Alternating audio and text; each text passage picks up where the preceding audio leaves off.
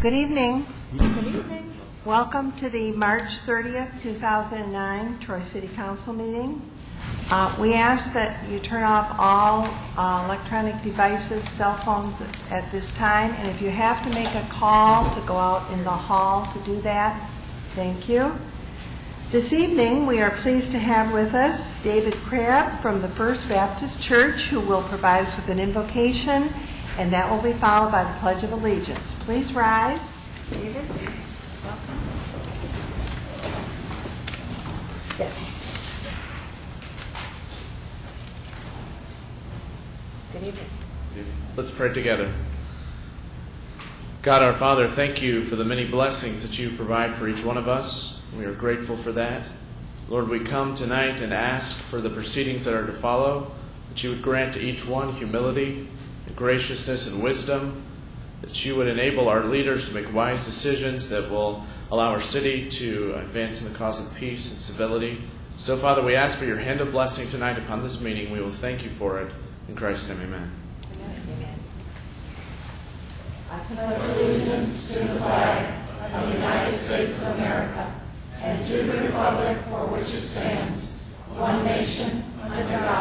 Amen.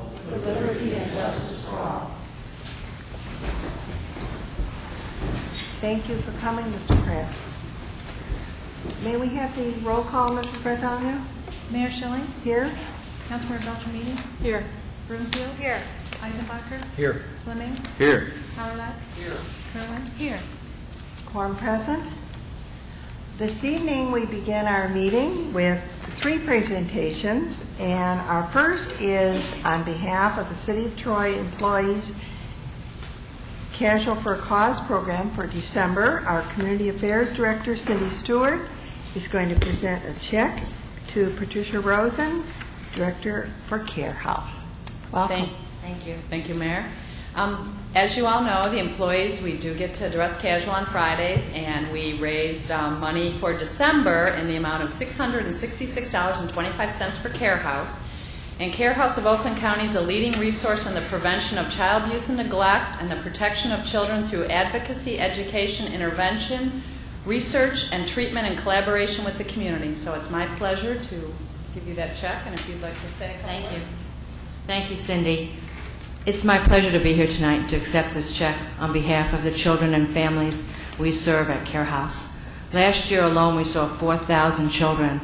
Children who come to Care House are victims of sexual abuse and severe physical abuse, and we could not change their lives without your help. And I want to tell you that the City of Troy holds a very special place um, for those children in Care House. Do you know that uh, your Public Safety Department donated backpacks last year for all the children, not many of them, but for the children who need to leave their homes when they're at Care House? And also your public, your Human Resources Department visits us every Christmas with bears galore, and we couldn't, we're just so grateful for that. So thank you tonight to the employees of the City of Troy for all their help and for changing children's lives and for believing it shouldn't hurt to be a child. Thank you, Mrs. Rosen.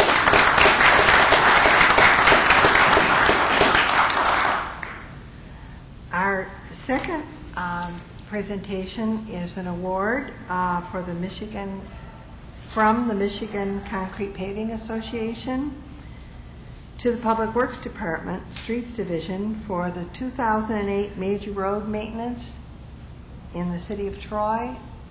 Is there Mrs. Stewart, you, oh, yes, you are here. Would you like to come forward, please? I'm looking about. Hello, how are you? Am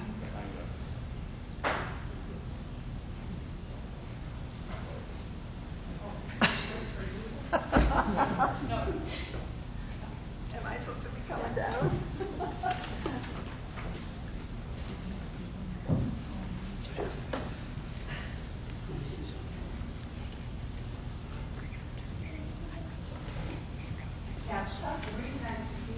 Sometimes the people are coming, you know, and they present, you know, and uh, so I'm sorry, I apologize.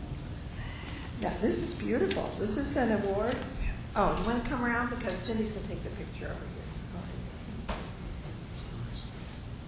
This is an award of excellence uh, to the Department of Public Works Streets Division for the 2008 major road maintenance in the city of Troy from 2009, and it's presented by the Michigan Concrete Paving Association.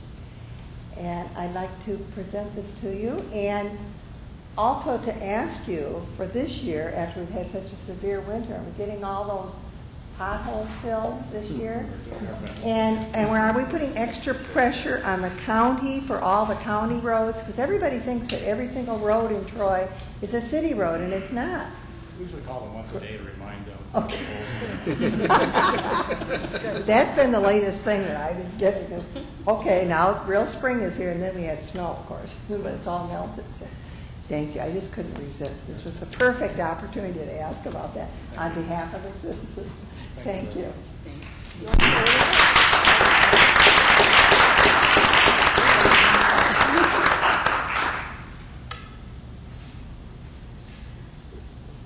Thank you very much.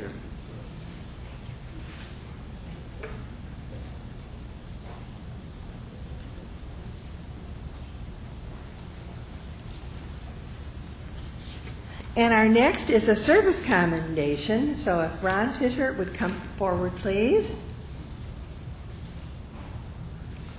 You Want to stand over here by me? Now I will read it and present this. Um, Folks, that we have a lot of people in Troy that volunteer on our boards and committees uh, here in uh, the city of Troy. And when they have uh, served for a period of over 10 years and they retire from their position on a board or committee, we give them a, a commendation. And it's my pleasure this evening to present this to Ron, uh, who served on our personnel board.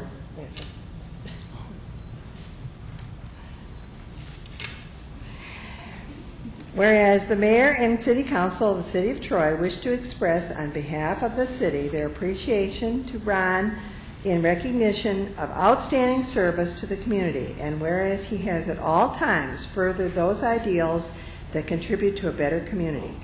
Now therefore be it resolved that the mayor and the city council, being the duly elected voice of the citizens of Troy, express the city's appreciation and recognition for this distinguished citizen's service since February of 1983 through April of 2008 as a member of the Personnel Board.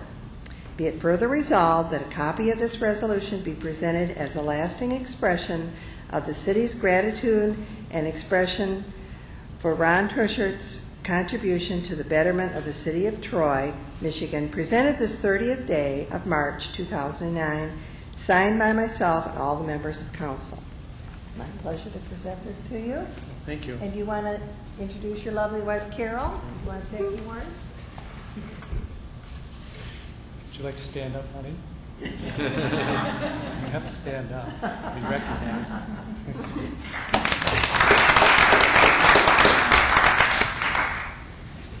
I do have to admit, serving on the uh, Personnel Board for 15 years was really a challenging, but yet an educational experience.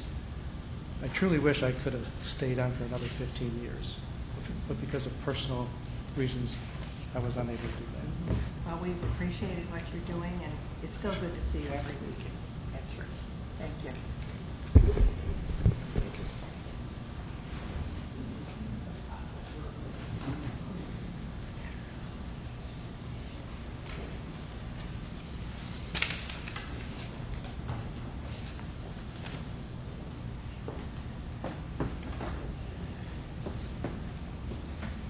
That concludes the uh, certificates of recognition, and so we'll go to our regular business now. Um, There are no carryover items, public hearings, or postponed items.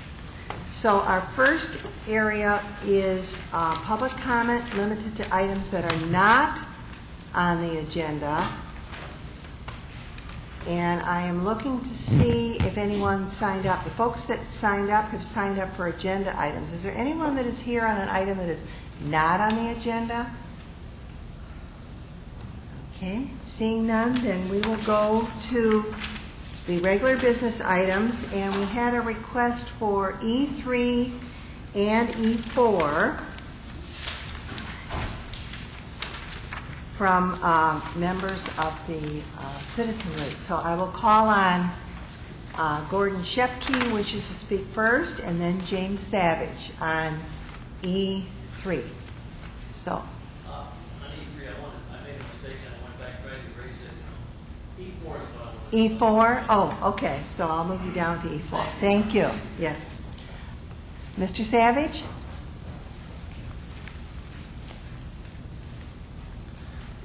Well, we're on early tonight. Good evening, yes. Uh, good evening, uh, Mayor and City Council.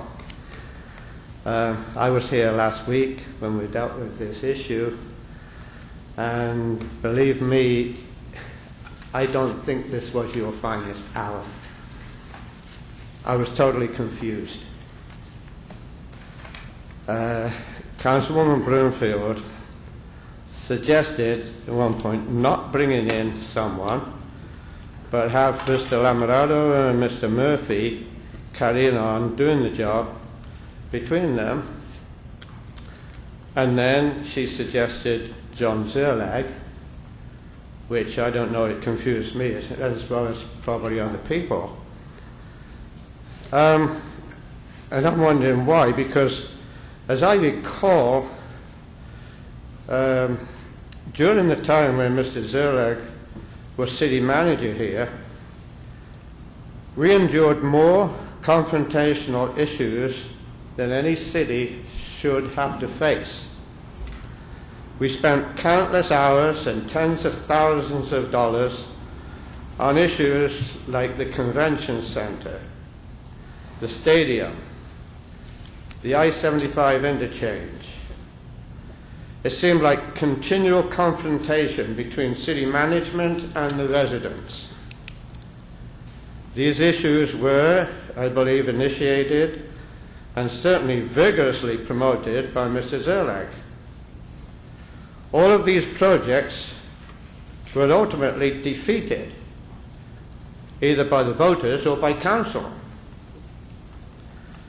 And while the years were being wasted on these now dead issues, our infrastructure was deteriorating, roads were getting better, uh, getting much worse. So it would seem to me that um, Mr. Szerlag's track record here as city manager was not a good one. And I'm sure most of the people on council remember these times, so, which is why I was surprised that it was brought up. There's another question, and I'm sure um, nobody wants to answer it, is how come Mr. Szerlag, after three years of going to what I believe was a better paid position, um, is now in a position of coming back. So I don't know whether it would be proper to ask whether he quit or whether he was fired. Well, getting back to last week, the image that Council projected last week was not good. What seemed like a simple choice of two qualified candidates became very complicated. Now, we went through this situation three years ago, and Mr. Lamerato um, took the position for, what was it, two months or whatever. I don't recall that there was any problem with that. In fact, it appeared to me, being an outsider, that the trans, uh, transition went very smoothly. So, looking at last week's uh, vote, I'm having to wonder if, some, if there was something that we don't know going on here. Whether there's something about our two candidates that people don't want to say, um, which is understandable.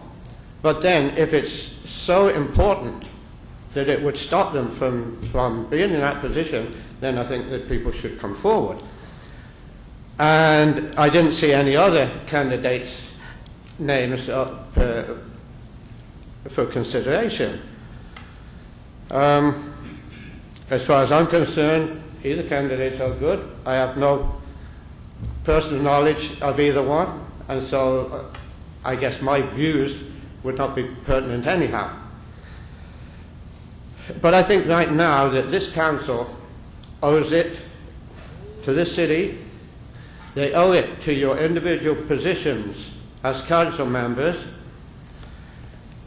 and you owe it to the governing bodies of which you are a part to put aside any personal or political opinions and appoint John Lamerato as interim or, or acting city manager, and not only to vote him in, but to do it unanimously. So this is behind us, and, and we can look at this, this night as being a successful night. And let's face it, we're only talking about an acting city manager until July. So please do this, and let's take, get last week behind us. Thank you. Thank you. Is there anyone else that is here on E3 that wishes to speak? If not, I will uh, return the matter to the uh, city council. And um, there is the uh, appointment of an acting city manager um, item that is before us. And um, I'm going to move the resolution resolved that the Troy City Council hereby appoints John Szerlag as acting city manager effective April 1st, 2009. Support. Moved by the chair, seconded by Councilwoman Broomfield. Discussion? Madam Mayor, Councilwoman Beltrame? before we get too far into this discussion, I was hoping that we would have a more philosophical discussion than a specific one tonight. And, and I guess, as much as anything, I'd like Mayor Pro Tem Howard to let us know if there was anything that he needed as information from either last week or something he wanted to add to the discussion before we got too far into this. Mayor? Mayor Pro Tem Howard? Well, um, clearly we're in certainly interesting times, and um, I think that each time um, there's been a need for the chief executive position here in the city, whether that was when um, Mr. Bacon left, or when Mr. Szerlag left, or when Phil here is leaving. And um, clearly, the um, goals, I think, of most of us here on council are um, unanimous in that we want the city to succeed and we want the city to um, have a bright future. And certainly, we're in a challenging environment economically. Um, unfortunately, um, nobody want we're here, and nobody, of course, wants to be in this situation.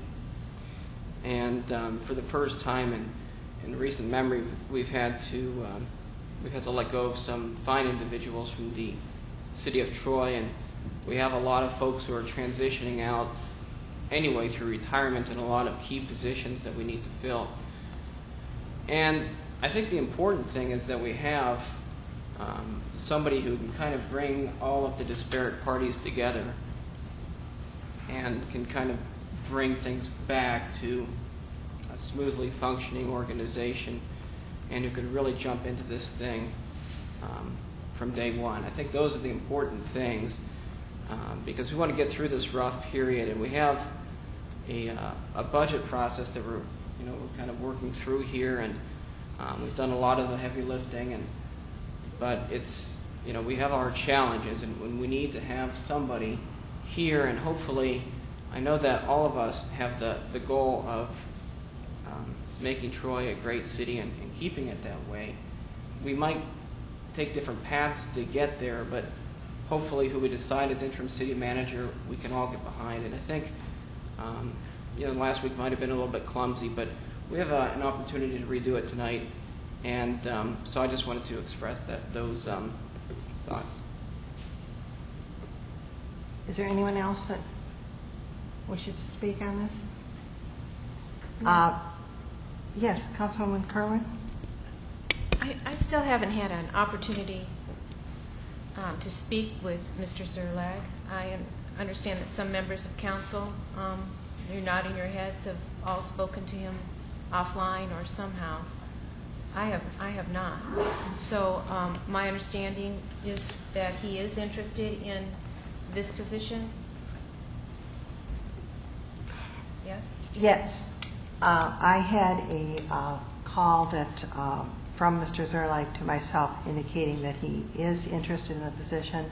And the reason that I brought forward his name uh, this evening is that I felt that, uh, although it was unexpected, that uh, he be available for um, this position at this time, that I felt that the majority of council, if not all of council, uh, for this 120-day period um, would uh, be working together as a team. And um, one of the things that I've learned through my years on council, as well as my years being mayor here, is that sometimes our original plan or our first idea doesn't always work out. But when you have time to reflect on things and look back and look forward, uh, I think that um, we have always had a great working team. The staff here in the city of Troy is the best. I'd compare them against any city in the, in the state of Michigan and beyond. Uh, and yes, we've had our rough patches uh, occasionally with things that we've dealt with uh, here on council, but I agree that we need to work more as a team effort together. And so um, I was hopeful that in this instance that we could and um, that we can work through the things that we need to do together because we do have a great community. Um, people flock here, whether they're coming here to live here or uh, uh, have their business here, uh, come here for uh, the restaurants or shopping, whatever they're coming here for. They always say very positive things about Troy. Uh, and so um, I think it behooves us to work together on this. Mayor? Uh, Councilwoman Beltrame? The clerk Mayor? Pardon? John Szerlag emailed me today and asked if his name was brought forward that these resumes be passed out. So Yes, would you do that? Thank you. Thank you. I do. I do have one. Uh, Did you want to speak again? I think John is highly qualified. Uh, Again, and you all heard me say this last week, much has, much has changed in three years. And I am somewhat concerned about the signal this sends to staff about whether or not it validates the changes they have made or it encourages them to go backward. That's, that is my primary concern in this action, particularly when the charter does not require us to appoint an acting city manager.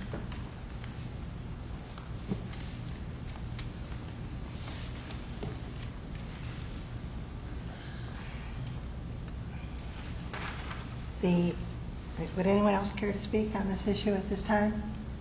Madam Mayor? Pardon? Councilwoman Kerwin? Um, Just in, in response, Madam Mayor, um, I echo your uh, comments, Madam Mayor, about our professional qualified staff.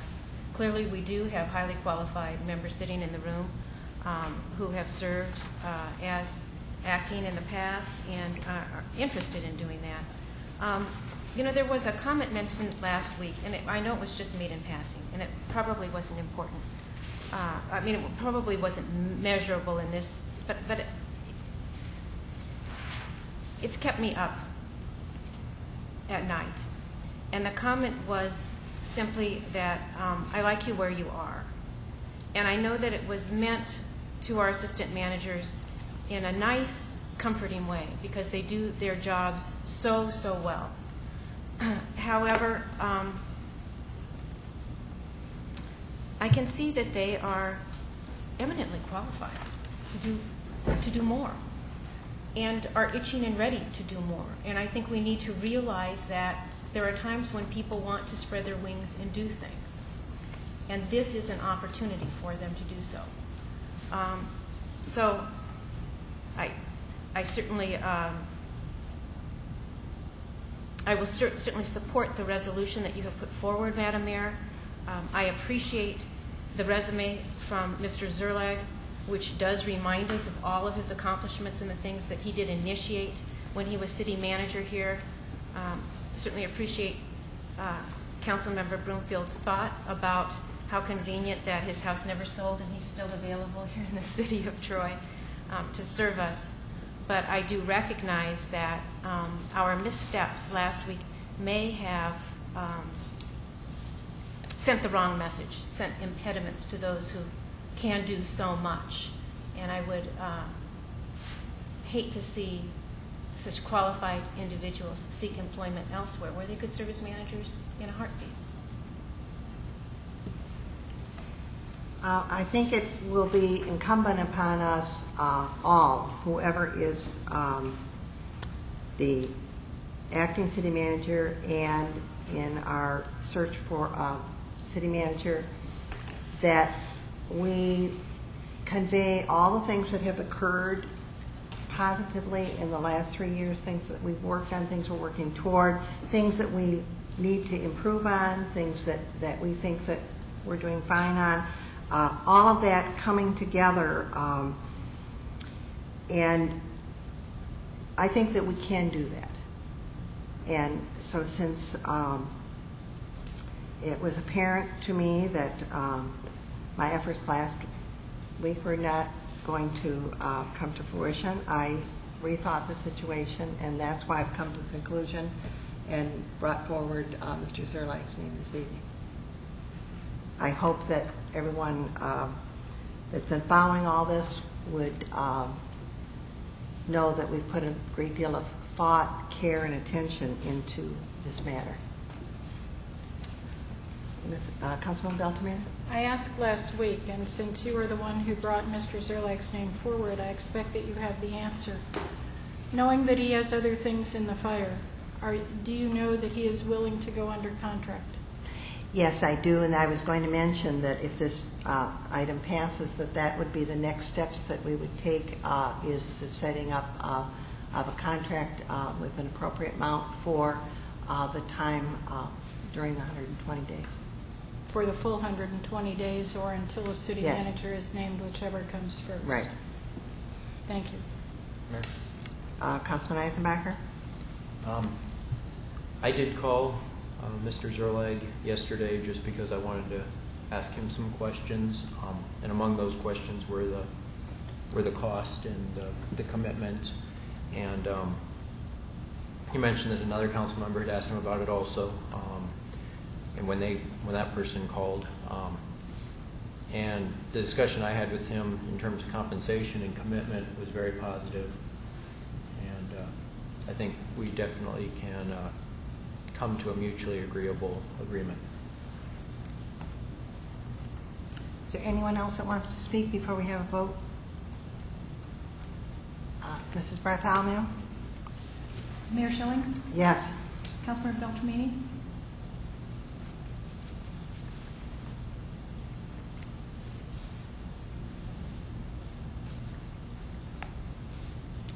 No. Broomfield, Yes. Eisenbacher, Yes. Fleming, Yes. Howard, Yes. Kerwin, Yes. Motion passes. Uh, The next item that was requested was an item that is E4 that um, is going to um, take us some time to do, and we're going to have to do in in sections, but we'll call our usual um,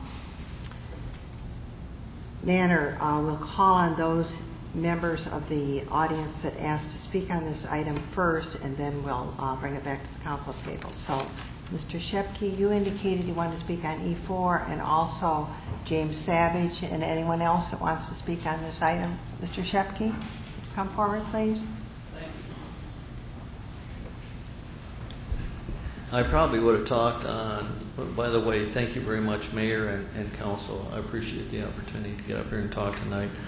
Um, I wasn't familiar what happened last week, so um, I didn't feel that qualified to jump in on E3.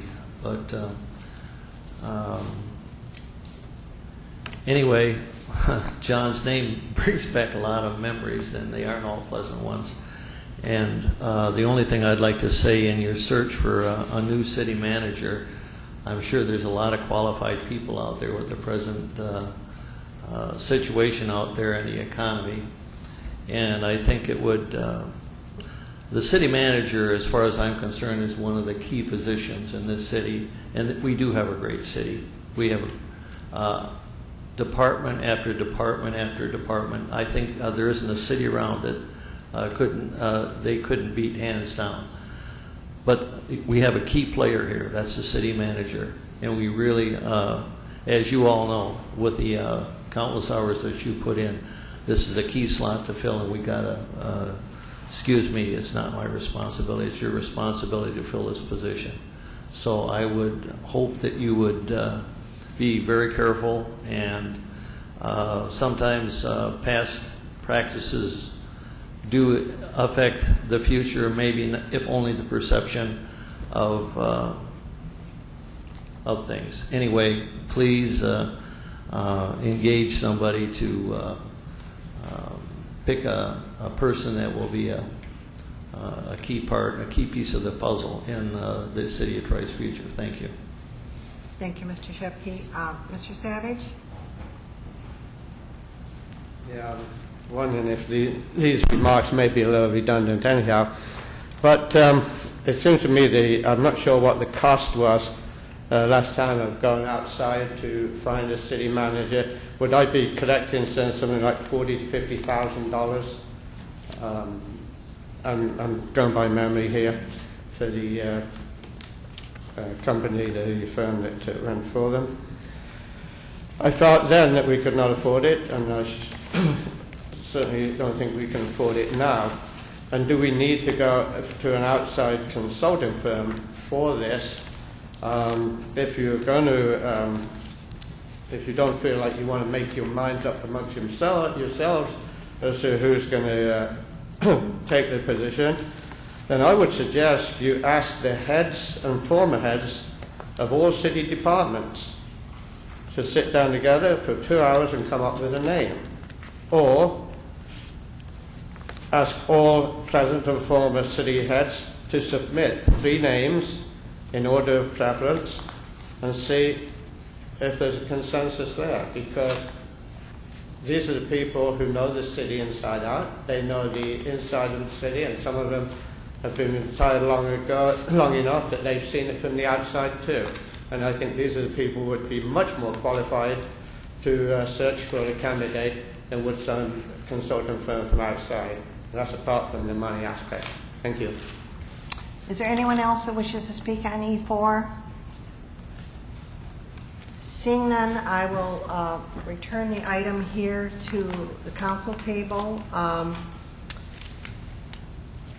I have indicate, uh, I know we have a number of processes to go through here, but um, I thought I should indicate at the onset that I have um, spoken against conducting an executive search for city manager for a number of reasons. Um, First of all, we uh, laid off nine people recently uh, due to our um, budget deficit situation and what we're going to proceed for next year. I did not feel that the expense of um, conducting an executive search uh, would be fruitful and a um, wise expenditure of funds, and I have not changed my position on that.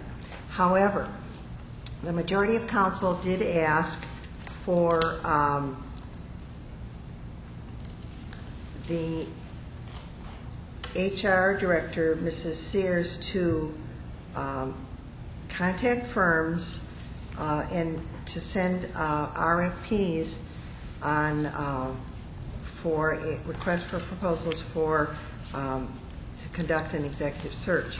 We have uh, received that information, and all council members then uh, had a worksheet in order to uh, rate them in uh, various categories, and then we're going to uh, proceed with that in this evening's um, discussion. Um, I asked Mrs. Sears how she selected the companies, because we had six different um, companies uh, send us RFPs, and um, she has indicated in a memo to us how that occurred. And um, my concern was that in viewing the data, there was such a wide range of uh, not only the cost factor, but the amount of information that each company provided us and their um, breadth of knowledge. And so I, I was um, questioning that, um, why that, there was such a, big difference. I don't know if the others uh, noticed that when you uh, looked at the six firms or not. Uh, Probably did. And so that, that was of some concern.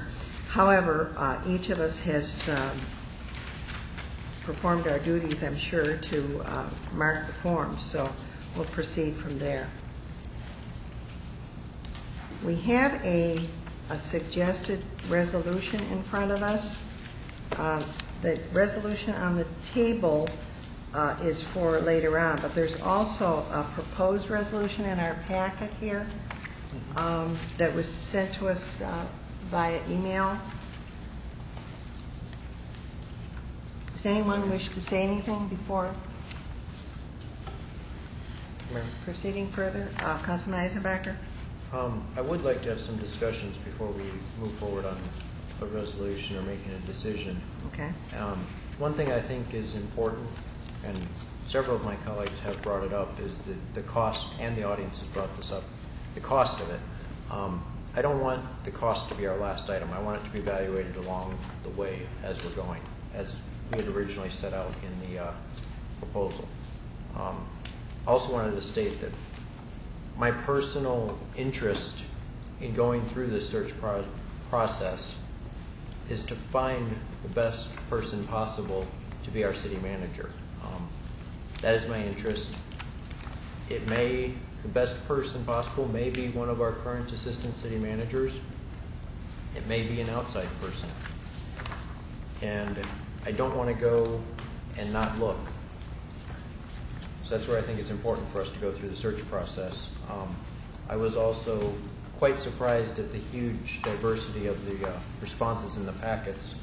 Um, I believe the, uh, there's like 146 pages, 148. 148 pages, and almost half of it was just one of them. So, very, I appreciate the brevity of the shorter responses, because it seems like they just got to the point and,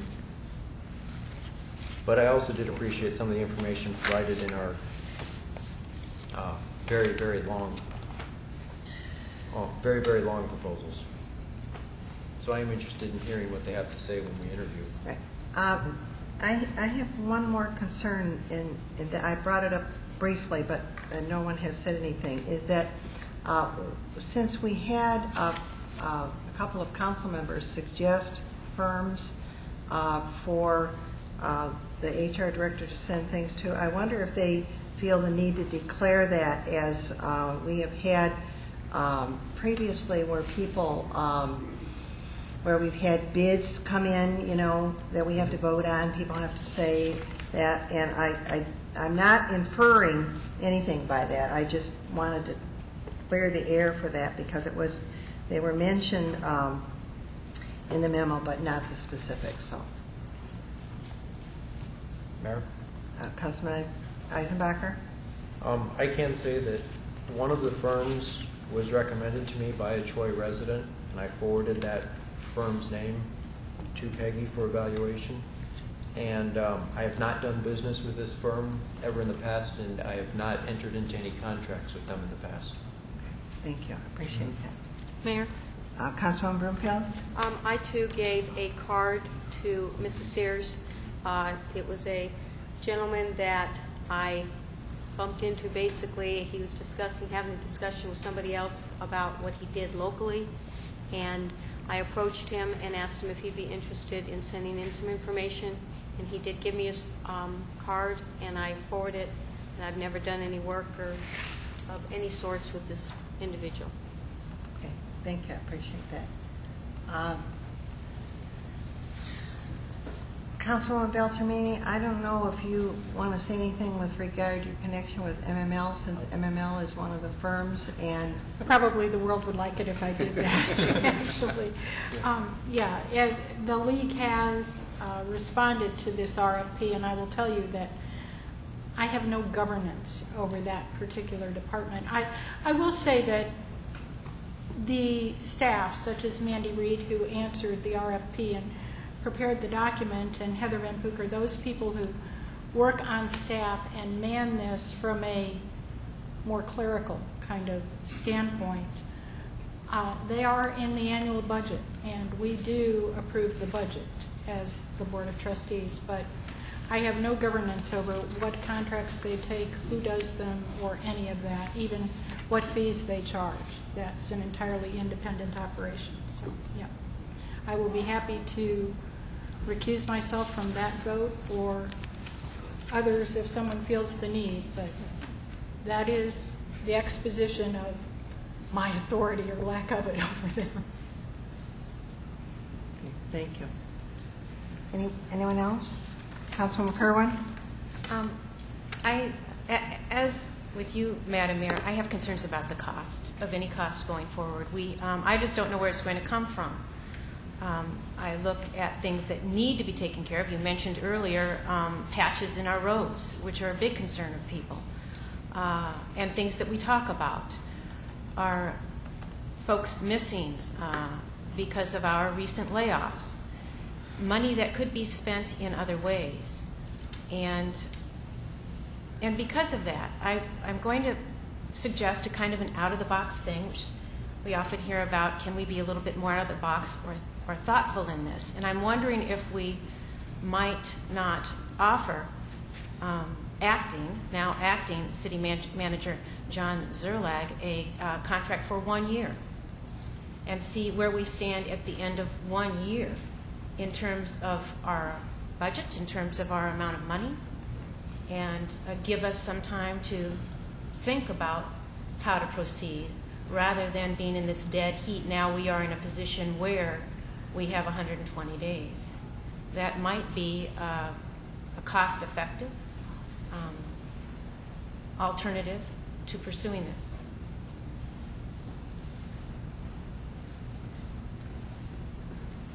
Further comments or items that folks want to bring forward?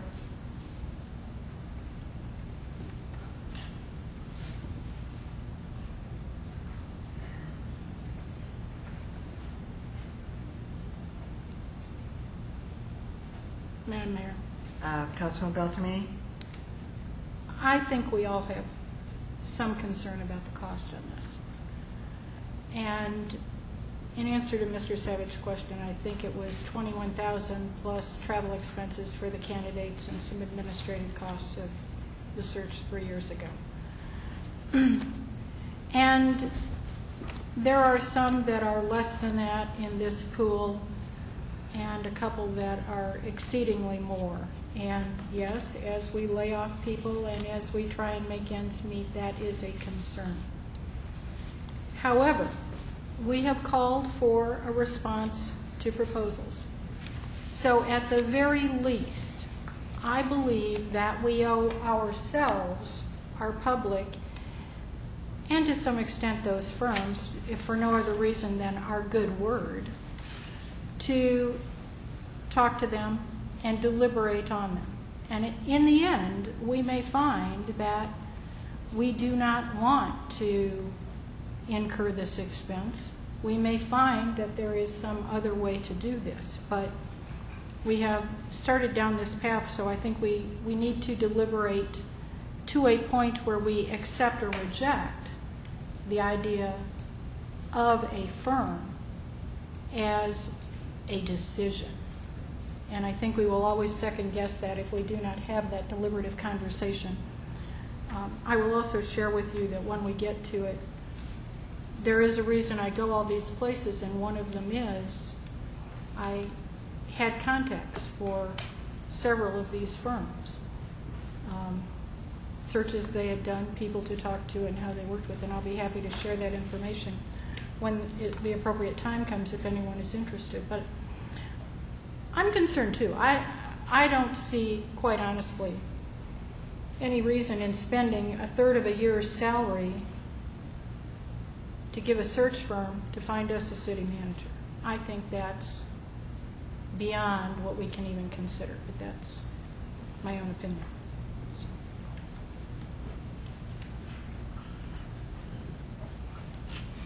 Further comments? Uh, Councilman Fleming?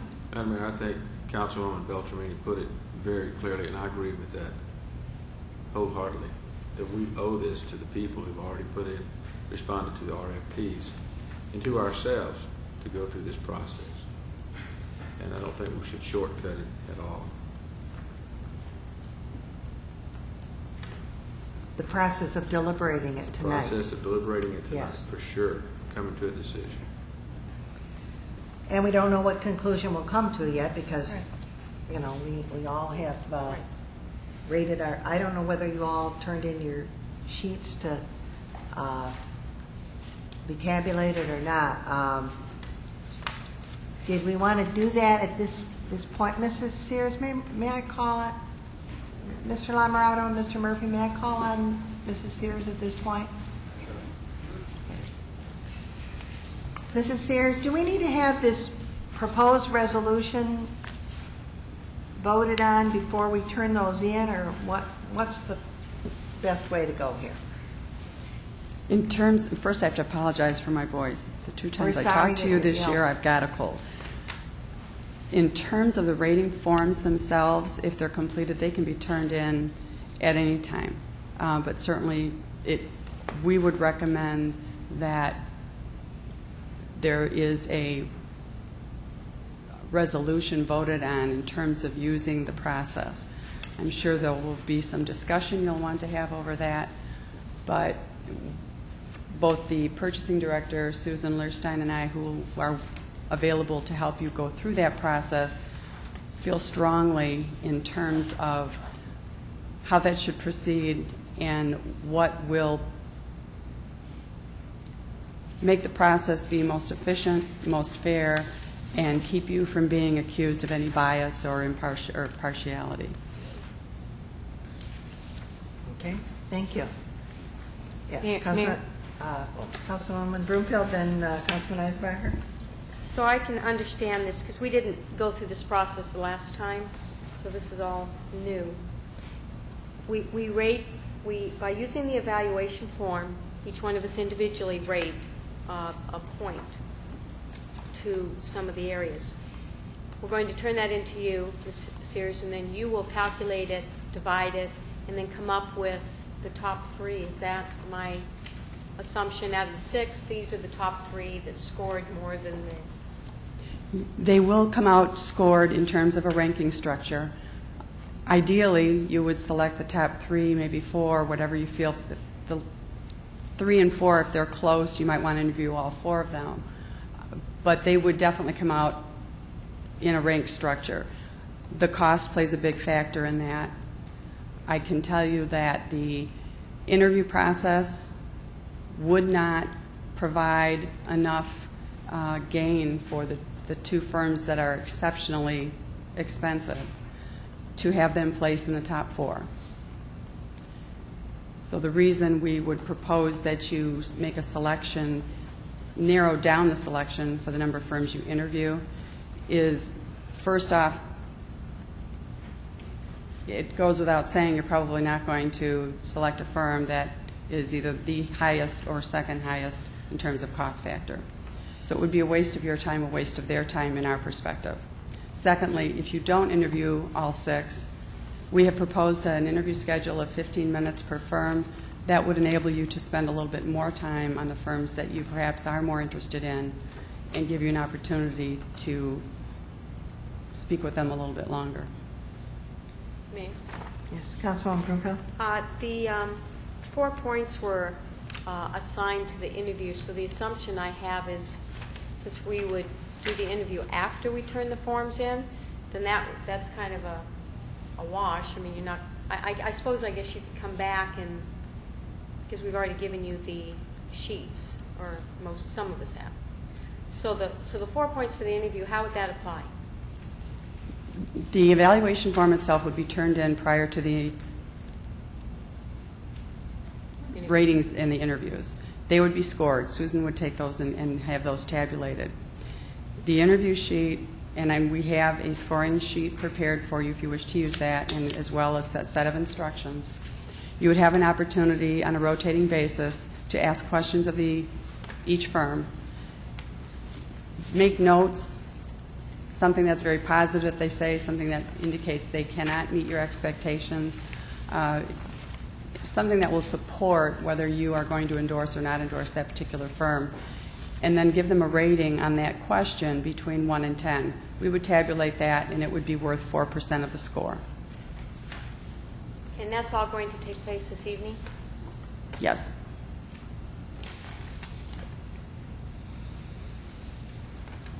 Councilman Eisenbacher, you asked for the floor next, I believe.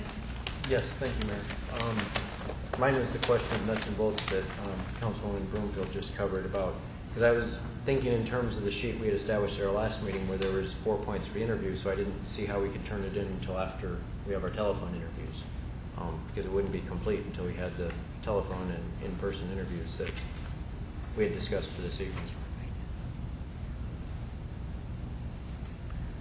Uh, Yes, I, I do see that, but there isn't enough in the, the point area uh, for the interview that would uh, dissuade it once they've tabulated all the numbers. And what I did was make a copy of my sheet after I um, did the rating, and then I turned in a copy to um, uh, Mrs. Sears and kept a copy for myself.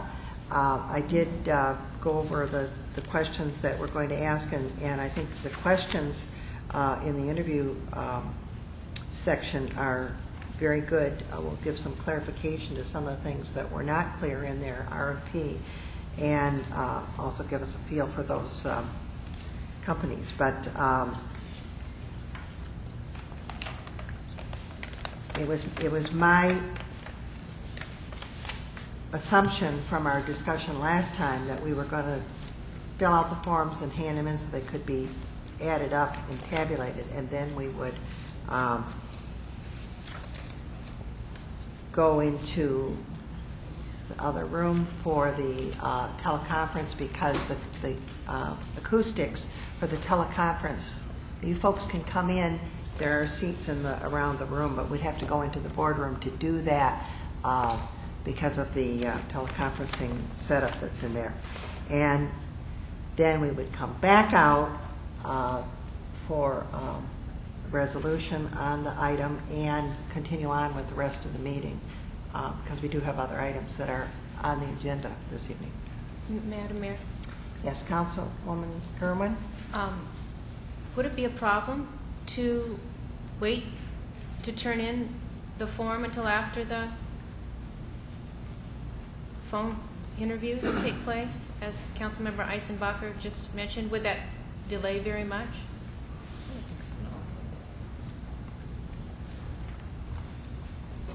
It would shorten the process if we tabulated initially, but it's a computer program once we plug in the numbers, so that, that isn't that big a factor. If you wish to, if you prefer to hang on to the interview forms or the evaluation forms that list the other factors until after the interviews, you could do that. We would just hope that you don't, that you still rate independently and that you don't rate based on your discussions. The- whole purpose of this, or one of the goals, is so that each of you has um, an independent, fair opportunity to have input into the process without being um, unduly influenced by one or the other. So that you can look at the proposal's response and see how well that matches what your expectations are, what you feel City Council's goals and objectives are, without being unduly influenced by, by one or the other. Madam Mayor, then that, that brings up one more question. We received information during the week that all six would be available for the phone interviews. And yet now we heard, I believe, in discussion, that we should possibly eliminate some um, that are beyond, because of financial. Is that, is that what I heard? That we wouldn't then interview everybody that we talked about? We wouldn't be interviewing all six tonight on the phone? Uh, Well, it would be council's decision. Our recommendation is that you narrow down the number of interviews that you conduct. Uh, the- All six firms have been advised that at this point, we did not have a decision on how many firms would be interviewed, nor what time they would be, but they are prepared if they are called on to participate in an interview. Uh, There is one advantage in interviewing all six, and that is, based on their uh, responses, it does give you some comparison then as you're looking at some of the ones, and even though some of them, you know, uh, were a lot costlier than others, that may or may not be a deciding factor. Um, I mean, I, I realize that cost is always a factor in everything that we do, but I think that getting the, because we're going to ask them the same questions, the questions that will be asked will be asked of every single one of the companies. Uh, it does give us a chance to do some comparison in our own minds. Um,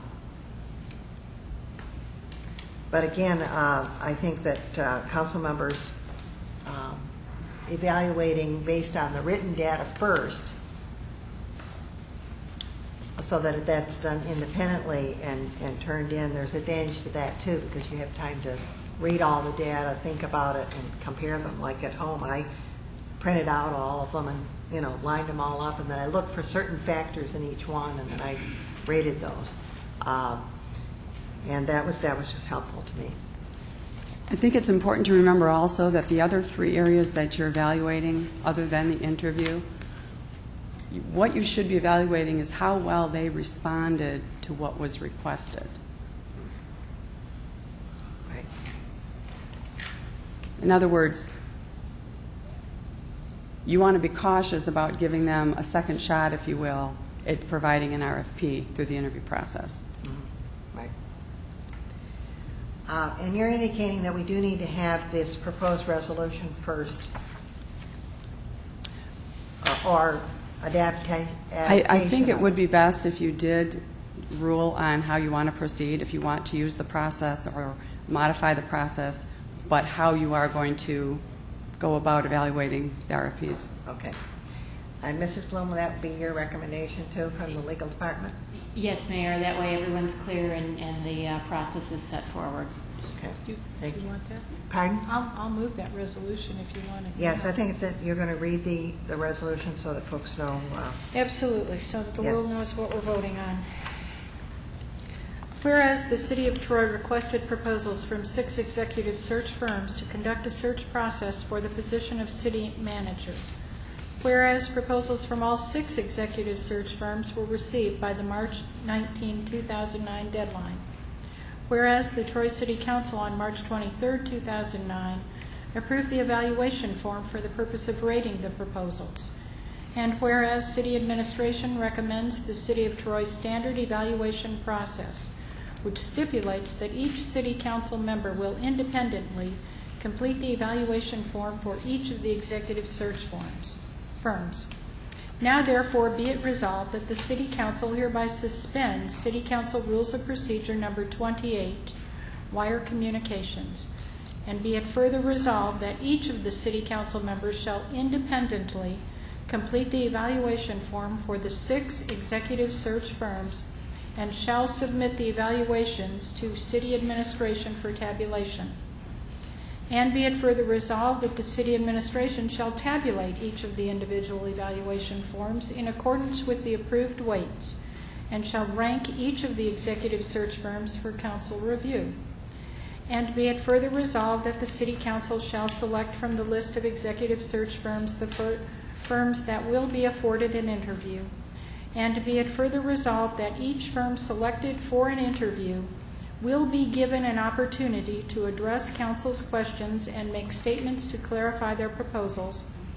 And be it further resolved that after the selected firms are provided with an opportunity to interview, that city council shall deliberate toward the selection of an executive search firm for the city manager vacancy, And be it finally resolved that all evaluation forms shall be attached to the city council minutes. Moved by Councilwoman Beltramini, do we have a second?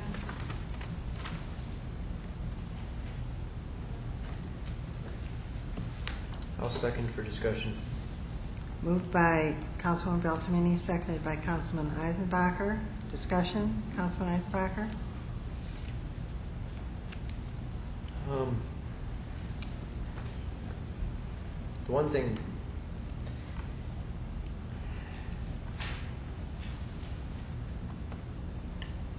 I'm concerned about switching to a two, two-step process just because of the time. Question is, is do we have enough information in front of us to make the final decision this evening?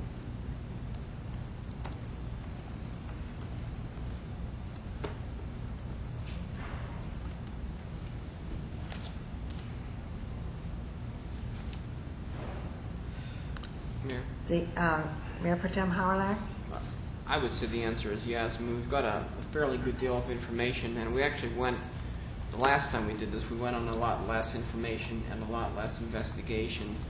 I think the bigger part, I mean, I think most of these firms are qualified to do the job. The key is, you know, getting the best one for us. And then from then on, you know, once they get to the point where, you know, assuming we go down this road, a lot of the work is, is our job as far as, you know, setting the, the framework for who we want them to bring to us, how we select it, et cetera, et cetera. Um, So I, I do think that if we want to continue down this process, I, do- I think there's plenty of information this evening to make a decision. Uh, For those that were not familiar with the process from last time, uh, remember at the beginning of this, uh, I had staff provide you with the group uh, from the Mercer Group that we used last time, and you can see that they did uh, a a profile of the ideal candidate. They uh, gave information about the community. They interviewed members of staff as well as members of the community, as well as members of city council. And when they had all their information compiled and they had questions that they would ask each candidate, then they began um, searching for candidates, and then they brought back the information in notebook form for us. Uh, So it was quite uh, extensive, but yes, everyone was uh, involved in providing information. We wouldn't expect a firm to just go out there and do it without getting the parameters that we set. Uh, Now, um, Mrs. Sears did not uh, send out forms to those that had um, provided the service before, you know, because we were looking at, at new firms that, you know, we had not used previously. Um, But I, I think there'll be enough information tonight, frankly, myself. Mayor? Councilwoman Kerwin? No, Broomfield. Oh, I'm sorry, Councilwoman Broomfield? Nice and quiet. Um, Just a couple questions in this resolution. The one, two, three, fourth whereas down, whereas city administration recommends the uh, City of Troy standard evaluation process. I guess that's the piece that uh, I I still continue to have questions, obviously, because I've not gone through that. I'm pull, I'm looking over at the, uh, the information about the evaluation process. Excuse me. And uh, I think we expressed a concern, or I heard Councilman Eisenbacher, and of course, all of us are talking about price. And the phases, is the standard evaluation process in this resolution what has been suggested here? Because we are doing this as a resolution, therefore, we we would be, uh, if this resolution were to be passed, we would have to follow these steps that were recommended. You're referring to the uh, Uh, memo yes, from Mrs. evaluation, uh, Leirstein? yes. uh, The phases that you brought us down and- and made a suggestion, is that part of this resolution? Yes, absent a revision, that would be the process that would be followed.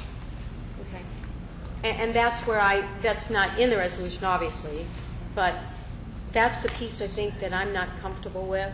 Um, The price, I think, should be, we're at phase one, where, for the sake of our audience, uh, they got to meet the minimum qualifications, which must be com- completed within 120 days, and I think all the information did say that it could, all six companies could meet that.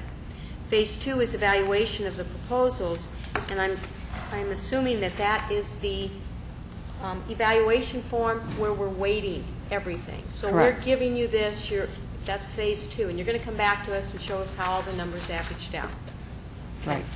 Phase three is the inter- interview score, which would be something we're going to be doing tonight or attempting to do via the telephone. And then phase four is the price. And I, I I don't know how that price can get moved up because we could have already virtually cut it in half from three, six to three before we ever get to price. See, I'm not, that's where I'm struggling with. Mrs. Sayers? And I may defer to the purchasing director to further address this, but if you're just looking at the high score and the low score, then I would agree with you. But in cases where the, this- or not score, but the cost, but in situations where the costs are within two, three thousand dollars of one another, you don't want the cost to have an impact on how you evaluate the rest of the proposal. And that's the intent for having that at the end. Ms. Thurstein? The only other thing that I can add to that is that I generally take the pricing in consideration with everything as it's moving forward. I've actually already done that phase, basically, for you. That's already been completed. Are you at the microphone? Sorry, can you hear me? There. Would you repeat that? Yeah, actually, that phase has already been completed.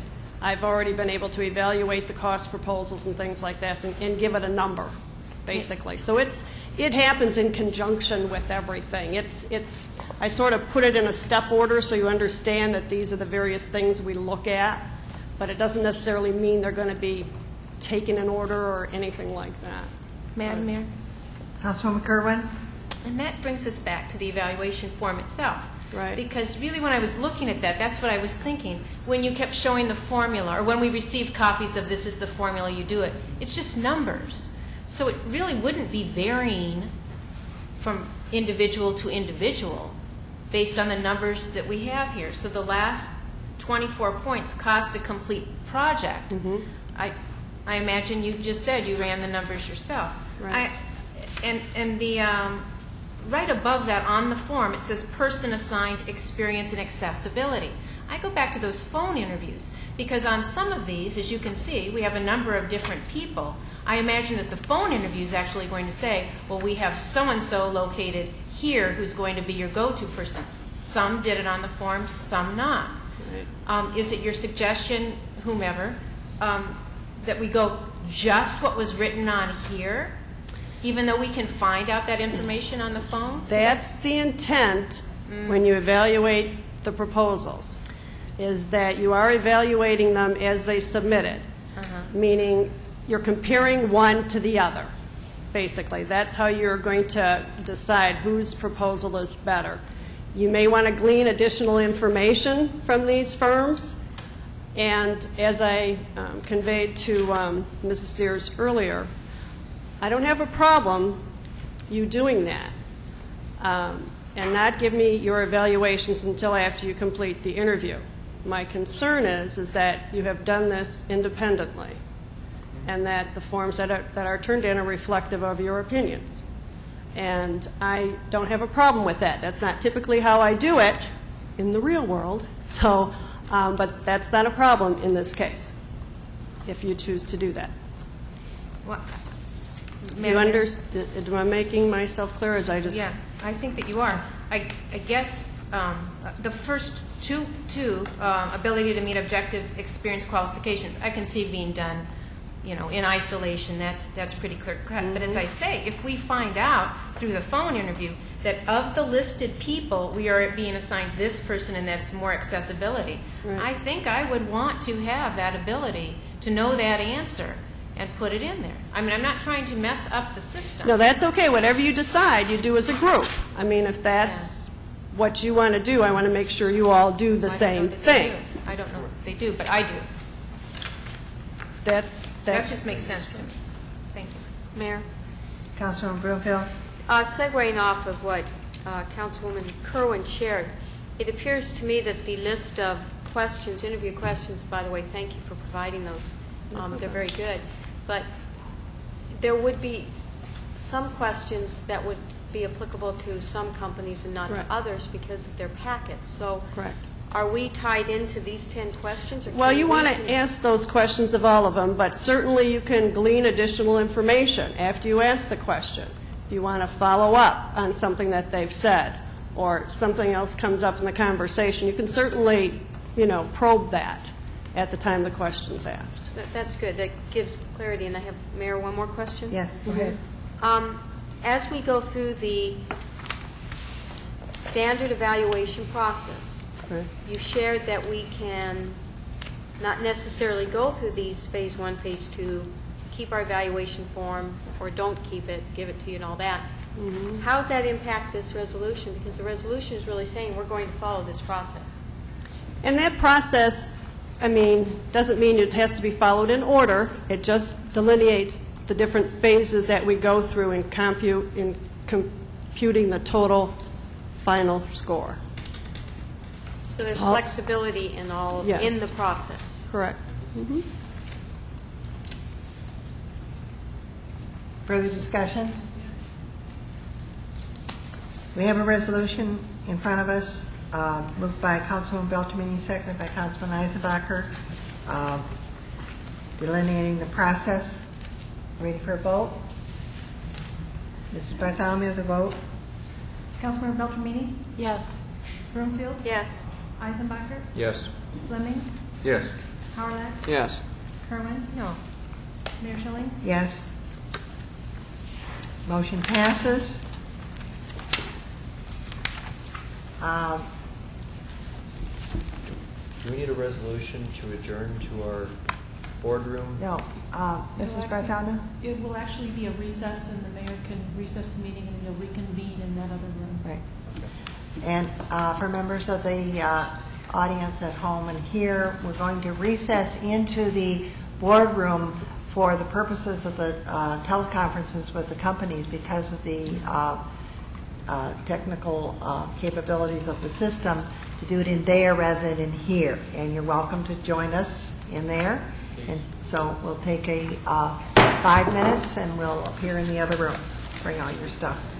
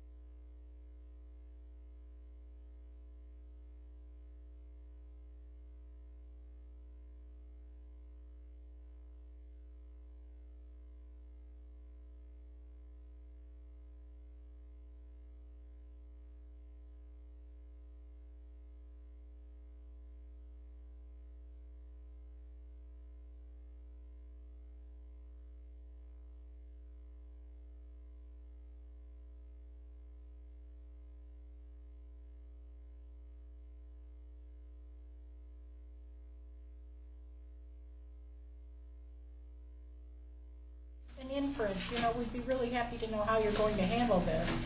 And with that, personally, I would have expected, well, James Schwartz is going to use his background to do this, but that's not what we got. No, and you will want to ask, you will want to know. Who they're from. You will want to know that you have a consistent consultant to deal with, and that they're accessible. Hey, could you give us the order of the uh, firms again? Blockett? Blockett, are we listing CPS, Reconvene? on the list. Deacon, MML, Smith Recruiting, Okay. and Waters. Okay, good. All right, we'll reconvene at the back, and we're going to have, um, Mrs. Sears, you're going to call the first one, and then we're going to ask the questions in this order, and the names are indicated who asked the question. And we're to indicate um, notes, if we have notes to write down on each one, and then we score them From one to 10, yes. From one to 10. Each question, right, from Each one to question. ten. Yes, so it will be much easier for you if you score each question as you, as you go along. Okay. Yes. Yes. Two questions. Um, Will there be somebody timing it so we kind of know? That was going to be a question I asked, yes. Kind of hold the card up they do in speech, you know?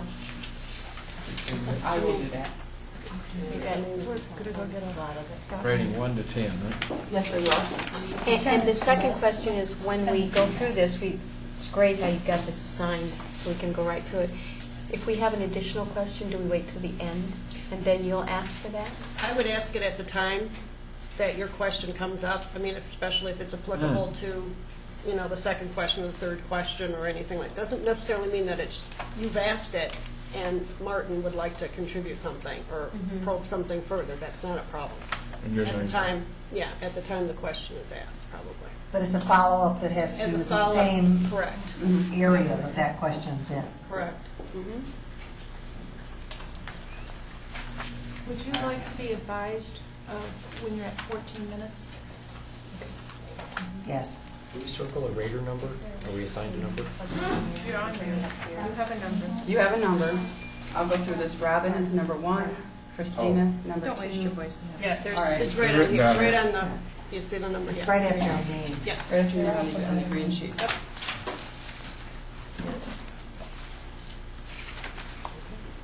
I just want to make sure that we have all the questions Yeah. about the process. and- Right. Oh, and sure. phone calls. Absolutely. Okay. Everybody This should pick up everyone. It was quite loud when I tested it earlier. If you want, Peg, I can, I can introduce myself and explain who's here and how the process is going to be handled, that a person will be answering a question, and there'll be a total of 10 specific questions asked. That would be helpful. Okay, so you Is don't that have going to be part of 15 minutes? Well, that can be introduction, you don't have to include my little minute or two that I'm going to take, not even probably, Okay. so, yeah. All right. Are we ready for the first five minutes? Yeah.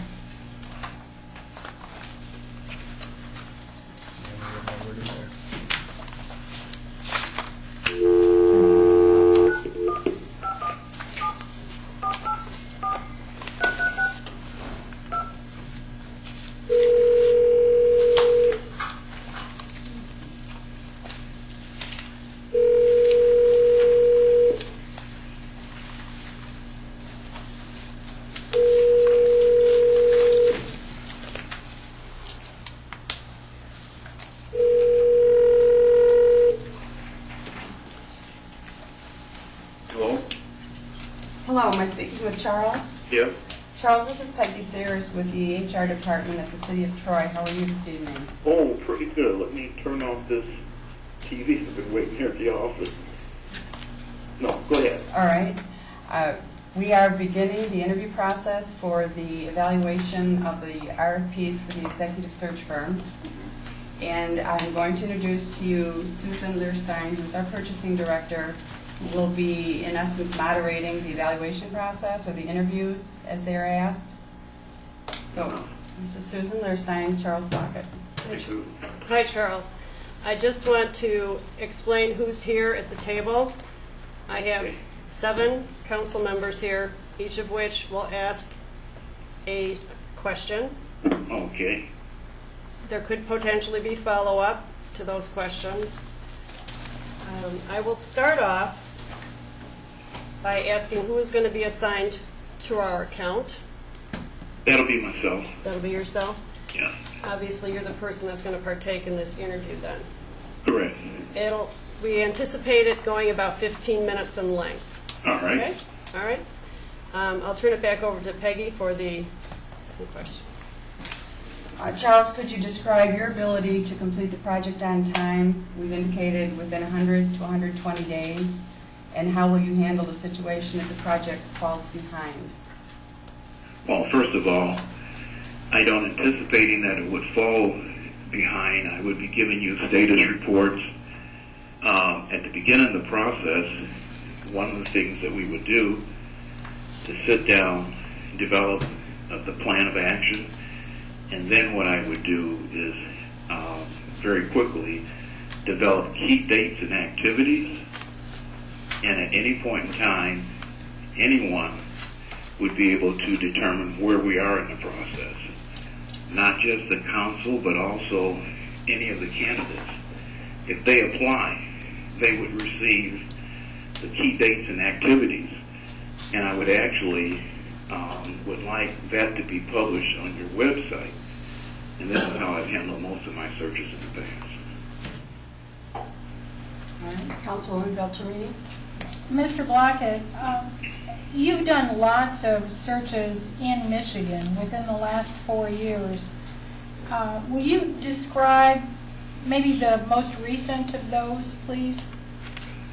Um, well, the ones that I think would be more applicable, um, very recent, would be like the Calhoun County um, um, controller administrator, the person to, uh, you know, to be the chief executive for Calhoun County.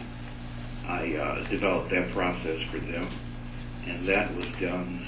Um, we finished it up the end of uh, last year. How long did that process take?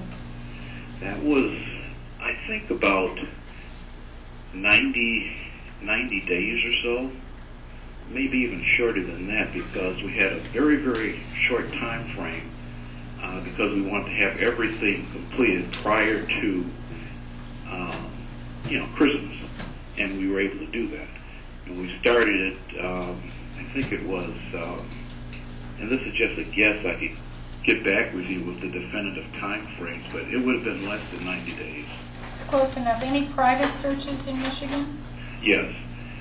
I did the search for the um, chief uh, legal advisor for Sparrow Hospital, which is our largest hospital here in mid-Michigan. Um, I also did the search for Sparrow's uh, diversity director. Done a number of searches for nonprofits, um, Hospice of Lansing. I did the search for their chief, um, um, for their executive director. I'm also currently doing a search for Sparrow's, not Sparrow, but uh, Hospice of Lansing uh, development director, the person to hit up their fundraising for them. Thank you. Councilwoman Broomfield? Yes, um, hello, Mr. Blockett? Hi, hi, Ms. Broomfield. Broomfield, is it? Broom, like you sweep with. Okay, I'm sorry. Go ahead. Uh, Glad to be able to talk with you this evening.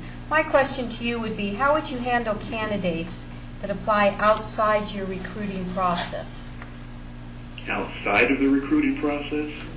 Yes, if, if uh, we have internal uh, individuals on staff that may want to uh, go through the process of applying. Oh, everyone would go through the same identical process. All of the candidates, whether they're internal or external, or whether they're um, within Michigan, or like when I did the search for airport director, we had candidates from all over the world who applied for the position.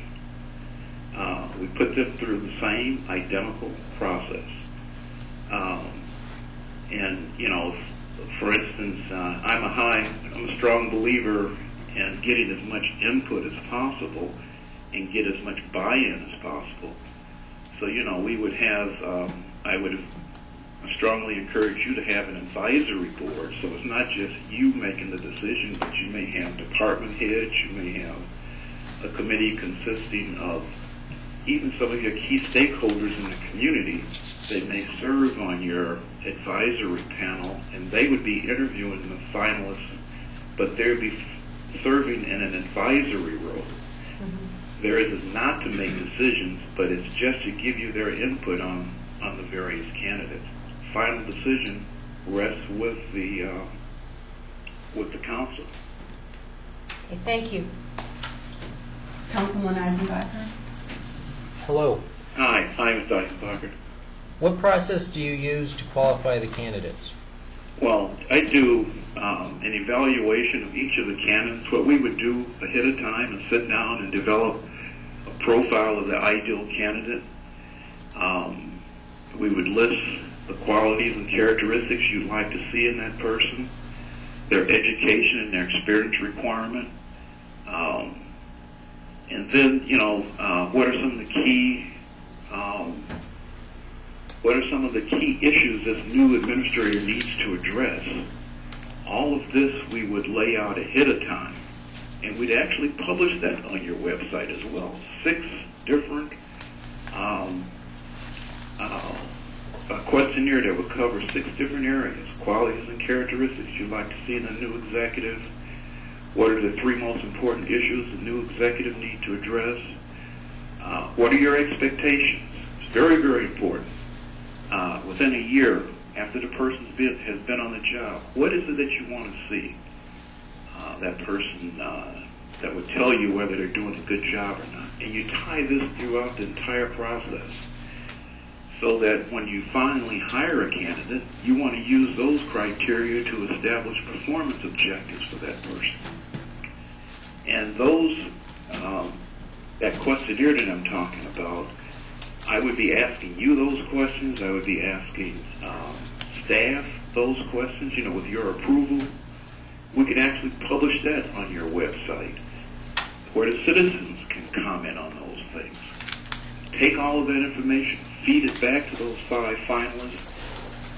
They would get that. They would get a copy of your budget. They would get a copy of your uh, audit report then we would ask them to develop a written plan of action as to how they would address those concerns. You want to see as many dimensions of an individual as possible. You've got an important decision to make. You don't want to make it just on the basis of an interview. All of this would be built into the process. For 15 years, years I had responsibility for all of the hiring of all of the executives in state government, developing the process that they would use. And that's the type of process that I would be bringing forth to you. Uh, One follow-up question. Do you typically interview people that would be outside of the references that a candidate would? You bet. no, we're not only going to interview them. Well, let's break it down in two different ways. One are reference questions.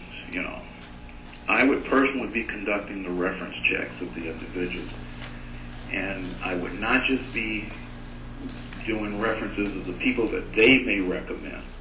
Like, for instance, um, once they become finalists, by the way, everything would be kept confidential until they're finalists. And then, you know, their names will be open to the public, public disclosure. And we would do two things. One is I would personally do the reference checks. And second, we would also do a background check on each of the candidates, which will consist of um, any criminal civil records going back seven years, bankruptcy records, uh, employment verification, education verification, bankruptcy, uh, and then also we would do probably the most important of all that I've learned through experience is we would do um, a newspaper article search. In essence, if there's anything in their background, be it pro or con, you want to have all of that. And you would have all of that information far as the background reference um, investigation prior to your interviews. What we don't want to have is to go through this entire process and then be caught with, um, you know, something that, uh, you know, uh, makes us all look bad. The reference checks, because of the way the process is developed, you may not be able to do all those reference checks prior to the interviews, but you would do it between the time a job offer is made and a contract is developed. Thank you. We should remind them, we only have five, five more minutes left, is that correct? And we have five more people to ask questions, so. Oh, okay, I'm sorry, if I'm, if I'm taking too much, please cut me off. This is Wade Fleming, and I'll make, it- I'll, I'll read fast here. How often does your firm plan to make visits face-to-face with the city council? Can you explain what those visits will entail? Uh, I would think that, first of all, I would, uh, there would be, you know, because of the Open Meetings Act and everything else, I would rec- recommend that you have a selection committee that's just shy of a quorum, okay? But for the final interviews, the entire council would be involved in that, okay? I would uh, anticipate that meeting with that selection committee, which will consist of council people, just shy of a quorum, um, that there would be at least about five or six of those meetings. Okay. Councilman Howrylak? Hello, um, what happens if the city is not satisfied with any of the candidates as a result of your search? Then what we would do is uh, we'd go back out and until we found a, you know uh, enough candidates that you are satisfied with. Councilwoman Kerwin? Typically, what's the most difficult part of the recruitment process, and how are those issues resolved? Well, it could come up a number of different places, but usually if you have a well laid out process, a good plan, you follow that plan, you usually don't run into that many problems. Casting a wide net is key. You know, making sure that we're going after targeted recruitment so that we come up with a good pool of candidates that uh, you know that uh, could do the job for you. Mayor Schilling? Yes, good evening. Um, Is your firm willing to negotiate a best and final offer as it relates to project expenses? project expenses, I, I'm just trying to get my hands around what it is that you're, you know, that, that's my professional fee is what I've laid out. Um, are you, so, you know, usually that's, that's what we go with, that. Pardon? Reimbursables. And reimbursements? Oh, re- reimbursement would be actual cost, you know. Right. And everything, let's say if I place an ad somewhere, I will not place an ad without your prior approval. In essence, we would sit down and we would say, okay, uh, we're going to spend five to maybe six thousand five hundred dollars advertising. Then I would stay within that budget, and I would let you know where I'm advertising, and you would have the final, or whoever you designate would have the final say as to, yay, we do this, or no, no, we don't. Usually that person would be uh, someone from the council or your HR director. Charles, we're coming to the close of the interview process. Do you have any questions or concerns about working with this council to complete this executive search? No, I mean, I haven't met you. I have read the material on your website, of course, but no, I, I don't have, uh, uh, you know, the main thing is that we sit down and we lay out a plan of action as to you know, what your expectations are. I would be asking you a series of questions, and I'm sure you would be asking me a series of questions. Very good. Well, thank you very much for being available tonight. I realize you had to wait some time, but I appreciate your participation. I will be in touch with you by the end of the week, hopefully, regarding the results of this uh, evaluation process. Okay, I appreciate it. I will be, um, I'm going down to visit my, my granddaughter in uh, Philly, leaving Thursday, but I'll have my cell phone with me. Could I give you that cell phone number? Certainly. Okay, it's uh, area code 517 881 3300. Thank you very much. Okay, Have thank a you good all for your evening. time. Thank you. Bye. Thank you. Thank you. And Next is CPS. Before you dial, these two questions. Yes. Christina and Davey. The question I asked Peggy, I'm not sure if he understood it, but I didn't want to waste up a lot of time asking you. It was how would you handle candidates to apply outside your recruiting, recruiting process? And my assumption was that this would cover our, some of our management that may want to apply, and it, it wouldn't go through his process, um, or he would agree for that. Is that the reason for this question? Yes. that How would is- you handle candidates that apply outside Yes. your recruiting, Yes, recruiting process? absolutely. He really didn't answer it. No. But I wasn't sure I wanted to give him much more clarification because of the time. Do they have to go through the same process? What was Yeah, it? basically you explained what you were looking for, and that's what the question was driven to. It's to take care of people in the organization that may want to apply. Right, but he didn't, I don't think he. Right, well, he got He- it, but yeah. he... He said they had to oh, go through his Oh, process. yeah, right. Same Okay. process. He wants to be paid. Uh, David, you had a question? No, that was it. Oh, on this, the- actually on the question you asked, um, I think we should clarify it a little. Thank you, Mr. Chair. Reimbursable. Yeah, make that All right. reimbursables instead of... Okay, if he project doesn't- reimbursables, Yeah. okay. And it should be something that they're willing to negotiate. I mean, I know he said whatever they are, you're going to pay for, but...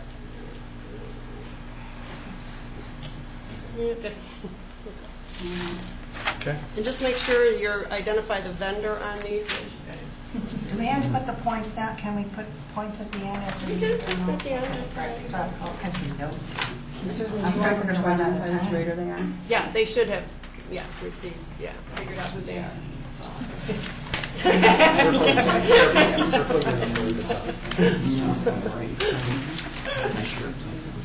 Okay. All right. Next one. So we'll be calling CPS Human Resources Services.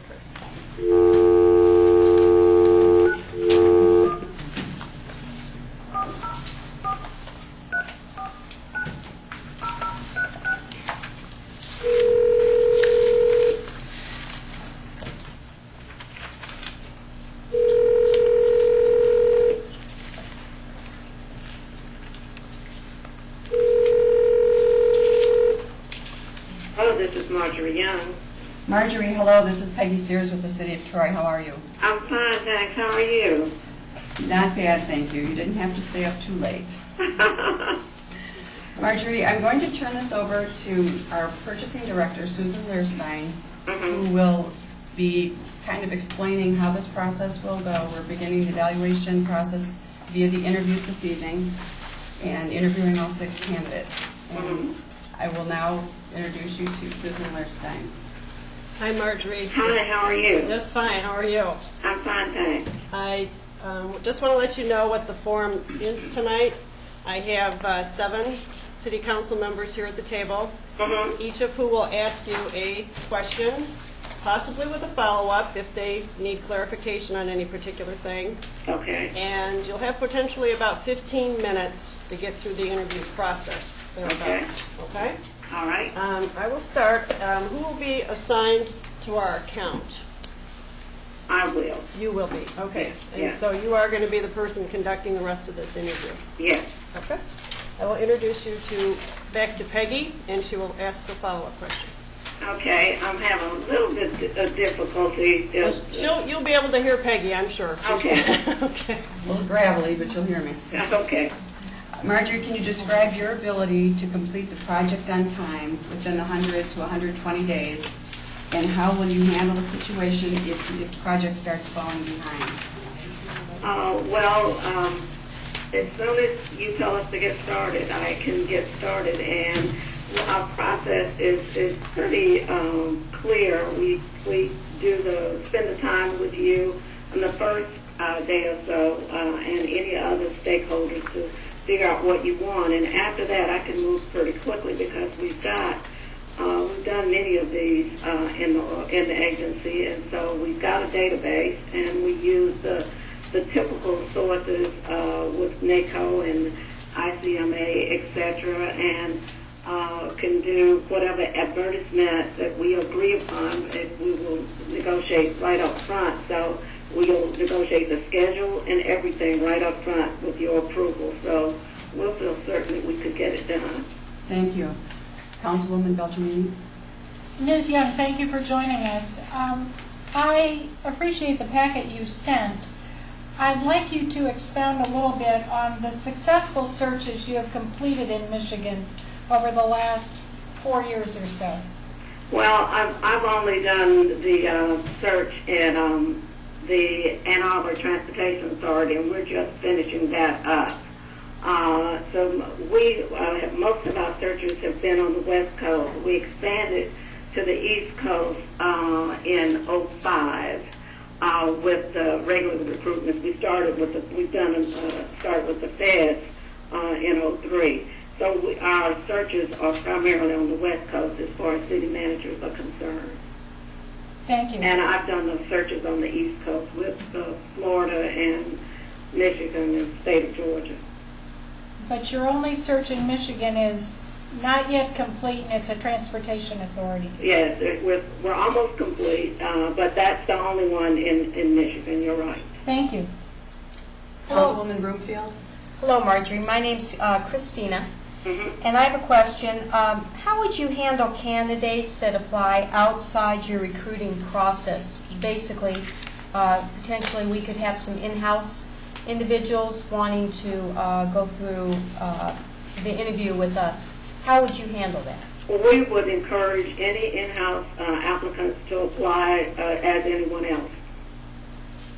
They could apply as part of the process uh, as anyone else, and they would be considered along with anyone else unless you have a preference that your candidates uh, be uh, considered separately. Many times when I've done the, um, the searches, the, the municipality decide that they want to make sure that their candidates get included, so all of them are interviewed.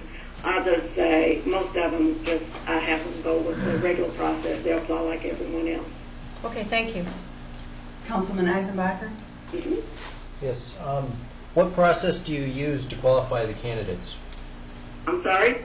Which, what process do you use to qualify the candidates? Uh, we will agree up front the basic qualifications and a candidate profile, basically the competencies and personal attributes uh, that you would look for in a candidate. We would agree right up front, um, as well as the kind of relationship you would want the person to have, the kind of experience you would want them to have, and that would be part of the announcement. And we would certify them based on those criteria. I'd look over all the uh, resumes and I uh, compare side by side the resume and what you've agreed to as the candidate profile, and that's how we qualify them. Okay. One follow-up. Do you typically interview people outside of the references for a candidate? Do I interview people outside of the references? Yes. I don't understand the question. Um, when you have a candidate Uh-huh. and you're you're checking them out for us, would Yes. you interview people that are not in their reference list, or just their reference and the information We, provided? we typically interview their references. We ask them uh, for their references, and if they get to be uh, up front, we ask them for a, a 360. We ask for a supervisor, peer, and a subordinate. And once, if they get to be the short list, and after you interview them and you want to, um, they become your finalists, then we say, we've got to interview some other people, and we want to interview, interview uh, more council members, more boards, and, and, and we go from there. But the initial round, uh, we don't interview outside of the list that they give us.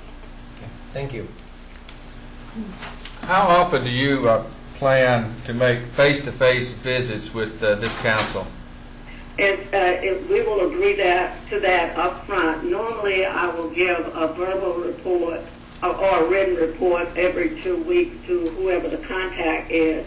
But uh, we would agree right up front. And normally, the, the meetings could range anywhere from three to five. Three to five? Mhm. Councilman Howard? I'm sorry. Uh, This is Councilman Martin Howrylak, and uh, could you tell me what happens if the city council is not satisfied with any of the candidates as a result of your search? Uh, we keep going and find some more. Uh, we start over. Uh, our contract with you is that we're not finished until you're satisfied. So we would continue the process. Rarely does that happen, uh, but uh, we would uh, continue uh, the search until you are satisfied. What would- what If that means reannouncing it and expanding uh, and making some more contacts, that's what we would do. I'm sorry, go ahead. But what would we do if um, we run out of time? We have a 120-day uh, time limit within our charter. How do we deal with that? You mean, you, you following up on the earlier question? Yes.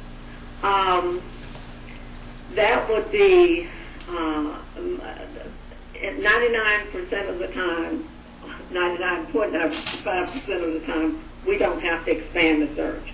But sometimes, uh, it, in a rare occasion, it may be that you have to, and that means it might end up outside the hundred twenty days. Typically, what is the most difficult part of the recruitment process, and how are those issues resolved? What's the most difficult part? Yes. Um, the, um, uh, the most difficult part is probably is how many, uh, the, the, the um, inter, arranging the schedule with the different people that you want involved in the process. Uh, that usually takes the most time because uh, if you have stakeholders that you want to where you have panels, scheduling those end up being very difficult, and coordinating it um, ends up being difficult. Um, um, the also, if you have uh, council, it, it depends if you want everyone uh, involved. That takes the time, and then the other part is um, agreeing on the questions. Uh, I usually develop questions, and uh, uh, depending upon how the, the selection committee or the council work, uh, getting some agreement on what the what the questions will be uh, ends up being, and it's not difficult. It just ends up taking more time, and it's because you're, you're pushing people to attend to it, and many times the council people have all the other things to do. And so that ends up taking time. So I, I get pretty persistent and pushing to make sure we stay on time. Mayor Schoen? Okay, uh, is your firm willing to negotiate a best and final offer as it relates to project expenses, the reimbursables? Yes. Okay, anything else you want to add on that? Anything Are you ask, you're asking me if I wanted to add anything? Yes. Oh, I, um, we personalize our, um, searches, um, because we know that, um, though we do searches for other people for the same type of positions, we use some common approaches, but we treat each search, uh, uh, very differently and we, uh, customize it because each council, each city, each municipality is different. And so we want to make sure that what your needs are are met and what we do. In addition to that, we, we will spend time with any group of people that you want us to. Uh, for instance, in, um, in Ann Arbor. Uh, I spent two days interviewing council, the mayor, uh, city leaders, um, county leaders, etc. And, and that happens sometimes. So we'd be glad to do that as well as we spend time not just looking at the search of the usual advertisements where we post people with ICMA and NACO, etc. Uh, we use our database and we call people and ask for recommendations because many times the best candidate is not looking for a position. And so we try to find people who recommend others in order to uh, come up with the best candidate. Thank you. Marjorie, do you have any questions or concerns about working with the city council to complete the executive search? Oh, no. All right, No, no. Marjorie, where are you located? I'm in Atlanta. Okay, thank you. Marjorie, this brings the interview process to a close. I want to thank you for being available and, and waiting. I anticipate being able to provide some feedback to all of the firms by the end of the week. Great. Thank you very much. Have Thank a good you. evening. Good night. Good night. Anybody have any questions before we call the Group? I have one question for the council. What is your preference? Would you prefer to introduce yourself or have me? All right. Save your Just save, give save, just sa- faster. save your voice. We'll Seems just awkward. Okay. she- All right. just save your voice.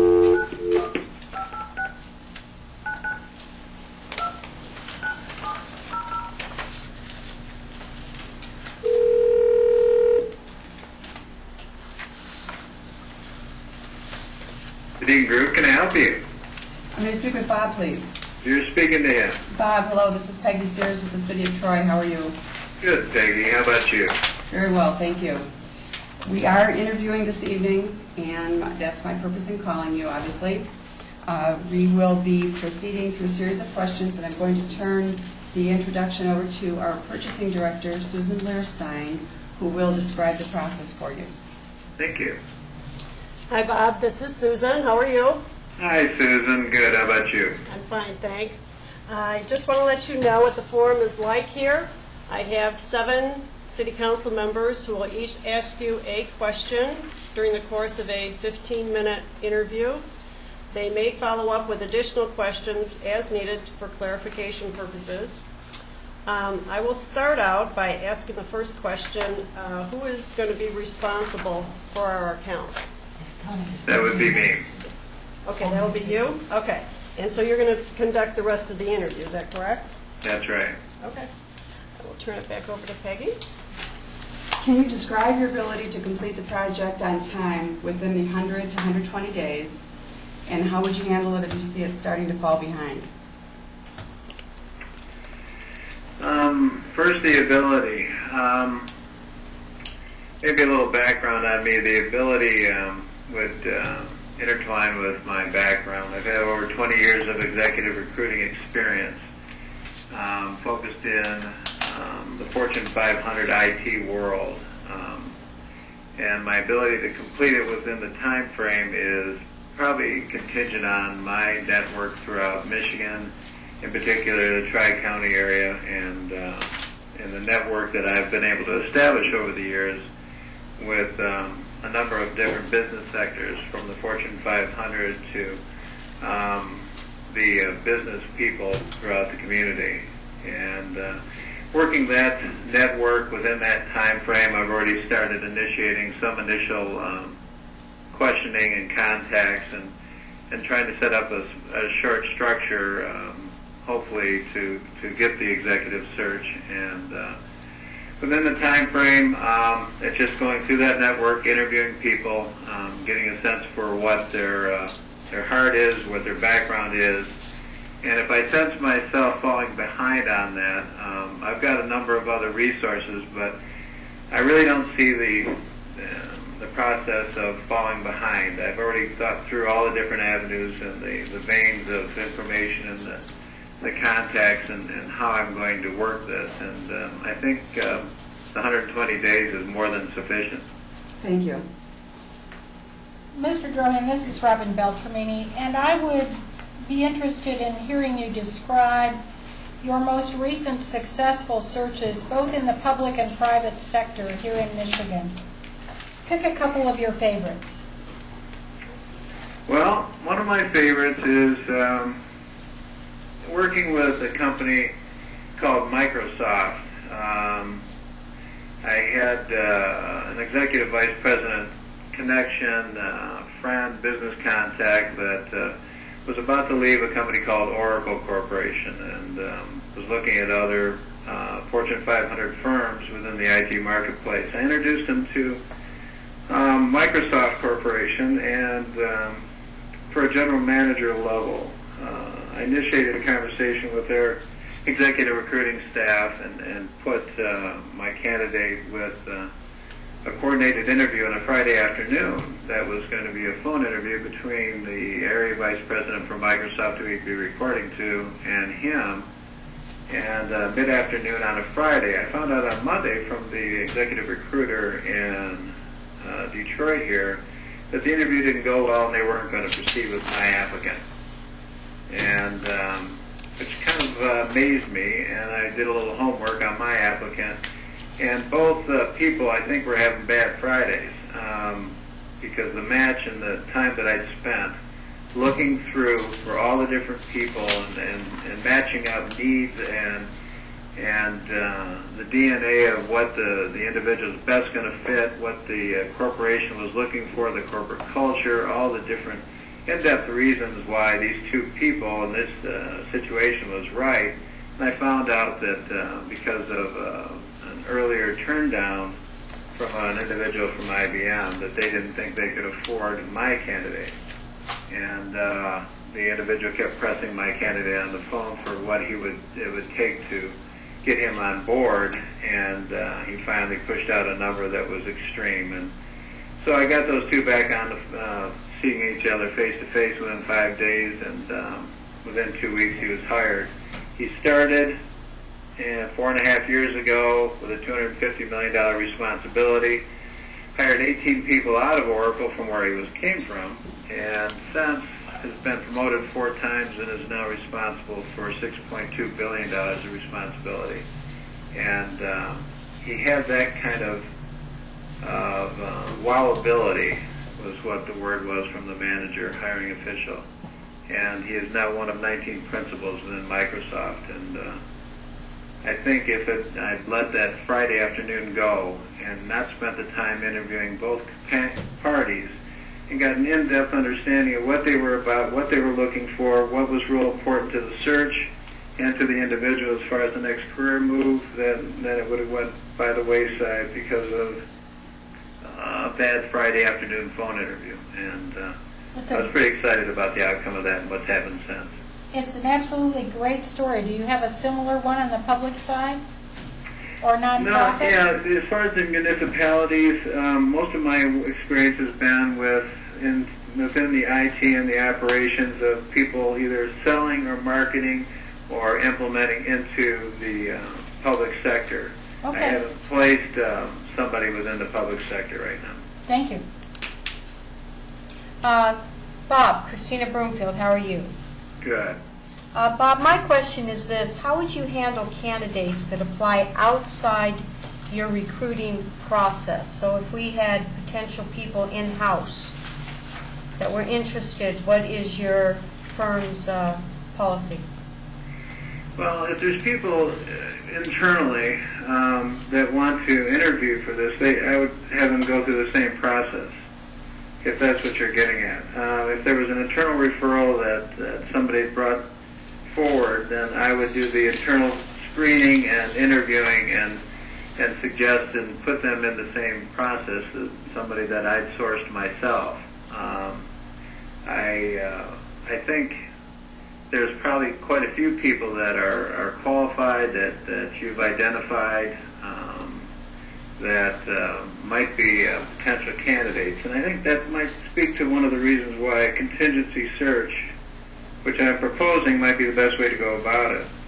Um, what that affords the council and the city uh, and the people of Troy is to look outside and see the best of breed from uh, a mixture of hopefully uh, business world, business ethics, business finance, as well as municipal strength background, and and be able to see what that talent level is, and still be able to honor and, and look internally and give everybody an even swing at it. And so you have uh, the wide menu of looking at who's best going to serve the needs of Troy now and down the road. Bob, if I could interrupt just one minute, I want to caution you about the conciseness of your responses. I want to make sure that you're able to get through all of the questions in the 15 minutes. I appreciate that. What process do you use to qualify the candidates? Well, before I talk to most any um, applicants, um, the uh, it's usually an inter- uh, a semi-informal reference has already been done. Somebody said, "Bob, you need to talk to Tom," and this is why you need to talk to Tom, and I ask them some questions of why they refer them, um, and then I contact them directly, make them aware of the opportunity and the richness of the opportunity, and uh, at that point, if there's an interest level. Um, I do a little other inf- uh, informal reference checking if I can, and then I sit down myself face to face with them and go through a, a pretty in-depth personal interview. And um, at that point, I write up a, um, a description of what I've seen and what I think this applicant can bring to the table. Okay. That ties in a little bit to my follow-up question is, do you typically interview people outside of the references a candidate would provide?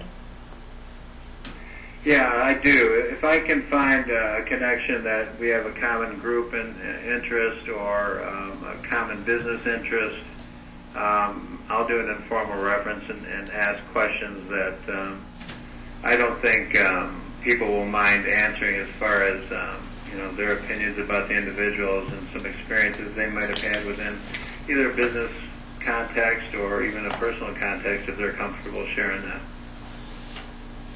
Okay. Bob, how often does your firm plan to make face-to-face visits with the city council? as often as needed.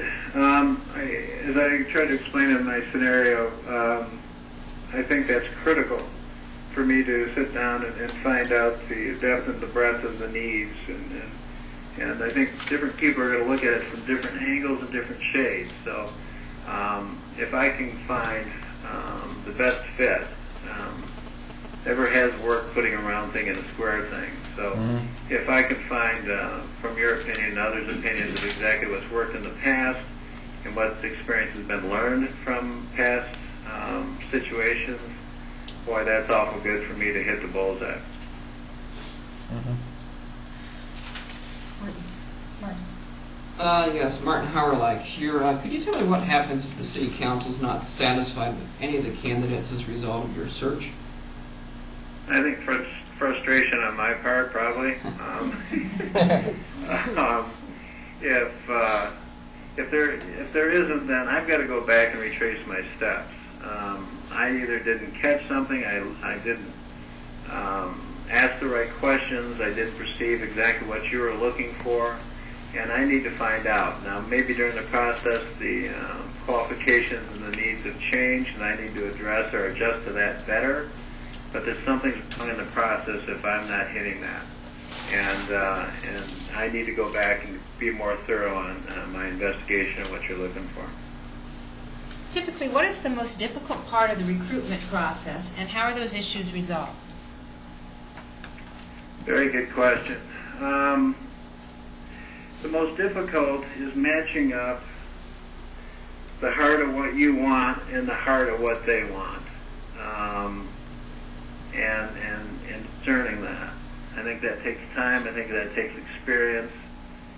I think that needs to be um, something that uh, you've made uh, mistakes on and you've had successes on, and, and you can bring that experience to the table. It's the toughest part to really discern what you're exactly looking for because there's practical things that go on and, and practical needs in the position, but there's other intangibles that you need to read through between the lines, and, and experience and history is going to help that. And um, I actually forgot the second part of the question. That's fine. Thank you. Okay. Um, Bob, Louise Schilling here. Is your firm willing to negotiate a best and final offer as it relates to project expenses, the reimbursables? I'm sorry, I don't, I didn't hear that very clearly. I said, is your firm willing to negotiate a best and final offer as it relates to project expenses? Speaking Yes, about the reimbursables? You want to, you want to um, clarify that a little more? Well, um, if I understand the question correctly, um, final expenses. Um, one of the things that I put in the proposal was um, some of the administrative costs or travel costs. I don't see that being very formidable on this search, but it's always something that I put in, and I'll be glad to uh, delineate that too, where both sides are very comfortable in it. Okay, thank you. Bob, this brings our interview process to a close, but I'd like to ask if you have any questions or concerns about working with this council to complete the search. No, I, I don't, and um, I just want to thank uh, one and all for uh, the opportunity to uh, be able to speak to you tonight, and um, I look uh, forward to hopefully working with you. Thank you, Bob. Have a good evening. Thank you. Bye bye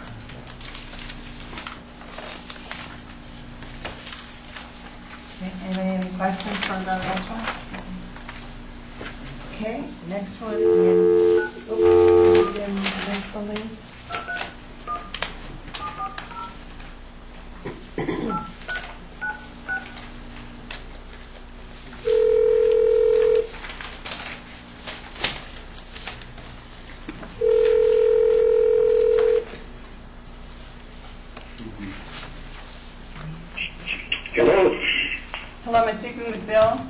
Yes. Hi, how are you? This is Peggy Sears with the City of Troy. Yes, how are you tonight? Very well, thank you. We are going through the interview process. Forgive my voice, it just got worse. And, Sure. and we are interviewing all six candidates. And I'm going to turn this over at this point to Susan Leirstein, who is our purchasing director, and will explain how the process will progress. Okay, go ahead. Hi, Bill. This is Susan. I just want to explain that uh, what the forum is like. I have seven city council members sitting at the table, each of whom will ask a single question.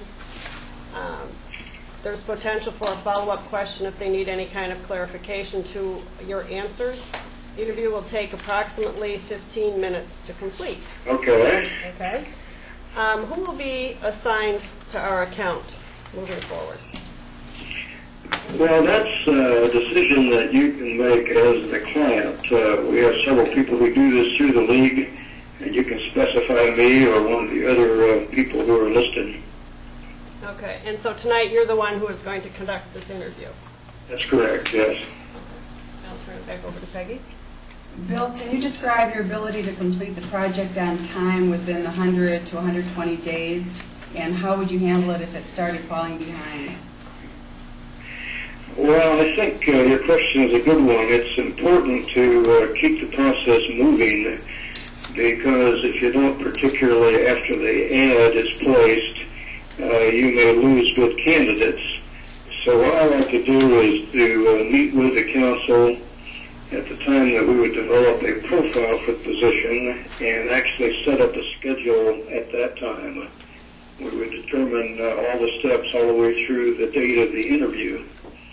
So uh, as far as I'm concerned, uh, that schedule then is set and we stick with that unless the council has a good reason to make a change. Thank you. Bill, it's Robin Beltramini here. I need to have you pick a couple of your favorite searches in Michigan that have been successful in the last four years and tell us about them. Well, it would be difficult to single out. uh, for the most recent one I just completed was happened to be for a township, uh, Park uh, Township, which is next to Holland, Michigan. Uh, we ended up with uh, 61 applications in that case. Uh, the council selected, uh, well, I gave them a short list of about eight. From that, uh, actually it was a board in this case, selected three that they wanted to interview. Um, we had the interviews about a week ago, and uh, just tonight they were scheduled to approve a contract with their lead person. Uh, last year I did a, a search for Dowagiac. Uh, I've done them for uh, Battle Creek, uh, really cities and townships of all sizes. And to term them successful, uh, the measure of that is whether the council or the board is satisfied with the person that they have uh, they've narrowed it down to. And I don't think we've had any, maybe one case over the years where we had to re-advertise. But generally speaking, the uh, process produces a, a candidate that the board or the council was satisfied with. Thank you. Uh, Yes, Bill, Christina Broomfield here. Question I have is, uh, if we have uh, in-house uh, individuals who are wanting to go through the process, how does your um, company handle that, your recruiting process handle that? Well, I always mentioned that at the first meeting of the council, and uh, what I recommend is that you say to uh, anyone who happens to be with the organization currently, or anyone who may be uh, local, is that they ought to apply in a timely manner and go through the same process, same timeline as every other candidate. Uh, I think what you want to avoid is a situation where you have an internal candidate who comes in at the 11th hour and basically says, well, now that I've seen the process and the competition, I'd like to apply. I think you want to avoid that by telling everybody that they have to apply uh, in a timely fashion and observe the same timelines as, as anyone would. Uh, as far as internal candidates, I think that's great. Uh, they should be considered along with uh, everyone else. And uh, it's always been my policy to advise the council of all of the internal candidates so that they know who those folks are, uh, unless they happen to request uh, confidentiality. Thank you. Okay. What process do you use to qualify the candidates? Well, that's an interesting part of the whole process. Uh, I go through every resume and uh, look for experience and the kind of experience they have. I compare the resume with the profile that you all have developed or would develop. I then sent out a, uh, a list of uh, written questions, and I use the same questions for each of the candidates uh, who appear to be promising. And uh, those questions are designed to uh, take any surprises out of the process, to make sure that I have consistent information on all the applicants. And if there are any uh, ambiguities in their resume, those are ferreted uh, out in that uh, process. Uh, after reviewing the response to those written questions, if they still appear to be promising, then I will uh, sometimes do a telephone interview. Sometimes that is necessary if I happen to know the candidate. And then I will do some, start doing some reference checks, um, calling people uh, that they list as well as other people that that I would know in the area who might be familiar with their work. So I'll have a pretty good picture of uh, each of the candidates before I develop a short list for the uh, consideration of the council. Thank you. You also covered my follow-up. Okay. How often do you plan to make face-to-face with the city council, meetings with the city council during this process? Well, again, that's up uh, to you folks. Uh, uh, what we normally do is we'll have that initial meeting where we'll talk about the process, uh, we'll develop the profile, we'll develop the timeline, the schedule for the process.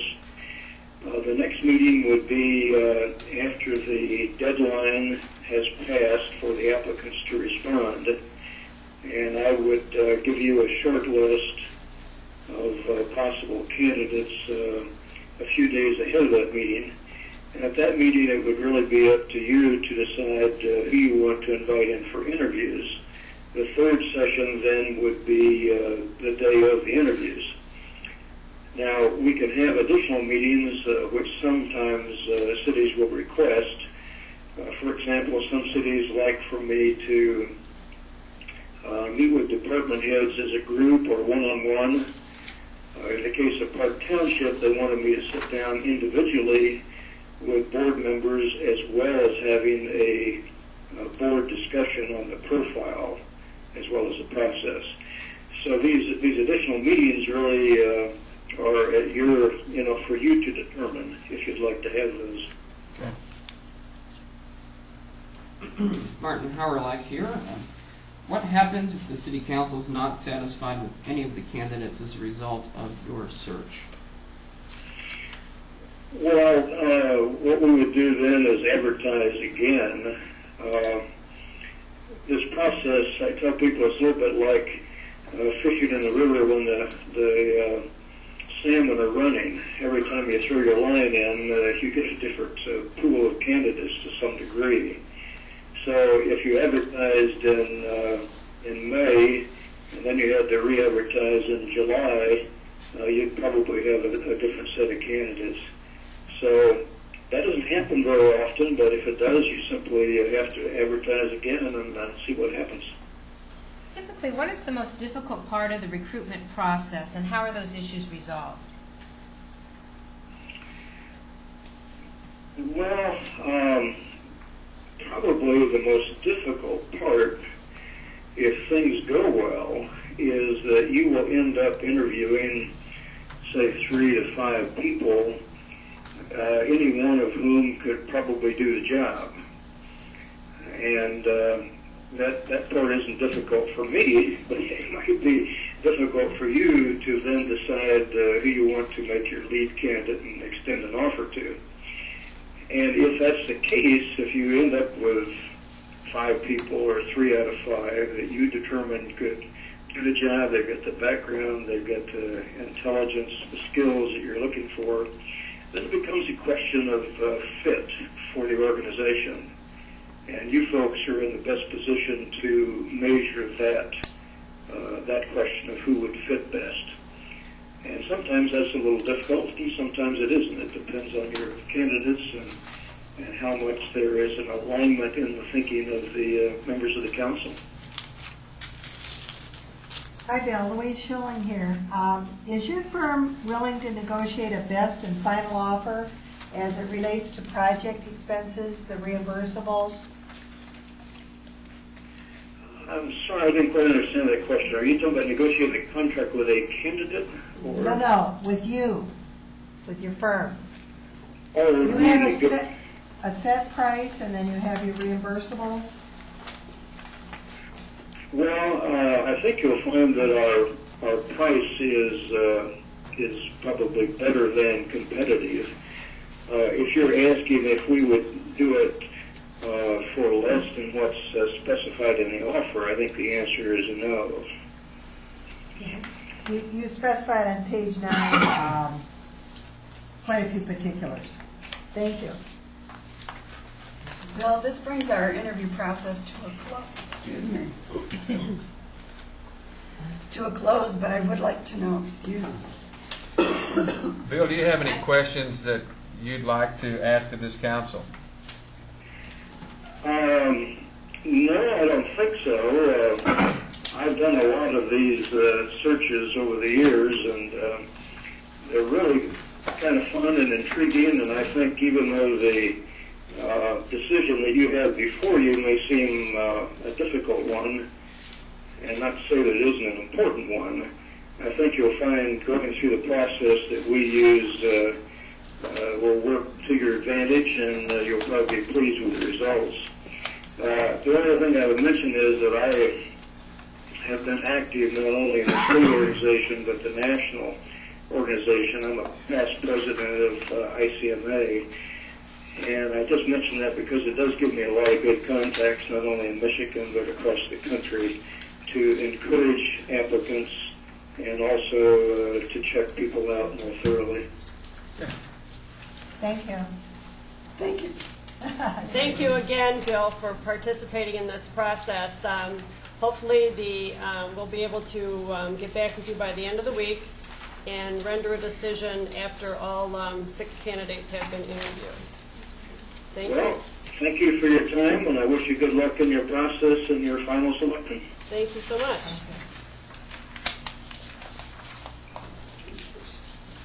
Questions or anything before? Peggy, you have a new voice? You have a new Uh, voice for Peggy?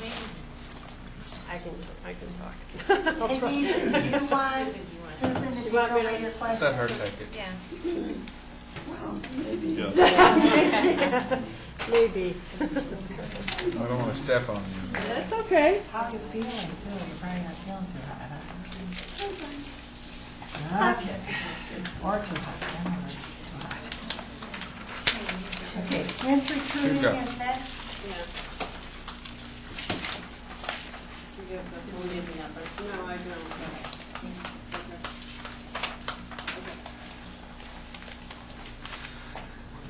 Is that the name of the contract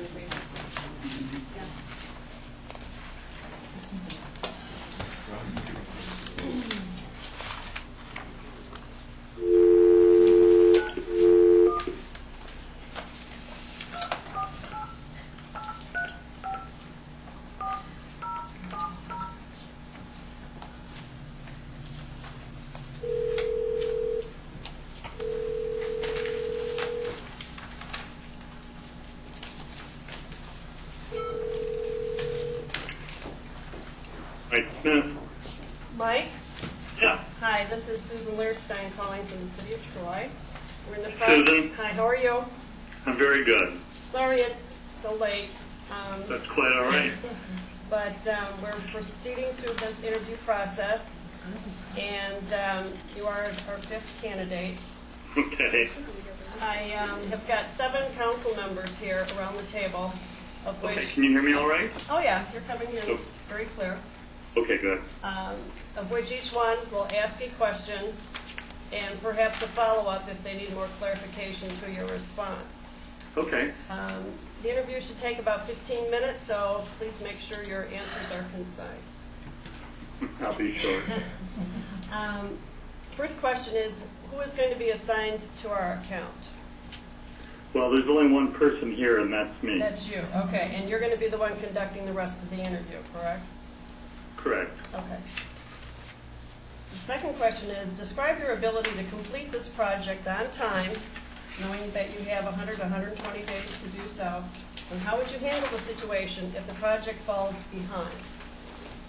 Well, I, in my uh, answers submitted to the original request for proposal, I gave a, uh, a timeline and what I felt uh, would be the right amount of time to be allocated for each step in the process.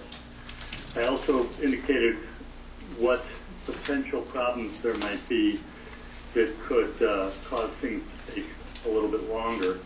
And so those things can be addressed up front rather than waiting for the problem to, to arrive. But to be perfectly honest with you, 120 days is a lot more than I ever have or usually take, uh, except in some rare occasions where it's a very unusual position or the compensation isn't a fit or something like that.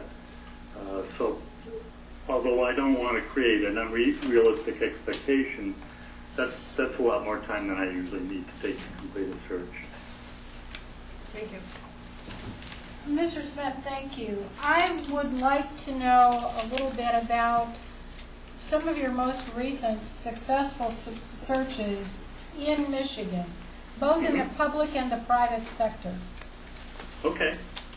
Well, uh, in order to, to answer that question, uh, I, I need to depart from the, the concept that they're going to be recent, recent searches because Michigan, unfortunately, hasn't been a, uh, a, a prime place for me to, to make a living recently.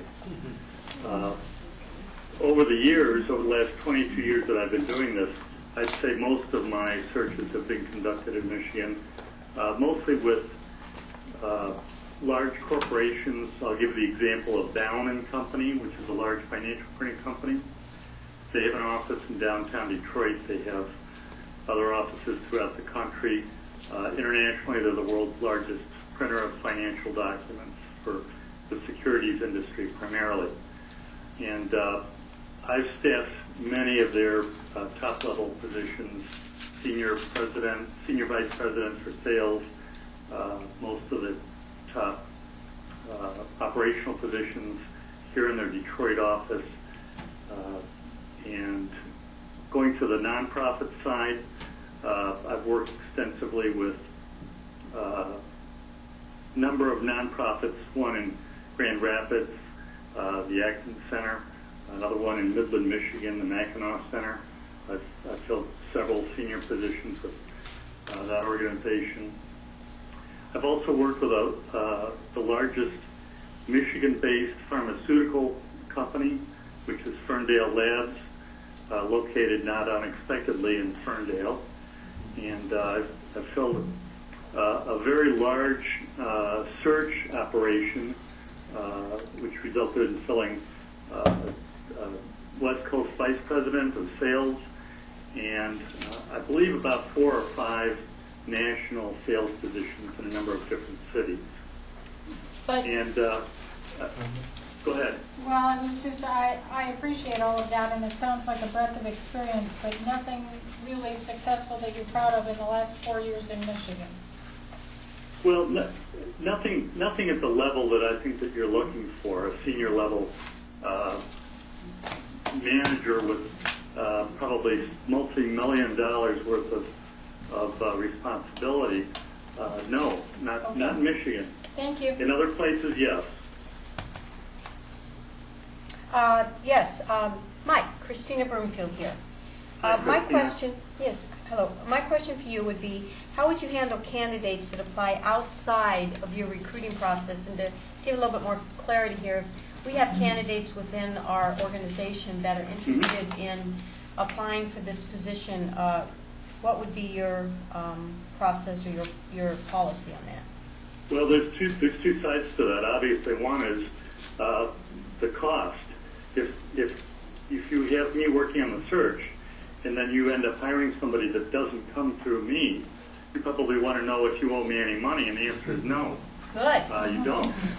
Um, now, uh, on the other hand, though, if, if we're working together as partners and we want to make sure that the, the very best person is selected and if there's no uh, option of, of hiring somebody that's going to turn out to be an embarrassment for those that were involved in the search, then you may want to consider having that person go through the same screening process as all of the candidates, which means effectively what, what will happen is uh, a candidate comes to your attention, you, you forward the candidate to me, I will screen the candidate, interview the candidate, do a background check on the candidate, just like I would the other candidates.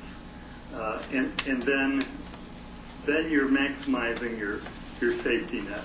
Now, if, if that's the person you end up hiring, then I'll charge you a nominal amount for, for the hourly work that I spent uh, doing the reference checks and the background checks and the interview for that person, but I'm not going to charge you a uh, search fee for that.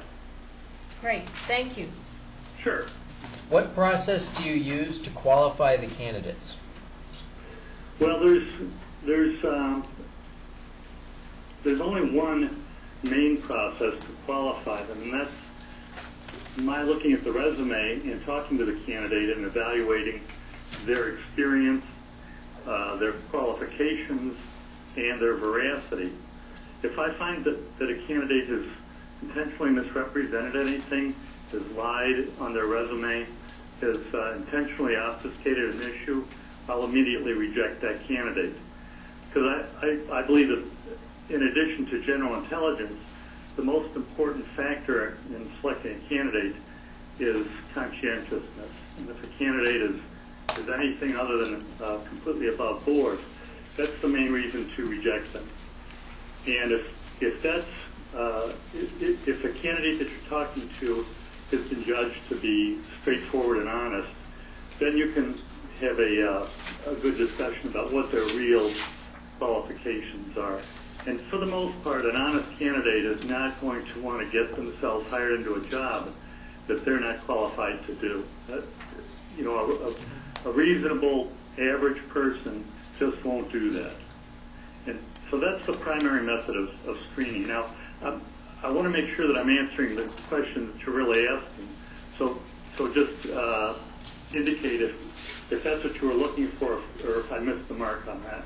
Um, that's along the lines. I do have a follow up though, and that is, do you interview people outside of the, the references that are provided by a candidate? Absolutely. You, you, generally speaking, you know that the references are going to say good things about the candidate, so they're not really of much use, except to the extent that if you talk to two or three references and they're, they sound like they're describing the same person, that's, that's a comforting consideration. Uh, and, and, that's not always the case. Uh, but I, I'm, I'm very much committed to the, to the idea that uh, you've got to talk to people that work with the person but are not on their reference list. And I have a number of ways of, of sourcing those types of people. Uh, some are pretty obvious, some are not really so obvious at all, but, but uh, I rely much more on those interviews than I do on, on the interviews with the references provided by the candidates. Thank you. Okay, Michael, how often do you plan to make face-to-face visits with the city council and explain what those visits would entail? Well, I, I don't have a, um, a straightforward answer uh, for you on that, I, I have to admit. Uh, because generally speaking, I rarely meet face to face with my customers. Um, I'll make a trip to, to visit with them and get to know them, not necessarily, though, in, uh, in conjunction with any particular search that I'm working on. Uh, however, if, if that's something that's an important consideration for you, uh, it's very easy for me to accommodate you on that, and I'd be happy to do so. Um, but I, I would I would put that sort of thing into the category of good communication. So I think that good communication is essential. Uh, if you would like it to be in person, I'm happy to accommodate you. Could you tell me what happens if the city council is not satisfied with any of your candidates as a result of your search? Well, that's, that's obviously a very serious problem. Uh, but, but generally, the solution to that problem is, is provided at the very beginning of the search when we all come to an agreement, agreement on what we're looking for in a candidate and what qualifications they have to have and uh, what experience they would need to have and so forth. And if, if I have a sense that, that as that process is going on, that we're not all generally thinking in the same way, uh, that that's the time to um, to ring the bell and say, well, wait a minute, you know, this, this is your problem here. Because honestly, it's, it's not that difficult for me to find the candidate that, that's been specked out. That's I'm not going to say that it's easy, but that's not that's not uh, a, a real challenge. Uh, the real challenge is to make sure that all the questions have been asked up front and that, that the answers to those questions, uh, everybody in the room is going to have somewhat level of either agreement or uh, if, if they're not in agreement with it, that they'll at least acquiesce to it. Typically, what is the most difficult part of the recruitment process, and how are those issues resolved?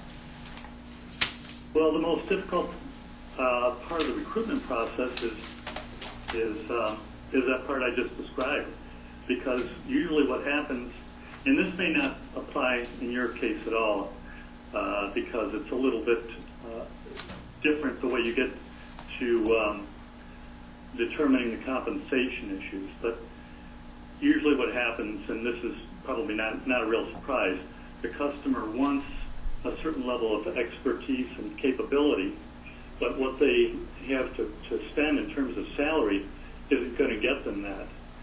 So I have to break the news to them that, that it's just not going to work. Either they have to spend more money or they have to reduce their expectations a bit. Uh, and that's usually followed by, well, what about, you know, somebody that's uh, that just got laid off or, or somebody that's uh, just entering the workforce. And, you know, you can always hope for those sorts of oddball things to come along, but you usually end up paying at the other end for that because they don't stay as long in the job if they're being underpaid. So uh, that's the most difficult part is to, to get the customer to understand what it is that, that's available to them. And um, usually I find that uh, they said to me a little bit about the amount of money that they have available to spend on the position because they're not sure if they can trust me to um, ha- have their interests, their best interests at heart in terms of selecting candidates. Have you ever done a city manager search? No, I absolutely have not, and it, it would um, be a very interesting addition to my portfolio. Uh, but I can tell you that I've had had that question asked to me many times, with the um, the, the name or title of the position being somewhat di- different. Uh, have, have you ever uh, placed a, a senior person at a university? I was asked by Northwestern University. Uh, have you ever placed a person uh, in a fundraising capacity at a small college? Have you ever uh, found a publications director? Or have you ever found a marketing uh, chief marketing officer? Really, when you get down to it, uh, every position is a little bit different uh, because the responsibilities, the type of employer, uh, the, the location, the, the the economy is different from the time that it was last done. It's it's a moving it's a moving river, and every time you step in, it's it's in a different place. Are you, So, are you, is your firm willing to negotiate a best and final offer as it relates to project expenses, the reimbursables? uh, you're talking about my my uh, my fee, my service fee. Or He you're talking and, about- and the, um, reimbursables, the project expenses. Well, I, I, in, in my proposal, I indicated that uh, I'm not, I'm not going to charge you for any expenses because I don't anticipate any other than uh, the cost of advertising, which I will bear myself, uh, or really it, it comes out of the service fee. If you don't, don't end up hiring from me, then I, uh, I just have to eat that cost. Um, but in, in terms of, of reimbursements, the only other expenses I anticipate would be uh, those candidate-related expenses, such as you might uh, incur if you have to fly somebody in to um, to meet with them to have an interview, and uh, maybe they will have to fly in a second time to bring uh, their Sorry, we've- their we- wife or their husband. We've used up the 15 minutes, so, sorry. Okay. That's I'm okay. sorry. No, that's okay. Um, We are at the end of the interview process. I just want to make sure um, if- and ask whether or not you've got any questions or concerns about working with this council to complete this executive search. Uh, no, I don't, and I and I wouldn't want to use up any of your time uh, to to ask that question. But I would ask the question: Is there anything, any reservation or any concern that anyone there uh, has that I haven't addressed? Uh, and if this isn't a good time to do it, um, I'm more than happy to take a call from anyone there uh, during the day or during the evening, at your convenience. Okay, we appreciate that. Thank you very much for your time. Thank you for for uh, participating in this process. My pleasure. And Bye we will- now. And we will get back with you by the end of the week. All right. Well, obviously, the sooner uh, you make a decision, the sooner we can we can start. Okay, thank you. All right. Very good. Okay. Bye now. Bye. Thank you, Susan. One more. These folks are in Texas, and hopefully, any questions, is it okay if we go? I believe that this contact person is in Ohio. It's going to be in Ohio, this person that we're calling? Did she indicate on her cell phone or work phone? Did she I would use her cell phone. use her cell phone? This is Waters Consulting. Um,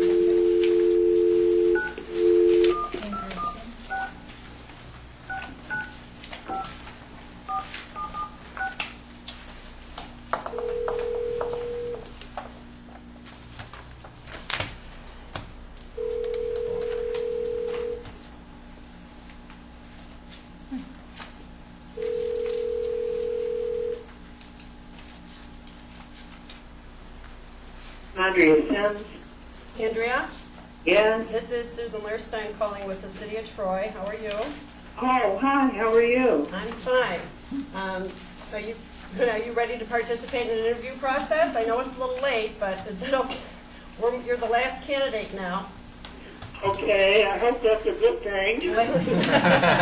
Well, you're just at the end of the alphabet, unfortunately, so that's why. Okay, then that's what happens when you're with the son that starts with W. That's right. Um, I just want to explain the forum that's here today. Um, I have seven city council members here, each of whom will ask you a single question and perhaps a follow-up question depending upon the responses you give. Okay. The process should take about 15 minutes, so please try to be concise with your responses. Okay. Um, Are you going to be the person who will be assigned to this account? Yes. You will be, okay. And you will be the per- person that's going to take part in this entire interview? Yes. Okay. First question. Describe your ability to complete this project on time, within the 100 to 120 days, and how you would handle the situation if the project falls behind. Um, I'm one of the, um, we have a, you know, good record of finishing and, um, setting things up so that things can be finished on time. From the time we, uh, start the process, um, I end up being, uh, you know, you know, you and I would become best friends, Becky.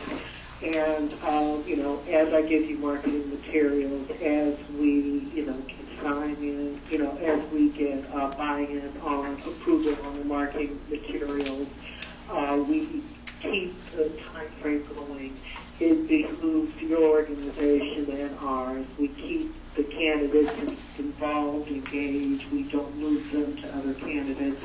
In addition, um, it's more cost effective for our organization to finish things. So, you know, through status reports, through calls, through troubleshooting, we uh, push to keep it to the uh, allotted time. Thank you. And it's Robin Beltramini here, and I know that uh, you are in process right now, and I think you're the lead investigator for the Grand Rapids search. Right, I am. Um, how, how will that impact the 120 days? That's a bigger search than ours. Um, but you're at different stages of it. Um, we're almost at the closing point or the first review point for Grand Rapids. So, you know, we stagger, you know, we try to stagger the searches so that not, we're not beginning searches at the same time. And actually, it may be a good thing because there may be people who are, are interested in Grand Rapids that also might be interested in Troy that, you know, may not make the cut or may have more interest in Troy. So that could be a good thing with me already having, um, you know, strong candidates in Michigan already. Okay, thank you. Um, what successful searches have you completed within Michigan within the last, say, four years? Um, four years. Right now, I'm in the midst of uh, Bay City. We had to restart it because the candidate didn't um, wasn't successful. Um, with Ann Arbor, I've done a few. I did their city attorney, their financial services administrator. Those are the only two that I've done in Michigan in recent years. Any private sector searches? Uh, no, we typically don't do private sector searches. I, um, I did nonprofit, the uh, Workforce Development Corporation in um, Northwest Illinois, but that was the uh, only one that was in public sector. Thank you.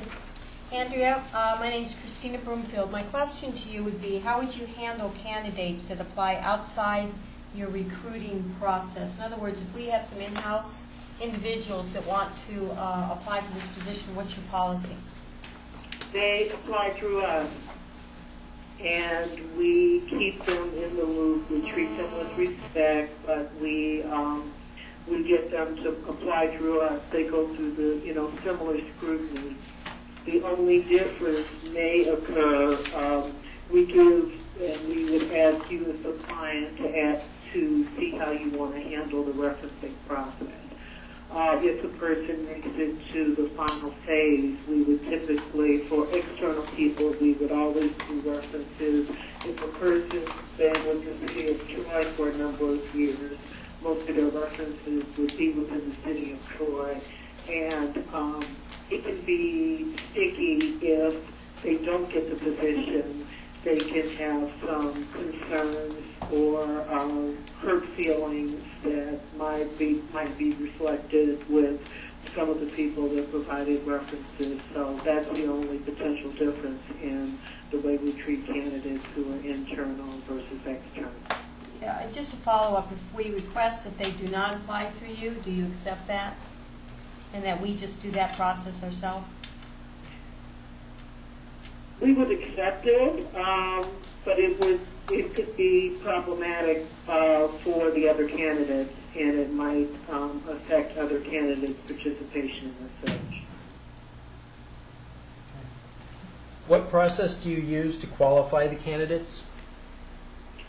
Uh, we start the search by discussion with your organization and, you know, past the job description, what, what you really want to see in the city, in the next city manager. We talk through the strengths and weaknesses of the, you know, task person, the challenges that the city's facing. And once we come up with the spec and get your approval on it, that's what we use to as a basis. Um, and I, you know, we've shared with you the list of all candidates that apply to us, but we do, you know, I visually look at every resume and I'll cut down the list, you know, say if 50 people applied, I would typically um, take about 20 and um, ask for more information, share the list of all the candidates that applied in addition to that list and of their resumes and questionnaires and get your uh, input in um, moving people to the next level. Uh, moving them to the next level, um, I'll have an interview, get more uh, detailed information on them, tell you the strengths and weaknesses, again, based on your impressions from before, plus our original spec, and work with you to narrow it to the final five. We uh, do references.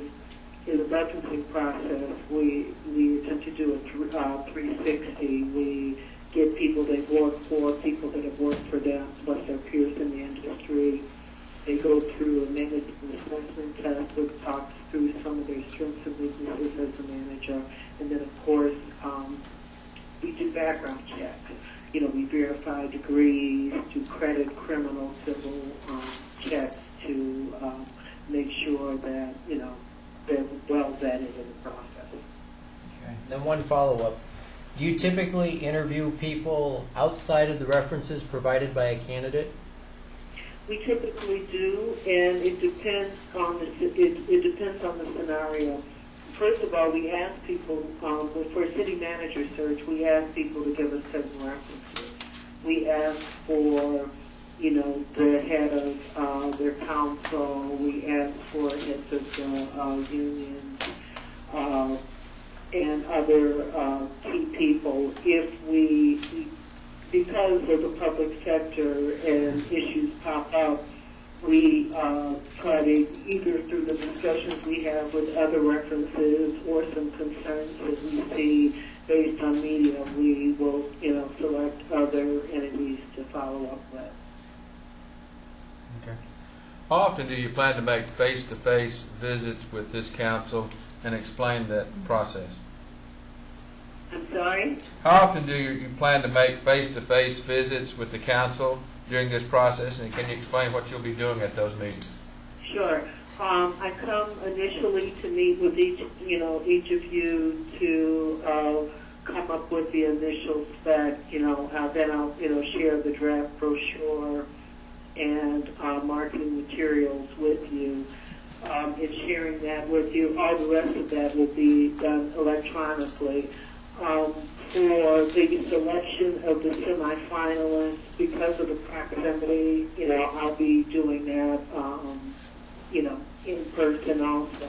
I'll send you materials ahead of time so that you could, um, you know, I could, uh, we could have a open discussion about the strengths and weaknesses of those that have, you know, applied and those that uh, I selected as far as people to have follow up through.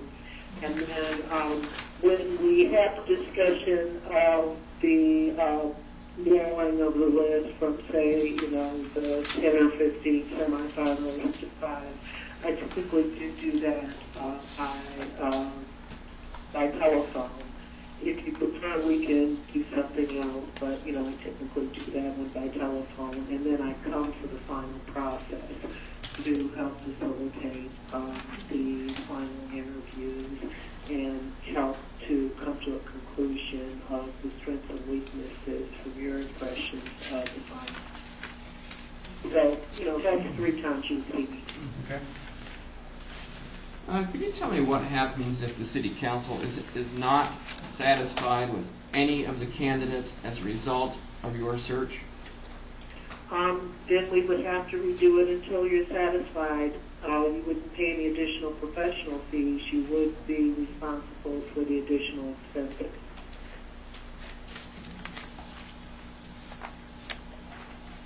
Typically, what is the most difficult part of the recruitment process, and how are those issues resolved? Um, getting a handle on what a person really wants to see. You know, we can come up with materials for the marketing materials, but when you get into the discussion, when you get a chance to see real candidates, um, you know, people really typically want diversity, but diversity means means different things. Um, you know, you have you can have diversity of people who Um, well, you know, this would be their first city manager role. You can have uh, candidates who uh, this would be their last city manager role. They might bring, you know, 30 years of experience, which could be, a, you know, a wonderful strength because of the depth of their, their experience and exposure. But, you know, if you're looking for, um, you know, someone who's going to be in the organization a long time, you know, those are typically the challenges But, you know, trying to weigh which is the most important piece. Okay. So this, you know, is personality driven. It's, um, you know, individuals have different things that they see as key pieces. You know, economic, you know, dealing with economic financial issues is a key critical issue across the country, but especially for the state of Michigan. Um, Is your firm willing to negotiate a best and final offer as it relates to project expenses, the reimbursables? Um, we we will work with you, yes, if there are expenses that you would choose not to for us to incur. You know, we would work with you in that. I mean, certain things, you know, I know to do um, because of the uh, the gas prices and the mileage reimbursements now. It's actually cheaper for uh, us to rent cars and come to your site for me to use my car. You know, things like that. You know, we don't, you know, stay at Hyatt when we come to your organization. If you have a, you know, municipal rate with a hotel, we hope to use that. If not, we use a, re- you know, we go with, uh, with, you know, our travel agent is very good at, you know, getting uh, a reasonable and safe hotel for uh, our visits. Okay. That really concludes the interview process. Um, I just need to ask you whether or not you have any questions or concerns about working with this council to complete the executive search. Um, no, I don't. I just have a question on the number of people that you've had discussions with tonight and when you expect to make a decision. Sure. Um, There were six people in the, that are in the process. All six were interviewed tonight.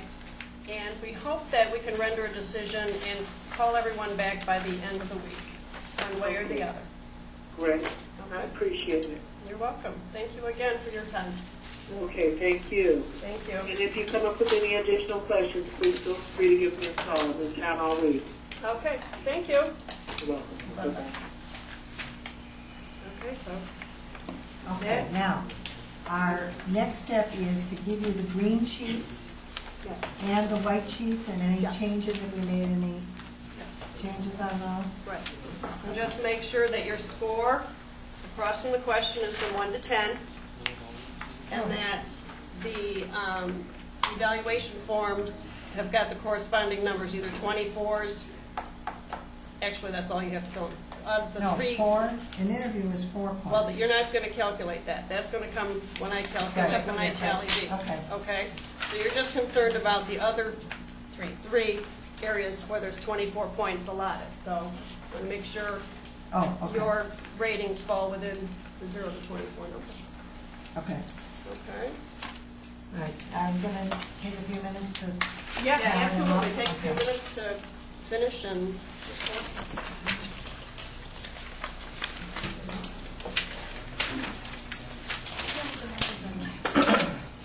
Oh, oh, well, you saw me check. You saw me check. There were some things that, you know, they all said pretty much the same thing, so they all got within Yeah. Two points two on several. points of each other. Yeah, absolutely. Totally done.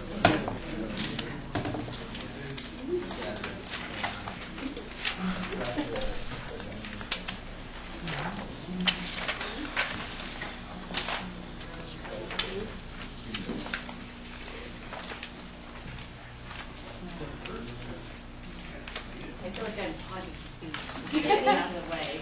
The good news is you weren't wide enough to do that. Do we assign points for the money, or are you doing it? I- Yeah, just so that I can explain that, because I have explained it to a few of you. I have made that calculation already, what I've done is taken the base proposals for all the search firms, not added in any of the reimbursables or anything like that, because they're all too varied. That is something we're gonna take up in a best and final offer situation. So I've taken the base proposals and compared those against each other in every case. Yes. So for the one that was thirty percent, did you take the center line? or Actually, the- Peggy used the lowest Okay. denomination in that case. But I have a question about the one that was thirty percent, there were also contingency. Did that figure in at all? Because it's kind of like, you know, they're high, which I think thirty percent, but then the contingency piece would be that if they didn't find anybody, they wouldn't get paid. True, and, and I don't know if that's, I think that's kind of the glean that we got from everybody. If they didn't find you, somebody, you're not gonna pay. Oh. Even, No, even we the firms pay where you pay fees. up front? Oh, well, okay. No, we pay, we have to pay a fee whether they find someone or not, or. Except in that one case. And, and There the were two. league, There the were two league was contingencies. prorated if you only paid for what they did. Right. If you found somebody else or went with somebody else, you Right. only paid their actual costs of Right. what they did. But there were two for mm-hmm. cost. One was straight contingency. If you didn't find it, That then. was Deacon. Right, and then there was another one that was thirty percent by the contingency that if they didn't find it, there was no cost except expenses. And all his fees were in there. So if we don't subtract out the fees, well, that's where you. Well, that's the well, problem, yeah. that's where the problem is. Yeah, in order to equate them. The thing of it is that you can take those types of things into consideration with the other numbers, so that you can. So you, so you figure the numbers on their fee. On their. Then when it comes back to us, we can. re- You can, we can yes, absolutely, right, exactly. 'Cause we And have- I point out with Smith, however, the only fee that was included in there, in that thirty percent, was advertising. Based on the other reports, advertising maybe three, four hundred dollars. Four months, Lori. The other expenses would still be. Okay, I didn't have. It all worked through. I didn't put anything in here because I've got it on. The correct, that's right, okay, yep. Well, I, A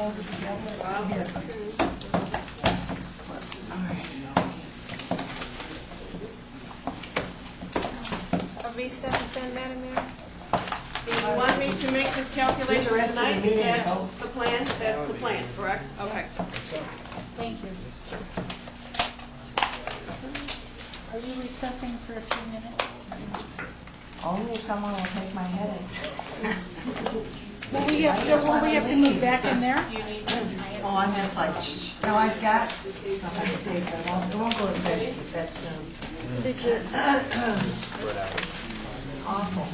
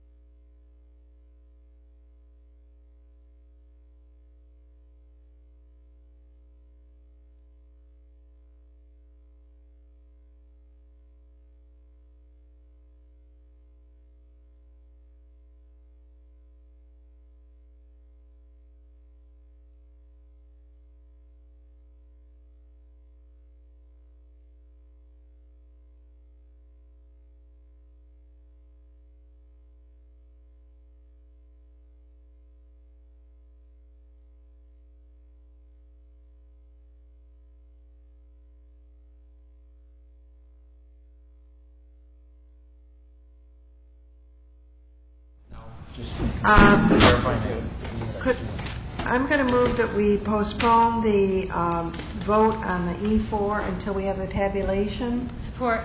la- later in the meeting, because we Yeah. can't vote on it until we get it. Okay. Moved by the chair, seconded by Councilwoman Kerwin, that we postpone the voting on E4 until we get the tabulation. Discussion? The vote, Mrs. Bartholomew? Councilmember Broomfield? Yes. Eisenbacher? Yes. Fleming? Yes? Howrylak? Yes. Wait, wait. Yes. Mayor Schilling? Yes, I'm sorry. Beltramini? Yes. That's what happens when you got a migraine, you can't hear. Madam Mayor, Councilwoman Kerwin? should we move to uh, extend the meeting? Is that midnight? No, we go to midnight now. Oh, okay. Well, I only go to 11. All right. Um,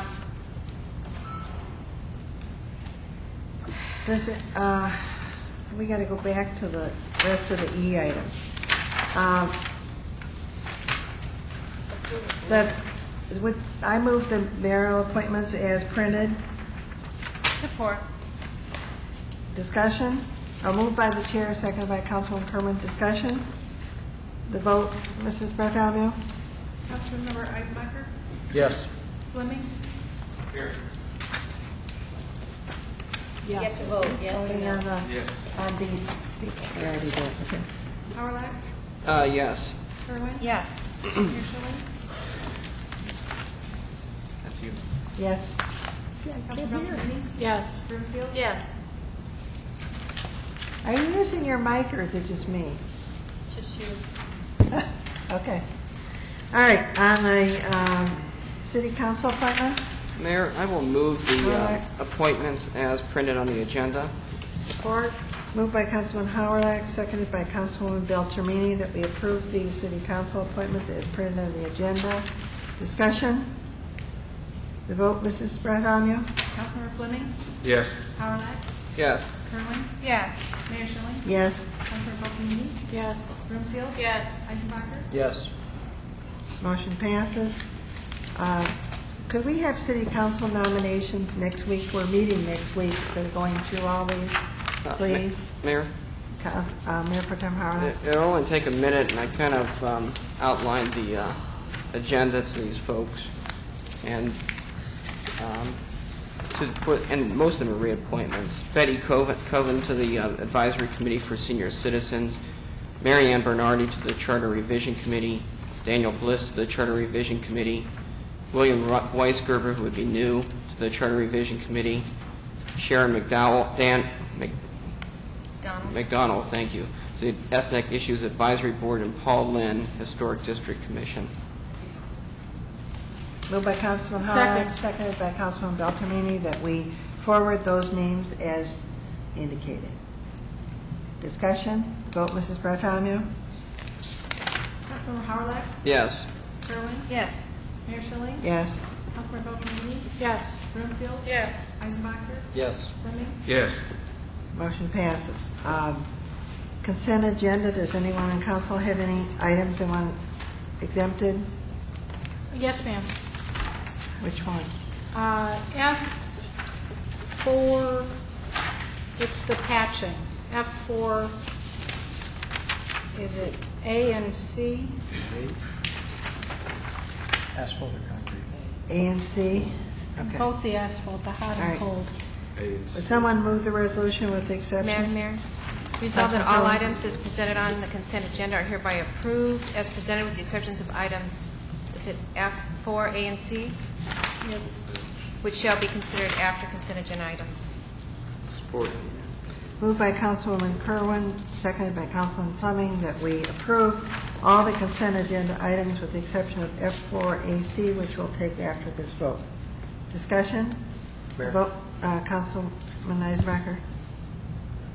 I also wanted to get an answer on F6, if we could, F6, and Discuss including that. F6. please. Okay, the vote, Mrs. Bartholomew? Councilmember Kerwin? Yes. Mayor Schilling? Yes. Councilmember Beltramini? Yes. Broomfield? Yes. Eisenbacher? Yes. Fleming? Yes. Howard? Yes. Motion passes. Um, F, A and C, Councilman Beltrame. I wanted to ask Mr. Murphy, evidently. Um, We bid on cold patch and hot patch regularly.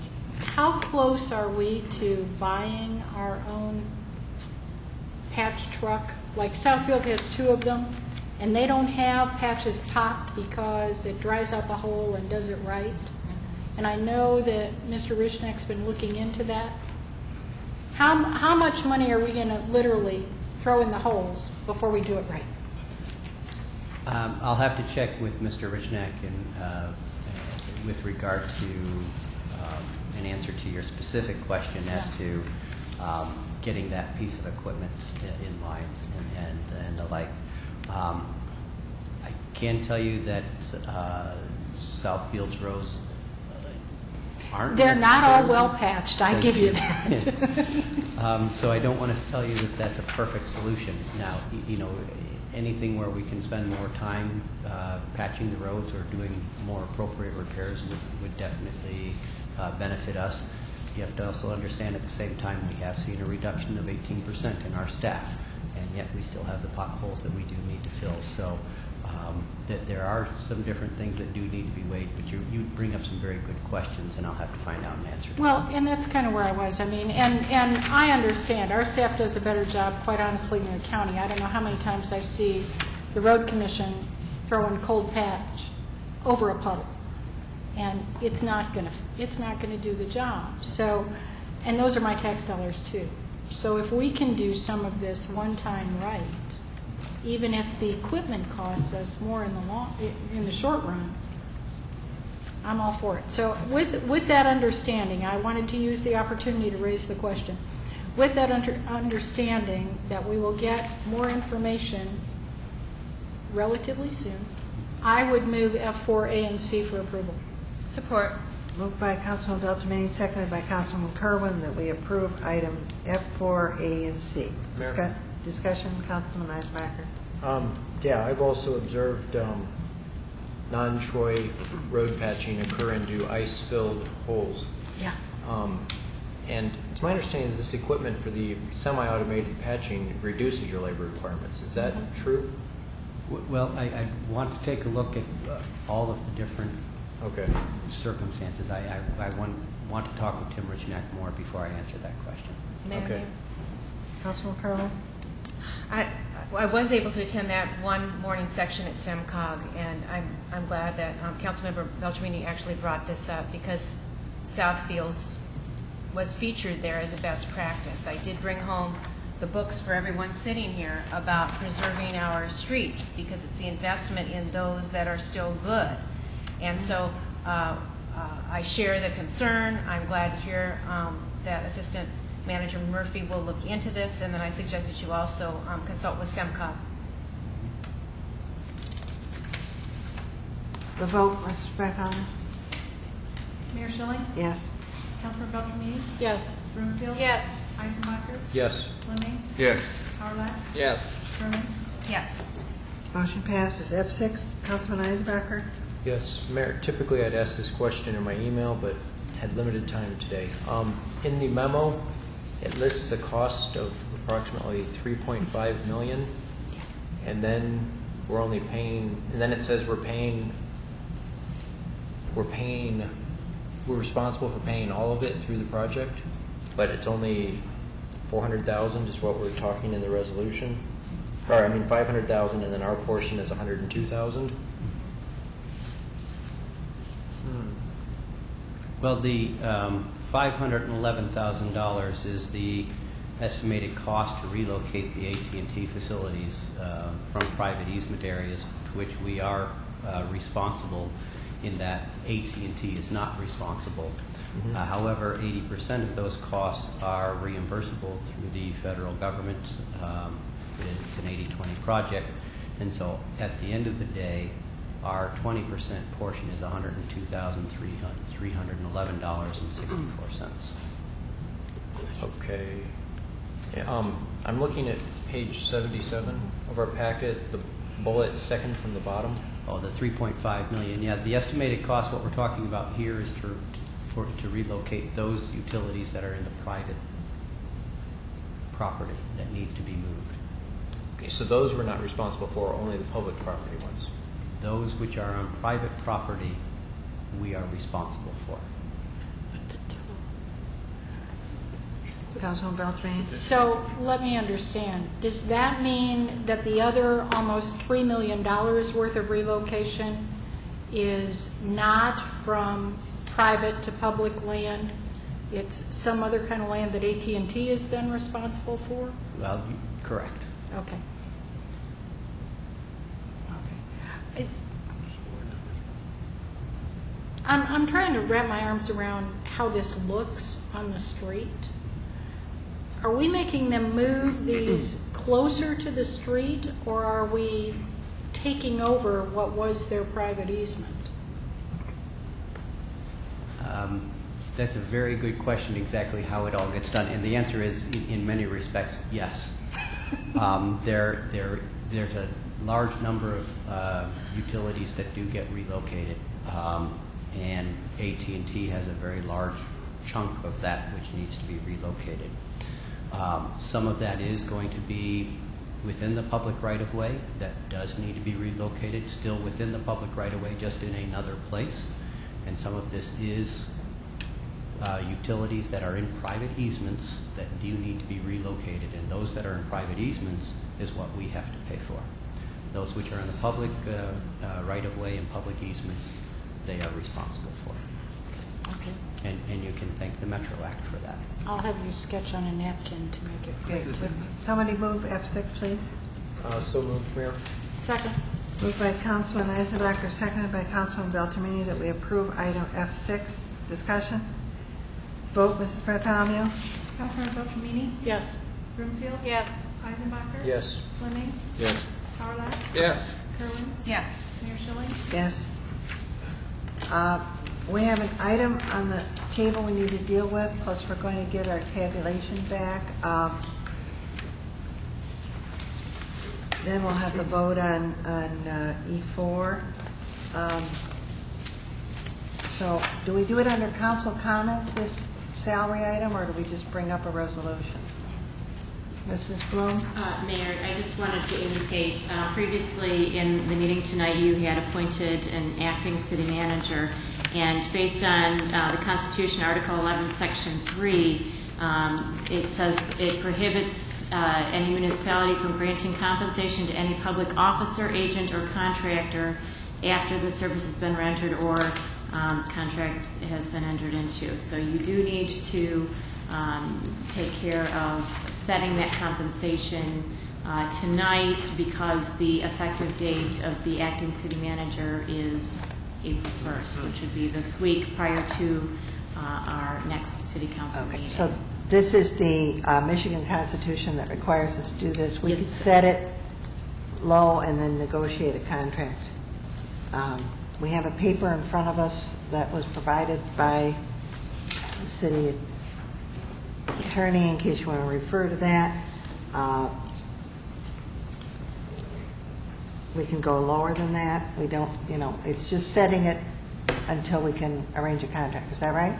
Uh, we- It's, if it's council's direction for me to negotiate a contract or to have our outside labor council negotiate a contract for services, we can certainly do that. It can be done and brought back at the next meeting, but because there is that Right. time intervening, you do need to take some action. I can, yeah, we usually have Craig Lang do that, don't we? It's a contract, yeah, okay.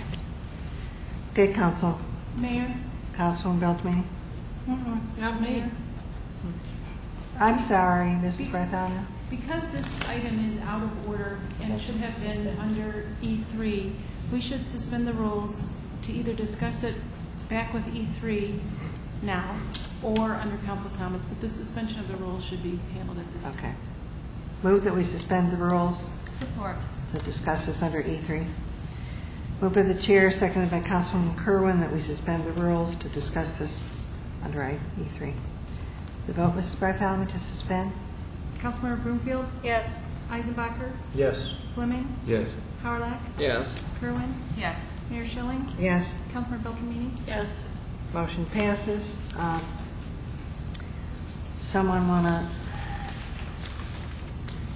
venture a figure to start with? Mayor? Uh, Councilman Eisenbacher? I did briefly discuss this, and obviously a, a one-on-one conversation um, with uh, Mr. Szerlag is um, unfortunately not privy to everyone here.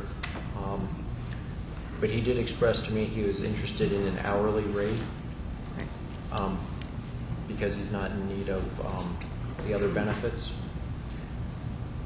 And if we had it like 80 hours every two weeks, that gives him flexibility for, All we're doing is just setting an hourly rate for now, Just an until we hourly rate? negotiate a Okay. contract. Okay, good. We don't need it, I don't, want yeah, there's not enough information for everyone for details. well, we don't do that anyway, the attorneys do it, and then it comes to us. Councilman Broomfield? Mayor, um, put forward a resolution uh, that uh, we would uh, pay, let's see, uh, resolve that the Troy City Council, Council, well, we have the, you know, you pointed to that. Hereby appoints John Szerlag as acting city manager effective April 1st, 2009, um, and until the next scheduled city council meeting, uh, Mr. Szerlag would be compensated by an hourly contractual basis, uh, not to exceed 40 hours a week, um, based on a salary of uh, our previous city attorney, which was... uh, City manager. I'm sorry, city manager, I'm tired too, which uh, uh, turns out to be $68 an hour until a contract is negotiated and approved by city council. Second. Moved by Councilwoman Broomfield, seconded by Council- uh, Councilman Beltramini, that we approve the resolution as indicated. Vote, Mrs. Bartholomew? Councilmember Eisenbacher? Yes. Fleming? Yes. Howard? Yes. Kerwin? Yes. Mayor Schilling? Yes. Councilmember Beltramini? Yes. Broomfield? Yes. Motion passes. Uh, We'll have to take council comments now and then come back to the uh, B4 when we got it. Okay, uh, Councilwoman Beltramini, you said you had some things to bring up under council comments? No, no, I said I would not prolong the Oh. meeting to do it. I'll play, do that next week. All right. Anybody have something? Um, Councilwoman Couple Kerwin? things. Uh, Many of us were able to attend a very successful fundraiser for Troy People Concerned. I'd like um, to commend Martin Howrylak, who sits on the board, um, and every, all the other board members for putting on a great event. Yeah, for people who missed it this year, please make sure to come back next year. It's got an excellent silent and live auction. I see we have some attendees in the room, and they're nodding. It was sold out, and it was really a good venue. So it was a nice opportunity to see people, and it's such a good cause. Um, uh, Sitting before us tonight, we have the Troy Community Guide, which is printed at no cost to the city, thanks to our uh, creative uh, uh, uh, Community Affairs Director. Uh, You can see that it's filled with wonderful advertisements and great coupons, and that's how this uh, wonderful services directory is made available. Um, Copies can be picked up right here uh, in City Hall and also at the library.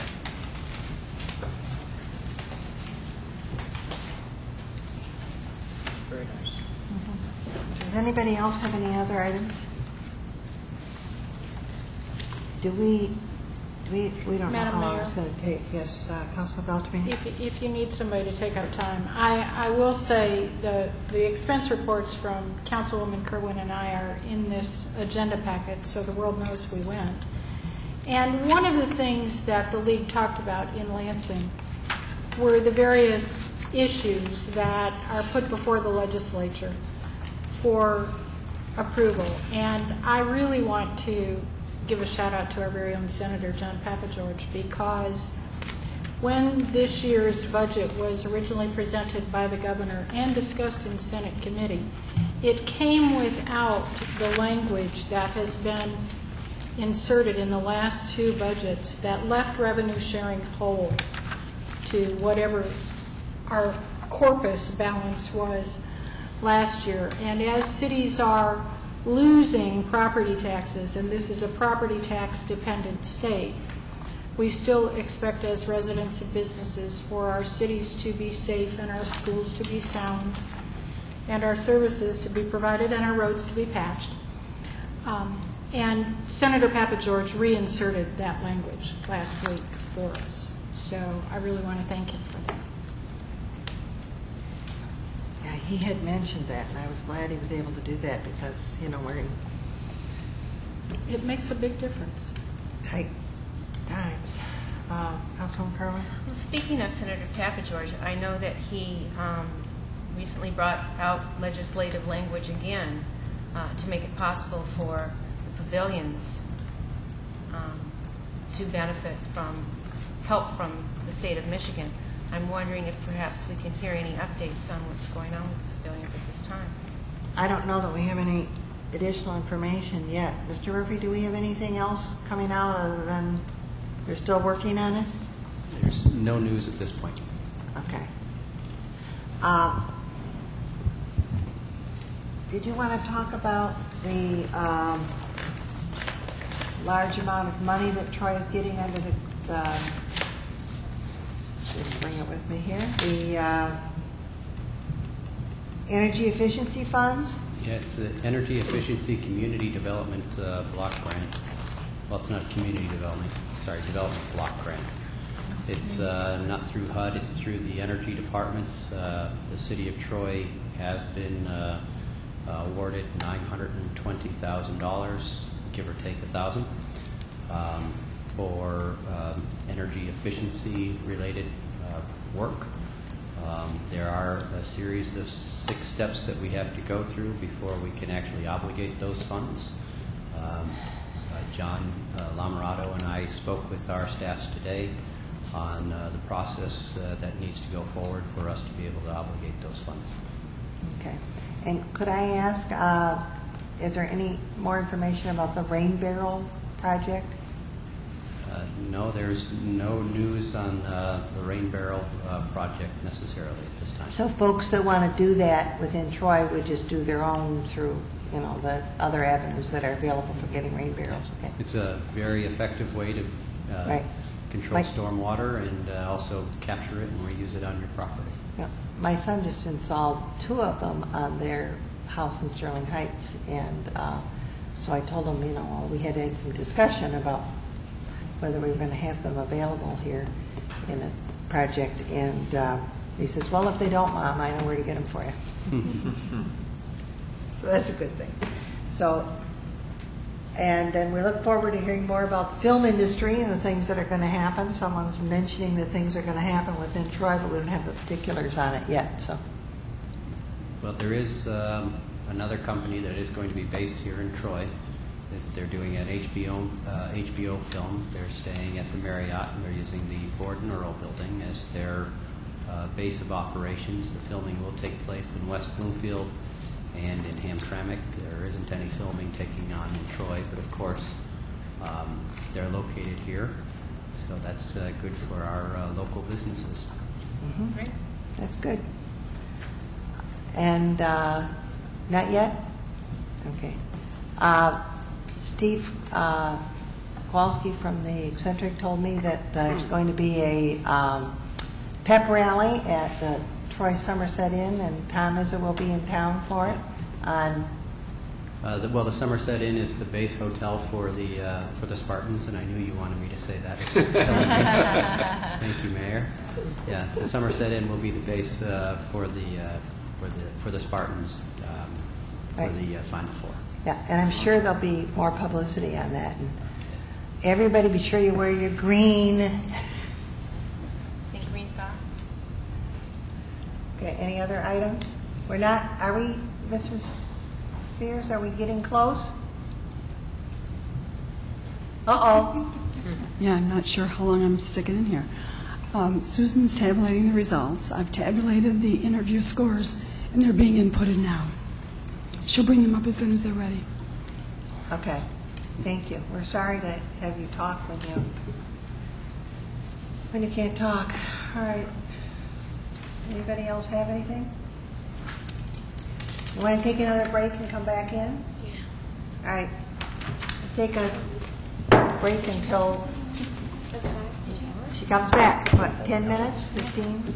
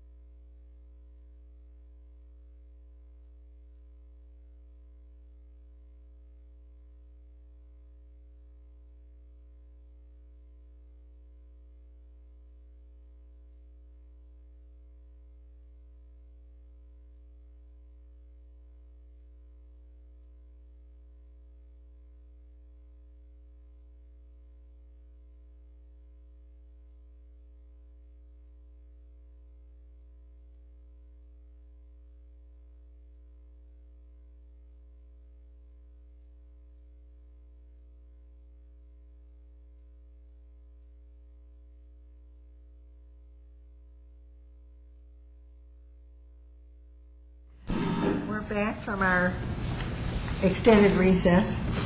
Um, And we have the information provided us in this final scoring with some added information on the uh, accompanying sheets. Questions, comments? Mayor? Councilman Eisenbacher. I was just going through the costs, the cost column.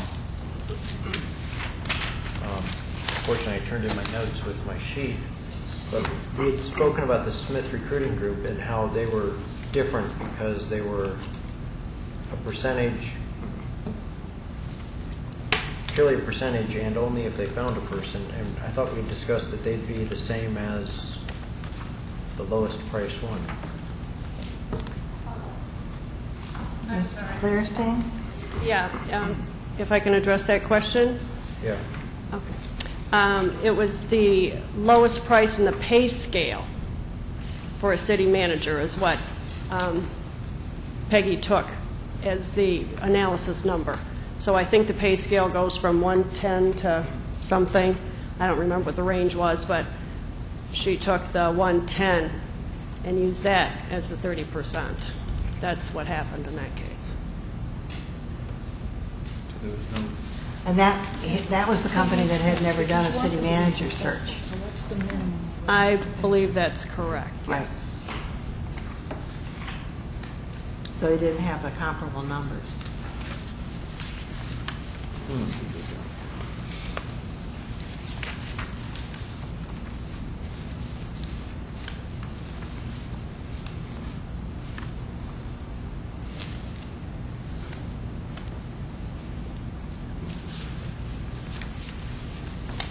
Somebody else have a question?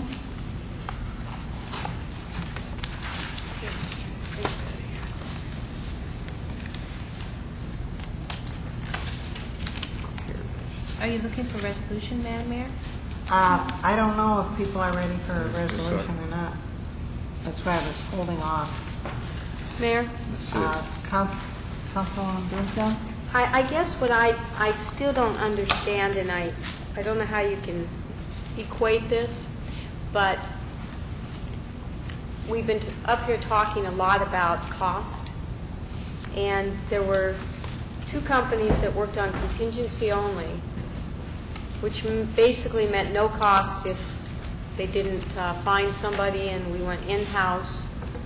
Um, I don't know how that was figured in, other than, I know one company was a contingency with 19,000, I think was their fee. So you would have figured the 19 in as their fee, but if they didn't find anybody, there would be no cost. It's, it's like a no risk. How was that compensated? No, it was not um, taken into consideration as far as the analysis and the price. It was not. Madam Mayor? Councilwoman Beltramini?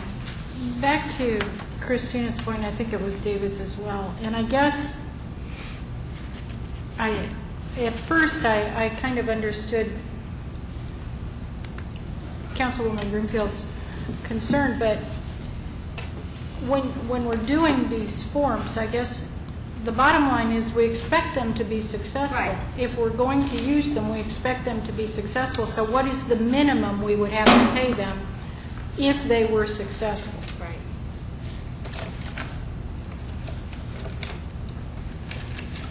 Yeah, because they're all assuming they're going to be successful. Right. Well, they wouldn't be doing it. Right.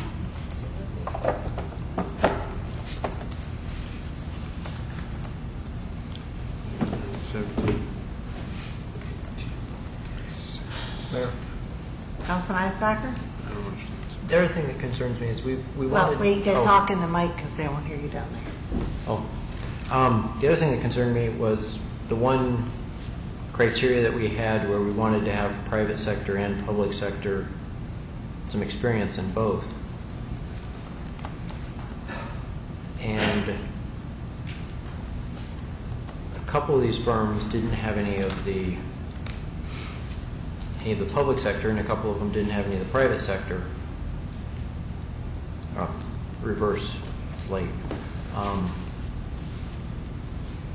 And it's sort of like the 120 days, you got to be able to meet the 120 days, which all of them said they are, but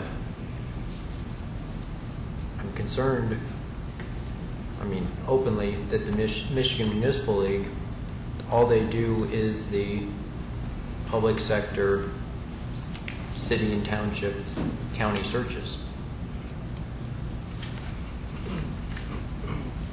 Madam Mayor? Uh, Was that Councilwoman Curley?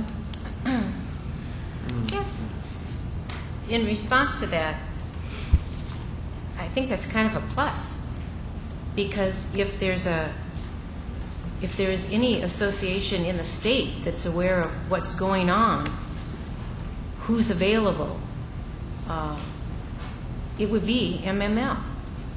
So when you're in a short crunch like that, to know who is up, who's available, who's around, um, an understanding of how people have served, and I certainly think that came across in the interview, especially someone who had had 20 years of experience in Royal Oak.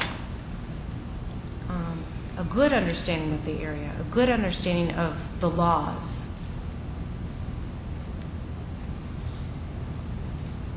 But I think the numbers speak for themselves.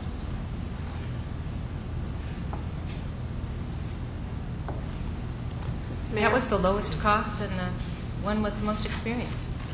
Councilwoman Broomfield? Uh, uh, The question I had, uh, was the interview numbers, points figured in here? I didn't. Were the interview points figured in here? Well, it's just four, four points anyway. There's nothing. There's nothing showing.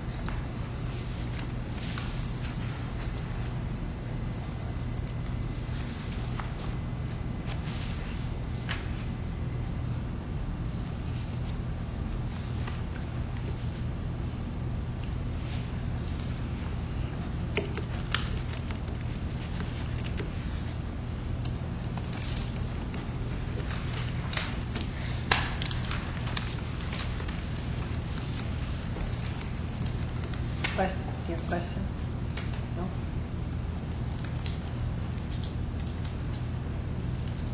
Anybody have a question?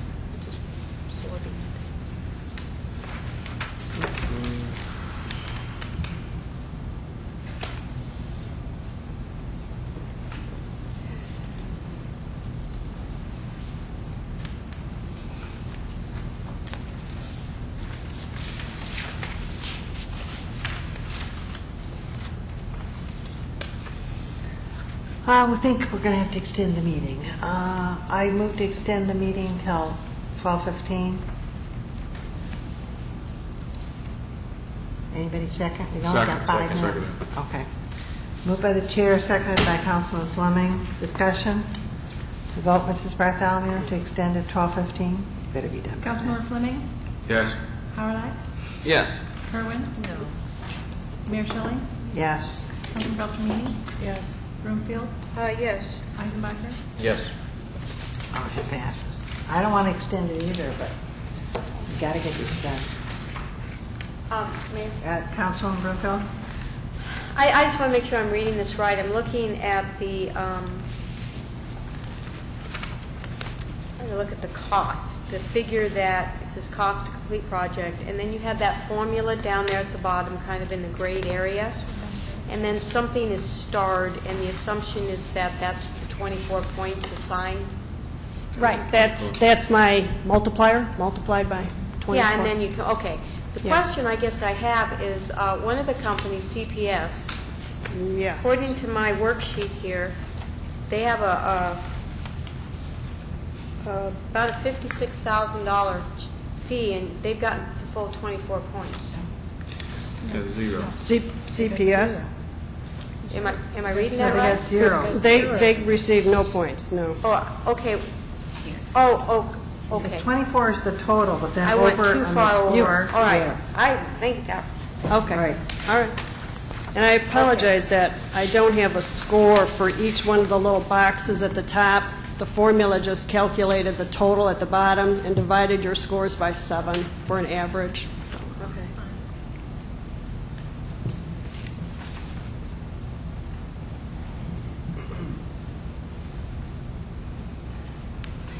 Same program you use for bids? For all the city bids, right? I assumed that's what it was, but... Yes, the same process that we use for Yeah. bids, yes, it is. Okay. Mm-hmm. It's been working all these years. It's been working all these years, yeah.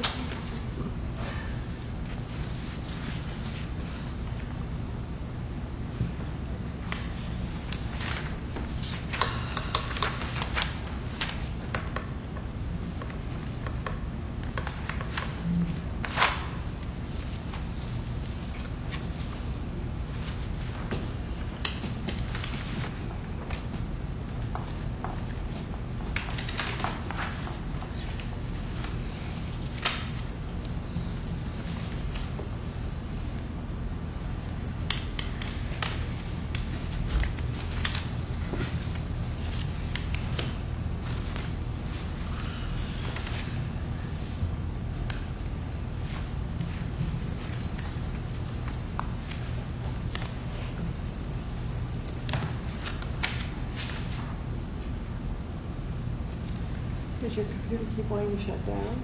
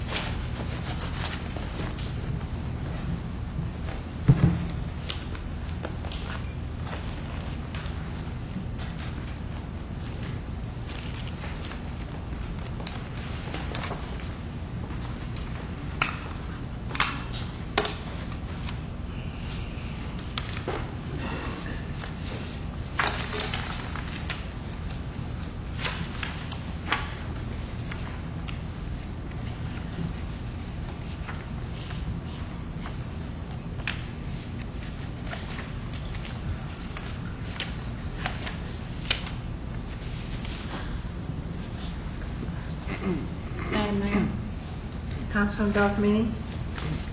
It's interesting, I think that each of us has read these proposals no less than three times in preparation for tonight's meeting, and when, as we sit here with this chart in front of us, trying to review the top two or three and see where the differences or the similarities might be, wondering if it's all worth it.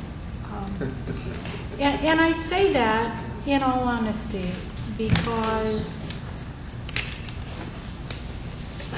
we, we can advertise this position ourselves. We lose one qualified candidate the minute we hire one of these firms. And if it's that difficult after this very meticulous process, are we going to get our money's worth from anybody in today's budget world? So I, I throw that out in the for what it's worth. Um, It seems like we're maybe overthinking it. The, the only problem is if we advertise ourselves, then it means We go, we'd have to go through all the steps that the Oh, I- firms I- would have to go through. I understand all of that. I don't know that we could do that. Um, We can't have a subcommittee. Uh, We're not allowed. It must be the, the total body. Um, Mayor? Councilman Eisenbacher? My experience with professional recruiters is that they're really big value added, is that they'll bring in people who aren't looking. Um, Bringing in a person who meets all of our expectations is easy if they happen to read your ad and they apply. It's not easy if you're not naturally drawing these people in. And networking, just networking and networking and networking is what I, what we are paying for. Um, talking to literally hundreds, if not thousands of people, getting their feedback, finding out who's available, finding out their strengths and weaknesses without, with a completely independent uh, view, just looking at what our requirements are. That's what we're paying for. Um,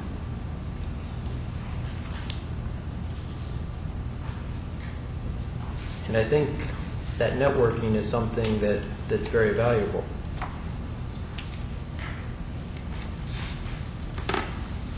Mayor? Councilman Broomfield? Well, listening to what Councilwoman Beltramini shared and the issue of the money, um,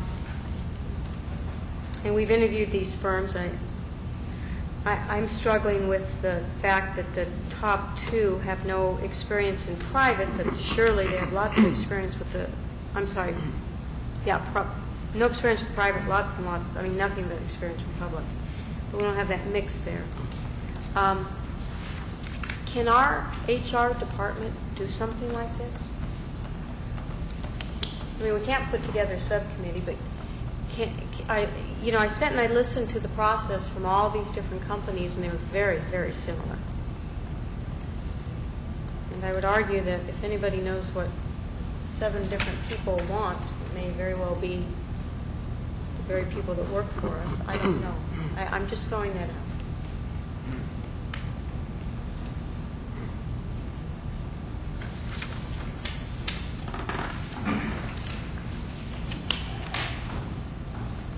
Do you want somebody to reply to Yes, this? sure. She can't speak, though. It's probably a good thing she can't speak.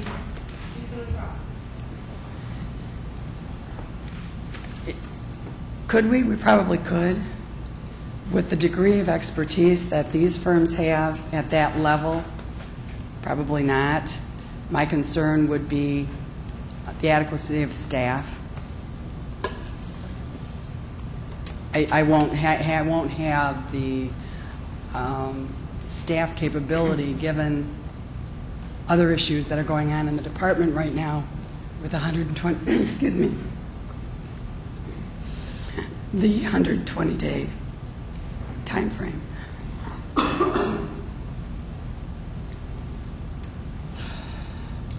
The reason I say that is we will have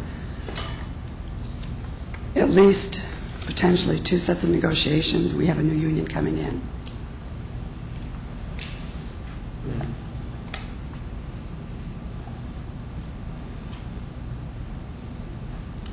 But we could, just not this way. Well, those, those, you- those are already ongoing things that you have going on, and then to add this on to it with the number of staff you have, it wouldn't be a feasible timeframe. I mean, we could certainly try it. It would be very difficult. Yeah. Okay.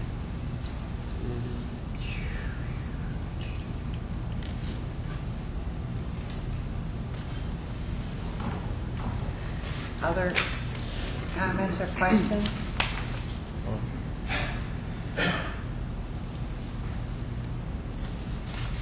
Uh, Councilman Eisenbacher? Like uh, Councilwoman Beltramini said, I've looked through these several times, and I'm still looking through them in light of our evaluations. Um, The highest ranked firm that has both private and public sector experience was the third one, Charles Blockett. The 76 was very close to, obviously next to the 77 of the Waters Consulting Group, um, which were both behind Michigan Michigan Municipal League at 83%.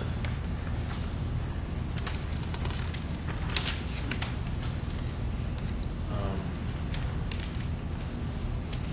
I can't remember from my notes now because everything's blush- blending together. Did we have the, was it Charles Blockett? Mhm. Okay. Yeah, he was the first one we did, and he's the one Yep. that said most of his was state employees The nonprofit. And nonprofits. Because if we consider the criteria to have experience in both areas, and experience in both areas, meaning you have contacts in both areas, he'd be the highest ranked one with both experience. I don't know if we want to consider the top three more closely.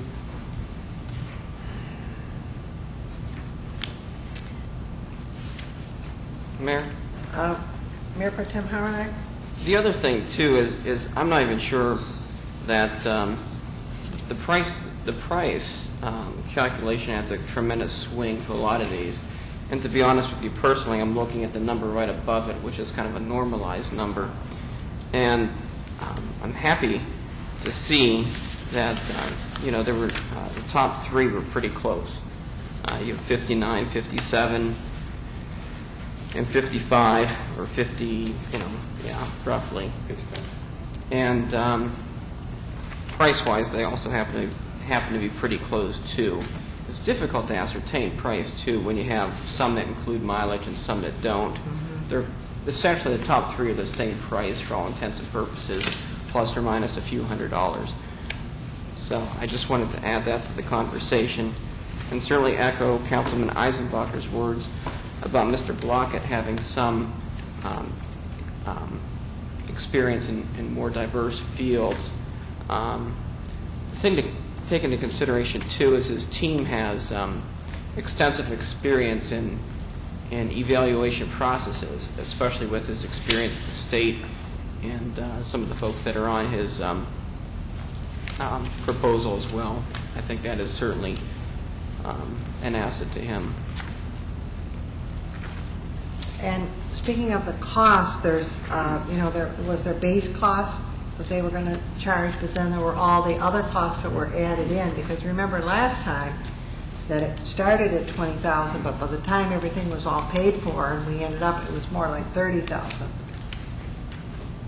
Because I asked to make, to uh, make sure about that. So we can't assume that we're only going to pay the lowest amount that they suggested for their professional fee, because we do have those other costs that are in there. They've expressed it in different ways, and uh, even on the phone, you know, when we were interviewing, they were saying that. Mayor? I think, Councilwoman Broomfield? yeah, I think I recall most of the ones on the interviews did say that the reimbursements were, would be somewhat negotiable, if my memory serves me. I think there was, because I don't have that sheet in front of me, but I think most of them did say that that was something that would, could be negotiated. Yeah, they did say it would be negotiated, but they didn't say it would be no cost at all. All I no, was no, I cautioning understand. of how, how much, uh, you know, added on last time. I was, I was just giving a reference understand. figure, just so, you know.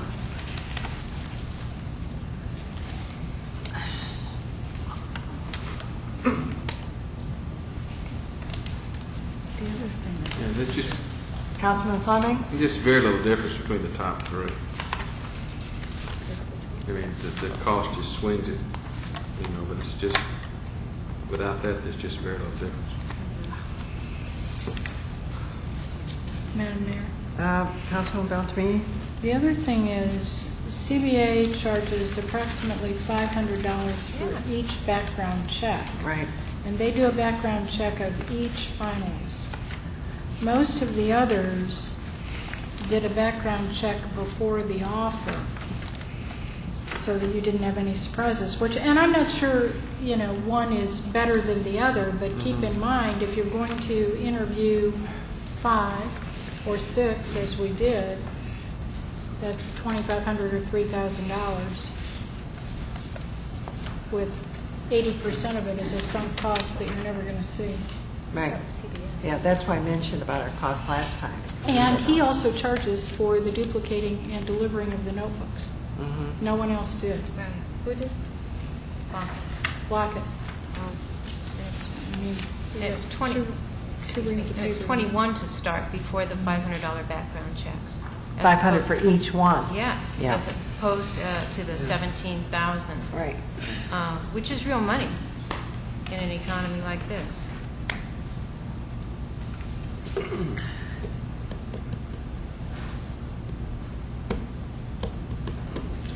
It's per finals, the 500. Hmm? Per Per finalist, yeah.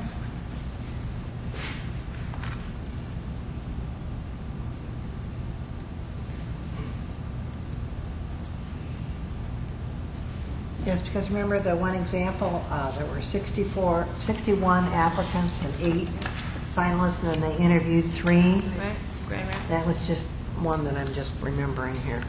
Um, So there can be a sizable number.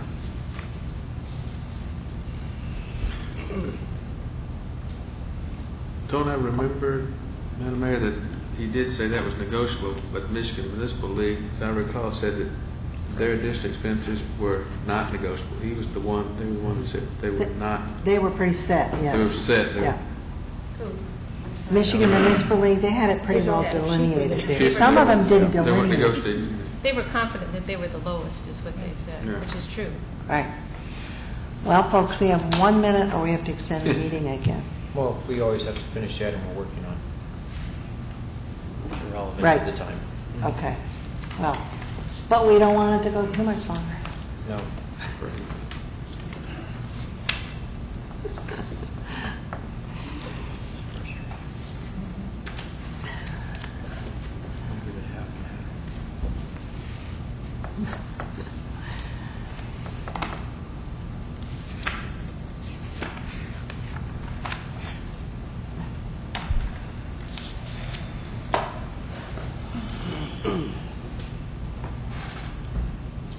Well, Mayor, if I may? Eisenbacher, I thought I heard a sound. Yes.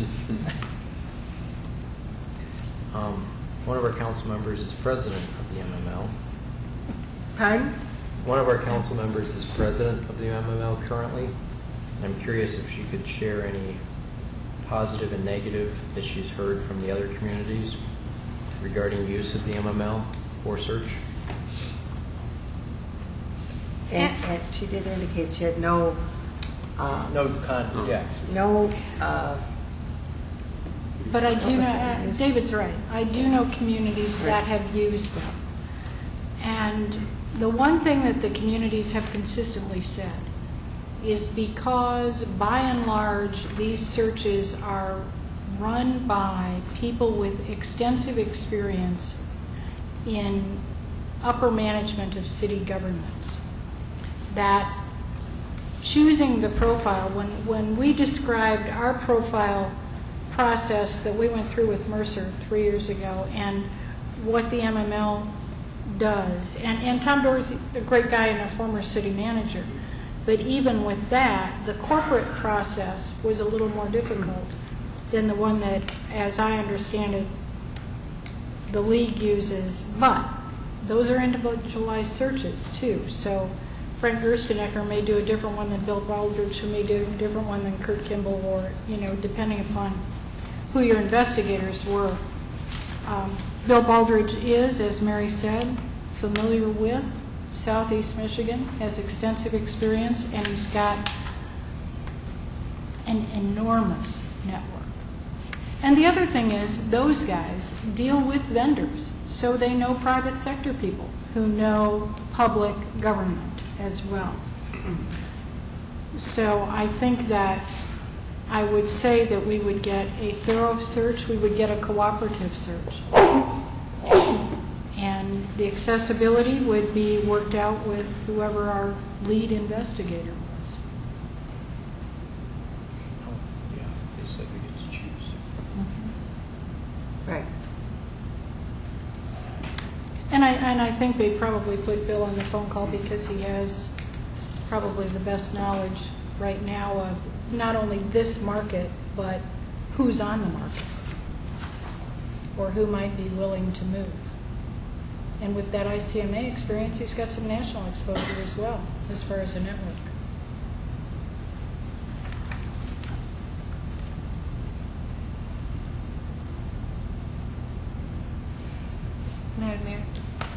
Councilwoman Kerwin? And I think the advantage in someone like Bill is that um, for those steps that you saw in the other firms where they said, well, we'll we'll figure out what the city's like, we'll make a brochure, and we have some samples of the brochure, we're, we're all over that. I mean, they know that our website really says a lot, so we can get to attracting people right away rather than formatting what we need to do to attract as a city. That's pretty much laid out for us. So the sooner we can get to that next step, um, the better off we are in our 120-day countdown.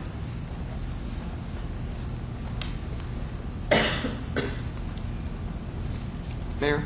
Uh, Mayor Pro Tem Howrylak, The, the thing I'm curious about in, in reviewing the list of cities that the MML has listed here, one of the largest one on their list is Grand Rapids, and yet Grand Rapids is using the Waters Group this year. I'm curious, because to me that doesn't speak necessarily to a resounding recommendation if they went out the next time and used a completely different search firm.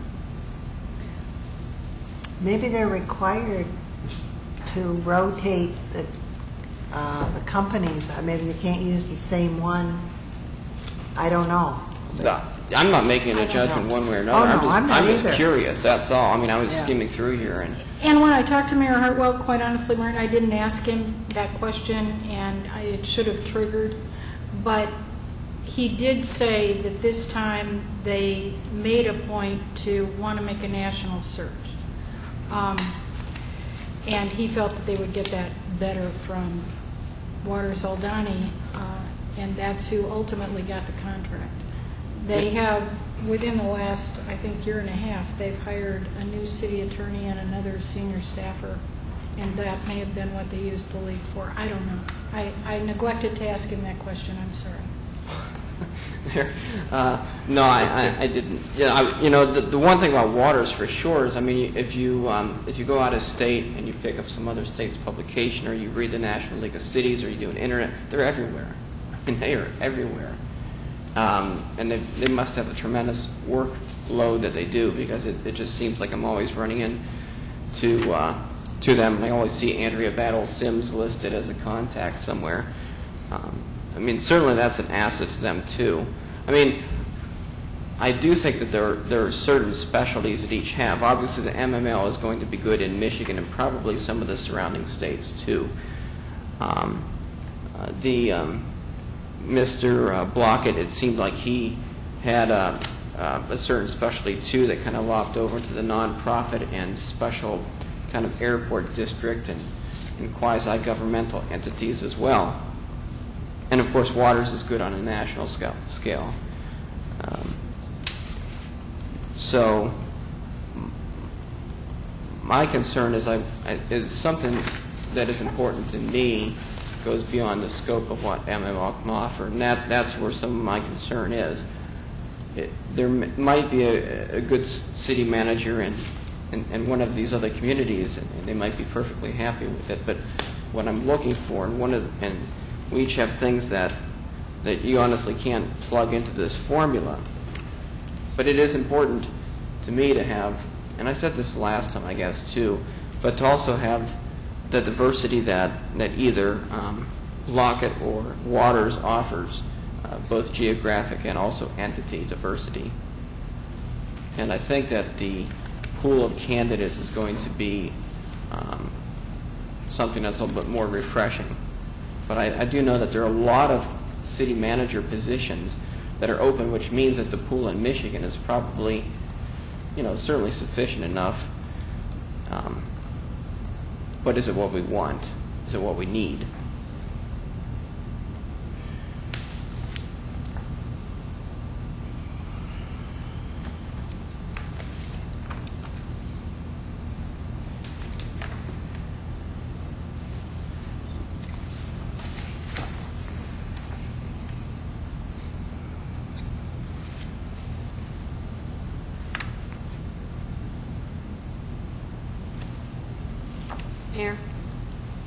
Councilwoman Broomfield? In, in looking at my notes, um, with Waters, uh, maybe I missed something. Did they have private experience in placement? Was it all public? Was it all public? It was. uh, We gave all our green sheets to... Right. Yeah, we're just all in. It's okay. But they're a national company versus Mostly California. Mostly the West. Yeah, remember she indicated that most of their searches were in the west? Oh, that's right, they're just getting out here. And we know Blockett has both private and nonprofit, or public and nonprofit. Right. Mayor? Councilman Eisenbacher? Again, the big thing comes down to is who is the person that's doing the search and what are their skills? Um, If you get the best person at Waters, that probably blows away everyone else, and conversely, the best person at MML probably blows everyone else away. I mean, it goes down to the person. With an MML, we don't know which person we would select, Um, but the option is ours according to the interview. With the Waters group, um, the regional person is my understanding is the person the person who interviewed with us with Charles Blockett we have Mr. Charles Blockett so two out of the top three we know exactly who we'd have um, would it be good for us to figure out who within the Michigan Municipal League or do you believe the gentleman we spoke with Bill Baldridge is the uh, best person for our search.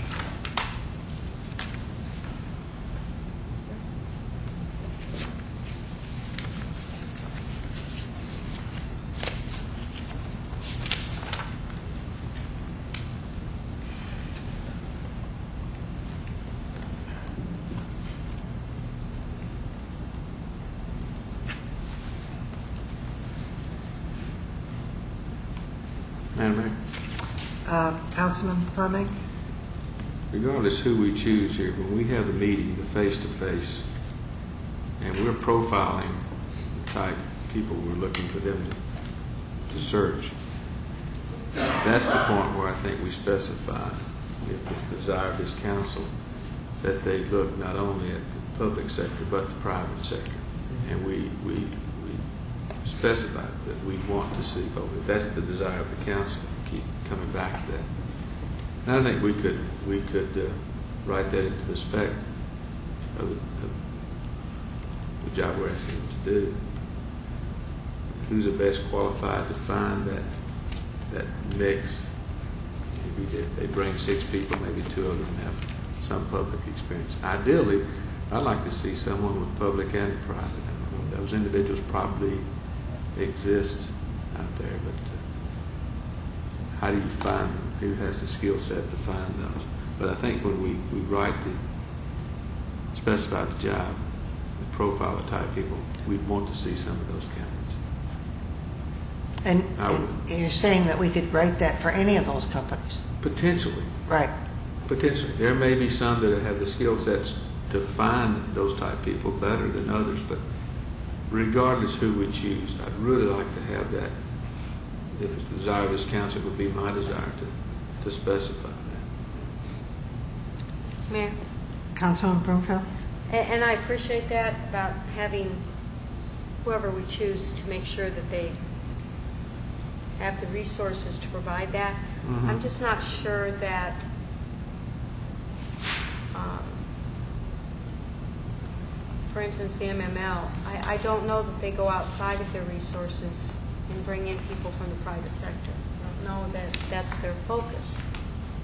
And so it's just like the argument that's been brought back by people who don't have the experience of placing in uh, public, they only do private. Well, the argument has been they don't have the experience to do public. So, you know, the rating drops on that. Um, we can, my own personal experience, you can tell a search committee what you may want. Doesn't mean, unless that's not their norm, it's Mhm. not, they don't have avenues to go there, I'm not so sure they do. That, that's the piece. I mean, you know, you get someone to come in and if it's just, hey, go to the public, um, your public files and your advertisement and bring this all to public, that's fine. Don't do it because they're good at it. What about that private piece? And, and that's been a, a desire, I think, of um, many on council here to have some of that.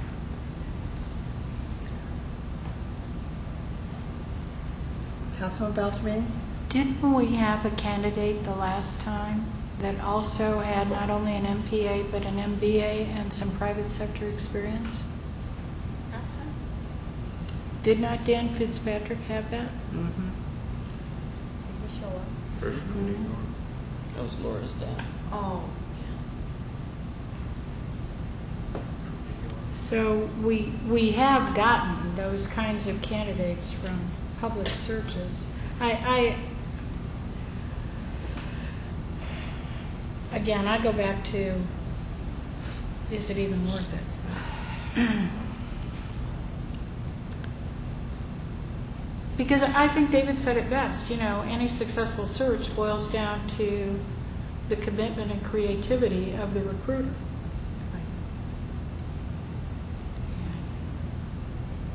Doesn't matter whether they're pu- pro- public or nonprofit or private. They'll do the job for you or they won't. Mayor? Councilwoman Broomfield? So, um, Councilwoman Beltramini, what was your suggestion? I mean, you're, you're, you're asking, is it worth it? Is it worth it to hire one of these firms and spend a minimum of twenty-five thousand dollars, really, before you bring in a candidate? Almost no matter who you choose.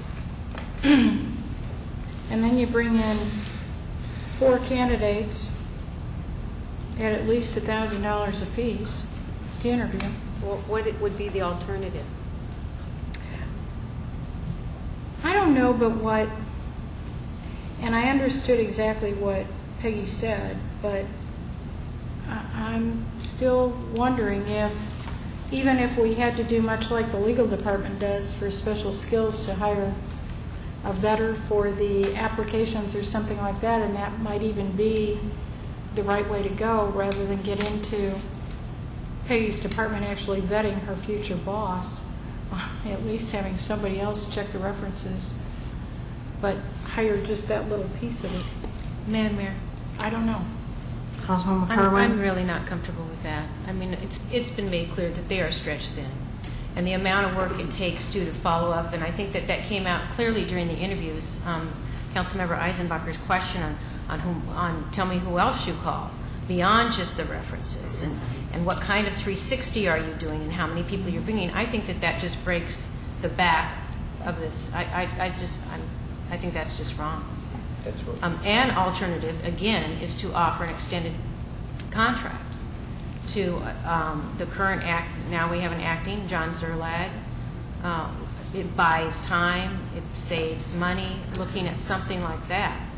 But since tomorrow, our clock starts ticking. April 1st? It's day after tomorrow. Well, tomorrow now. No, I, actually, we're on tomorrow. Tomorrow now, yep. Okay, so, correct me once, but yeah, we're on tomorrow now, so, uh, we really do have to decide which way to go. I, I, I would rather not, um, spend this kind of money, but if, if we are going to do it, I'd rather do it with the firm that, that has a proven record and is the least amount of money, which is the top one. I don't care how you split it, going into that room, you all agreed that, okay, we'll follow these courses. That was the resolution that passed. This is the results that came from that.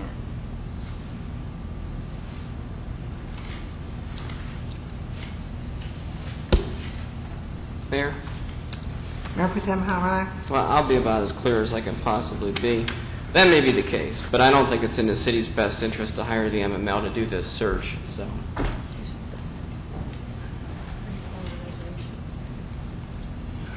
Well, we haven't even decided if we're going to go forward with the search, let alone if we want to, you know, pick anybody. We're kind of, kind of just throwing ideas out, and that's one of my ideas, is that I don't think it's in the city's best interest to hire MML, and I think that you're splitting hairs when you're talking about cost, and, and the, the ratings for the top three, even really the top four, are quite close.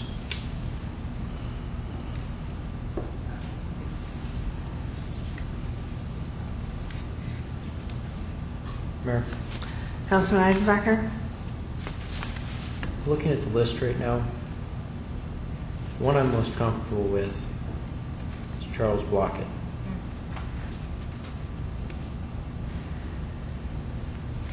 Um, Curious if anyone has anything bad to say about any experiences they're aware of with him. Um, There's, because I believe the information he gave us was good. I don't have any information on him other than what he provided us in writing and what he said tonight. Yeah, I'm just curious if That's anyone it. has uh, aware of experience with other communities with him. No? Okay.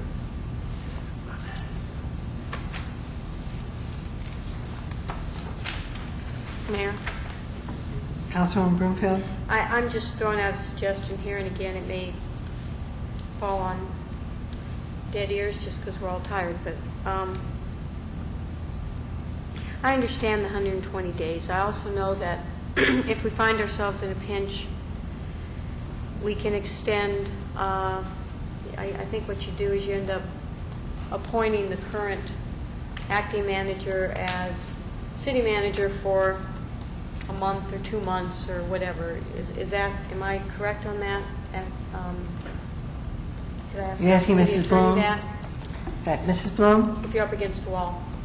Uh, That is a possibility. Uh, You could, you- the person could not serve as an acting, but you, um, there's no time limit on uh, the time that a manager serves, so you could do that contractually. So having said that, I, do believe that it would be, you know, wise for us to look at the 120 days and move quickly through that, and we may do that. But I also think that sometimes making a decision at 12:30 in the morning when we're all exhausted. Um, I would also throw out the possibility of picking a couple of these companies that we're looking at and having a face-to-face interview. We can still decide not to do it at all. Uh, But narrowing it down and then having a face-to-face and then taking the next step after that. I don't know that having face-to-face is going to give us any more than we had tonight. I think that the teleconference tonight gave us quite a bit, um, along with the, the uh, written information.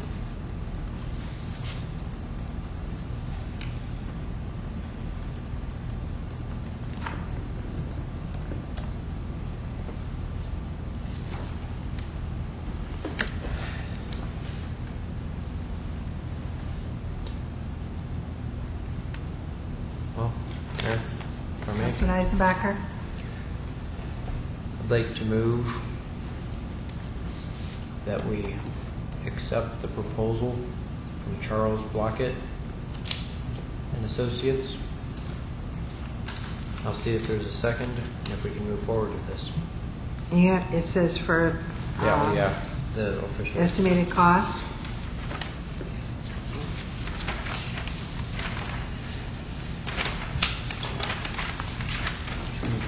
I'll second it for discussion. Madam Mayor? Uh, Well, wait a minute, moved by Councilman Eisenbacher, seconded by Mayor Potem Howard, that we engage the firm for executive recruitment services for the position of city manager of um, Charles Blockett. uh, March engage the 15th. firm- Pardon? The date is March 15th, his proposal. March 15th, for an estimated cost not to exceed, I believe it's based on the sheet we received that breaks it down. It's 21,000 plus expenses. Okay. Yeah. okay? Uh, Discussion, Councilman Kerwin?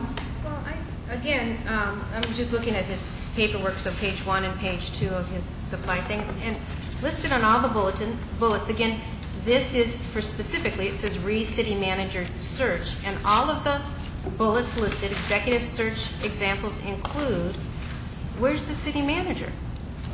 Now, I appreciate that um, a couple members of council want to have a wide appeal, but where is the city manager experience? That's really what we're looking for. So, although a council member spoke that, you know, didn't like to see it all in uh, uh, city manager form, this is every single one of them. Has nothing to do with city management. That's a huge concern. What are we doing? Mayor, Mayor Pro Tem Howard? I I think that's a bit of a stretch. If you had mentioned that about, um, uh, what was that, Deacon Group, I certainly would agree with you. But um, we have the executive director of the Capital City Airport. That's the chief executive officer position of a quasi-governmental entity. We have the Berrien County Administrator, which is the chief executive of a county. We have the Ingham County Controller Administrator, same thing. Madam We have the ICRC, Ingham County Road Commission, Chief Executive of the Road Commission. And then we have the Calhoun County Administrator as well. So those are very applicable. Different governmental entity. If it were a township, it wouldn't be a city manager either.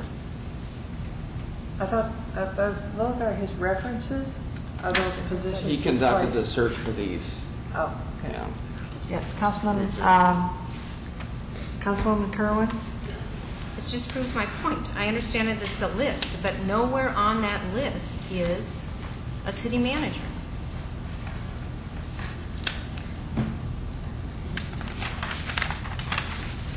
Further discussion?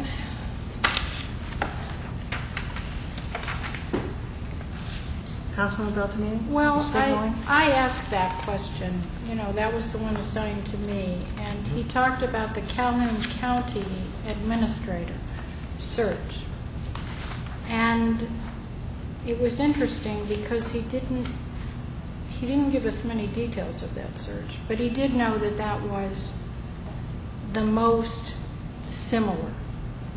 And while I appreciate that, I, I believe that transportation authorities of all kinds require a different breed than local government agencies. And in that, I, I, I don't disagree with Mayor Pro Tem Howard and Mr. Blockett that county administrator searches are applicable.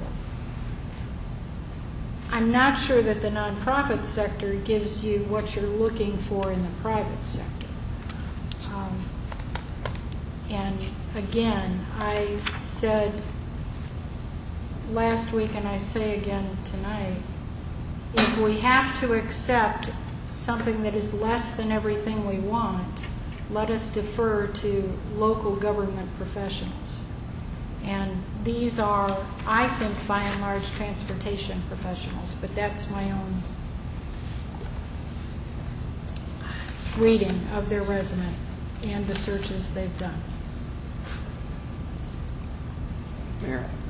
Mayor Pro Tem Howard? Yeah, I, I will admit I'm not married to it. I, I, ha- I have a few on here that, that I'm not the least bit thrilled with, and MML is not the only one, by the way. Um, I didn't take it personally. Yeah. You know, I, I don't, and I don't, I don't know that MML would be catastrophic. I'm just, you know, my, my point was that it, it wasn't my preferred way to go, and I didn't think it was in our best interest. I think, I'm, I don't want to, and, and just tell me to shut up if I'm repeating myself too much, but you, I think you will get some interesting candidates, by the way, from Waters. Uh, you will get some national candidates. Um, and, you know, you would get some interesting candidates with MML too. So, um, you know, certainly, um, I didn't, I didn't think that Deacon Group really had anything that was really applicable to our situation, and I think that he would have been kind of going into it a little bit blind. Not that he couldn't, you know, eventually find us something, but Well, I think it'll be interesting to see who applies uh, for the position, given our Michigan conditions. We may get a lot of people that are in other parts of the United States that don't want any part of coming to Michigan. Uh, And then we get other people that know about Troy that might want to come to Troy and see what they can do. Councilwoman Beltramini? Well, I was going to say I disagree.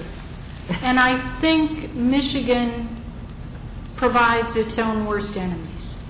It was very interesting, um, and Councilwoman Kerwin was there as well, the Economic Development Luncheon at the Marriott last week. The speakers they had were from the entrepreneurship program at U of M Flint and the new Oakland University Med School that Beaumont is the primary hospital on. And those entities, as well as the film industry, talked about how easy it is right now, in some respects, to recruit people to Michigan because of the opportunities here, because of the ability to be creative, because of the breadth of skills that one can use. And for us to sit here as representatives of a Michigan community and say, I don't know who will want to come here, I think is bad representation, and it makes me angry. Well, they may want to come here for those two, for healthcare and for the film industry.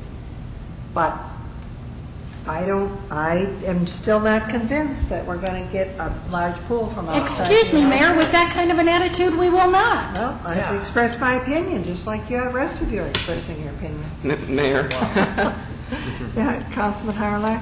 while, while we're on this interlude, I, no, I, I think I think Councilwoman Beltramini brings up a good point because when you're in times that, that challenge the status quo, you have an opportunity to to create solutions that are better than what's out there. And I think not only that, but it's un, I mean your dollar goes very far around here. I mean you can get for for on a hundred and whatever we're going to pay the new city manager, you can get a nice house. And, and it, this is this is suddenly one of the cheapest places in the country for real estate, for food.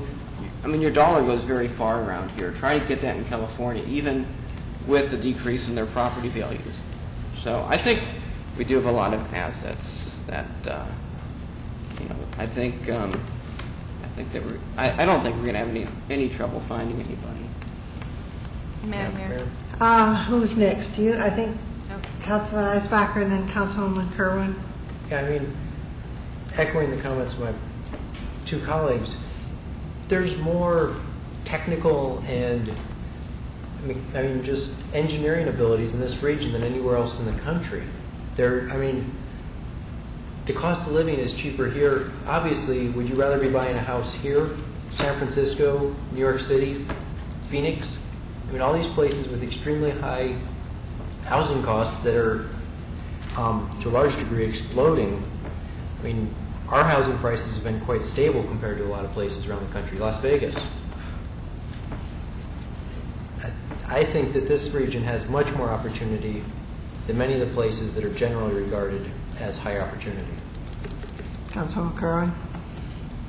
Well, um, Michigan also has the highest unemployment rate, so I wouldn't feel, I would feel actually very good to hire someone from within the state.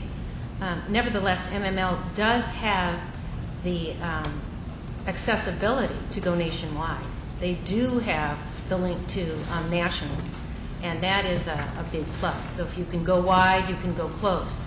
But when we were hearing the numbers in the uh, interview section over the phone of 60 applying for the Grand Rapids um, manager, so, so we know that there's a pool out there. And I thought it was interesting, in one of the conversations was the fact that every week you can throw out that um, uh, net, and there will be a new crew that comes through. So um, I think that the opportunities within and without are good. Um, I'm always happy to see somebody get a job in this state.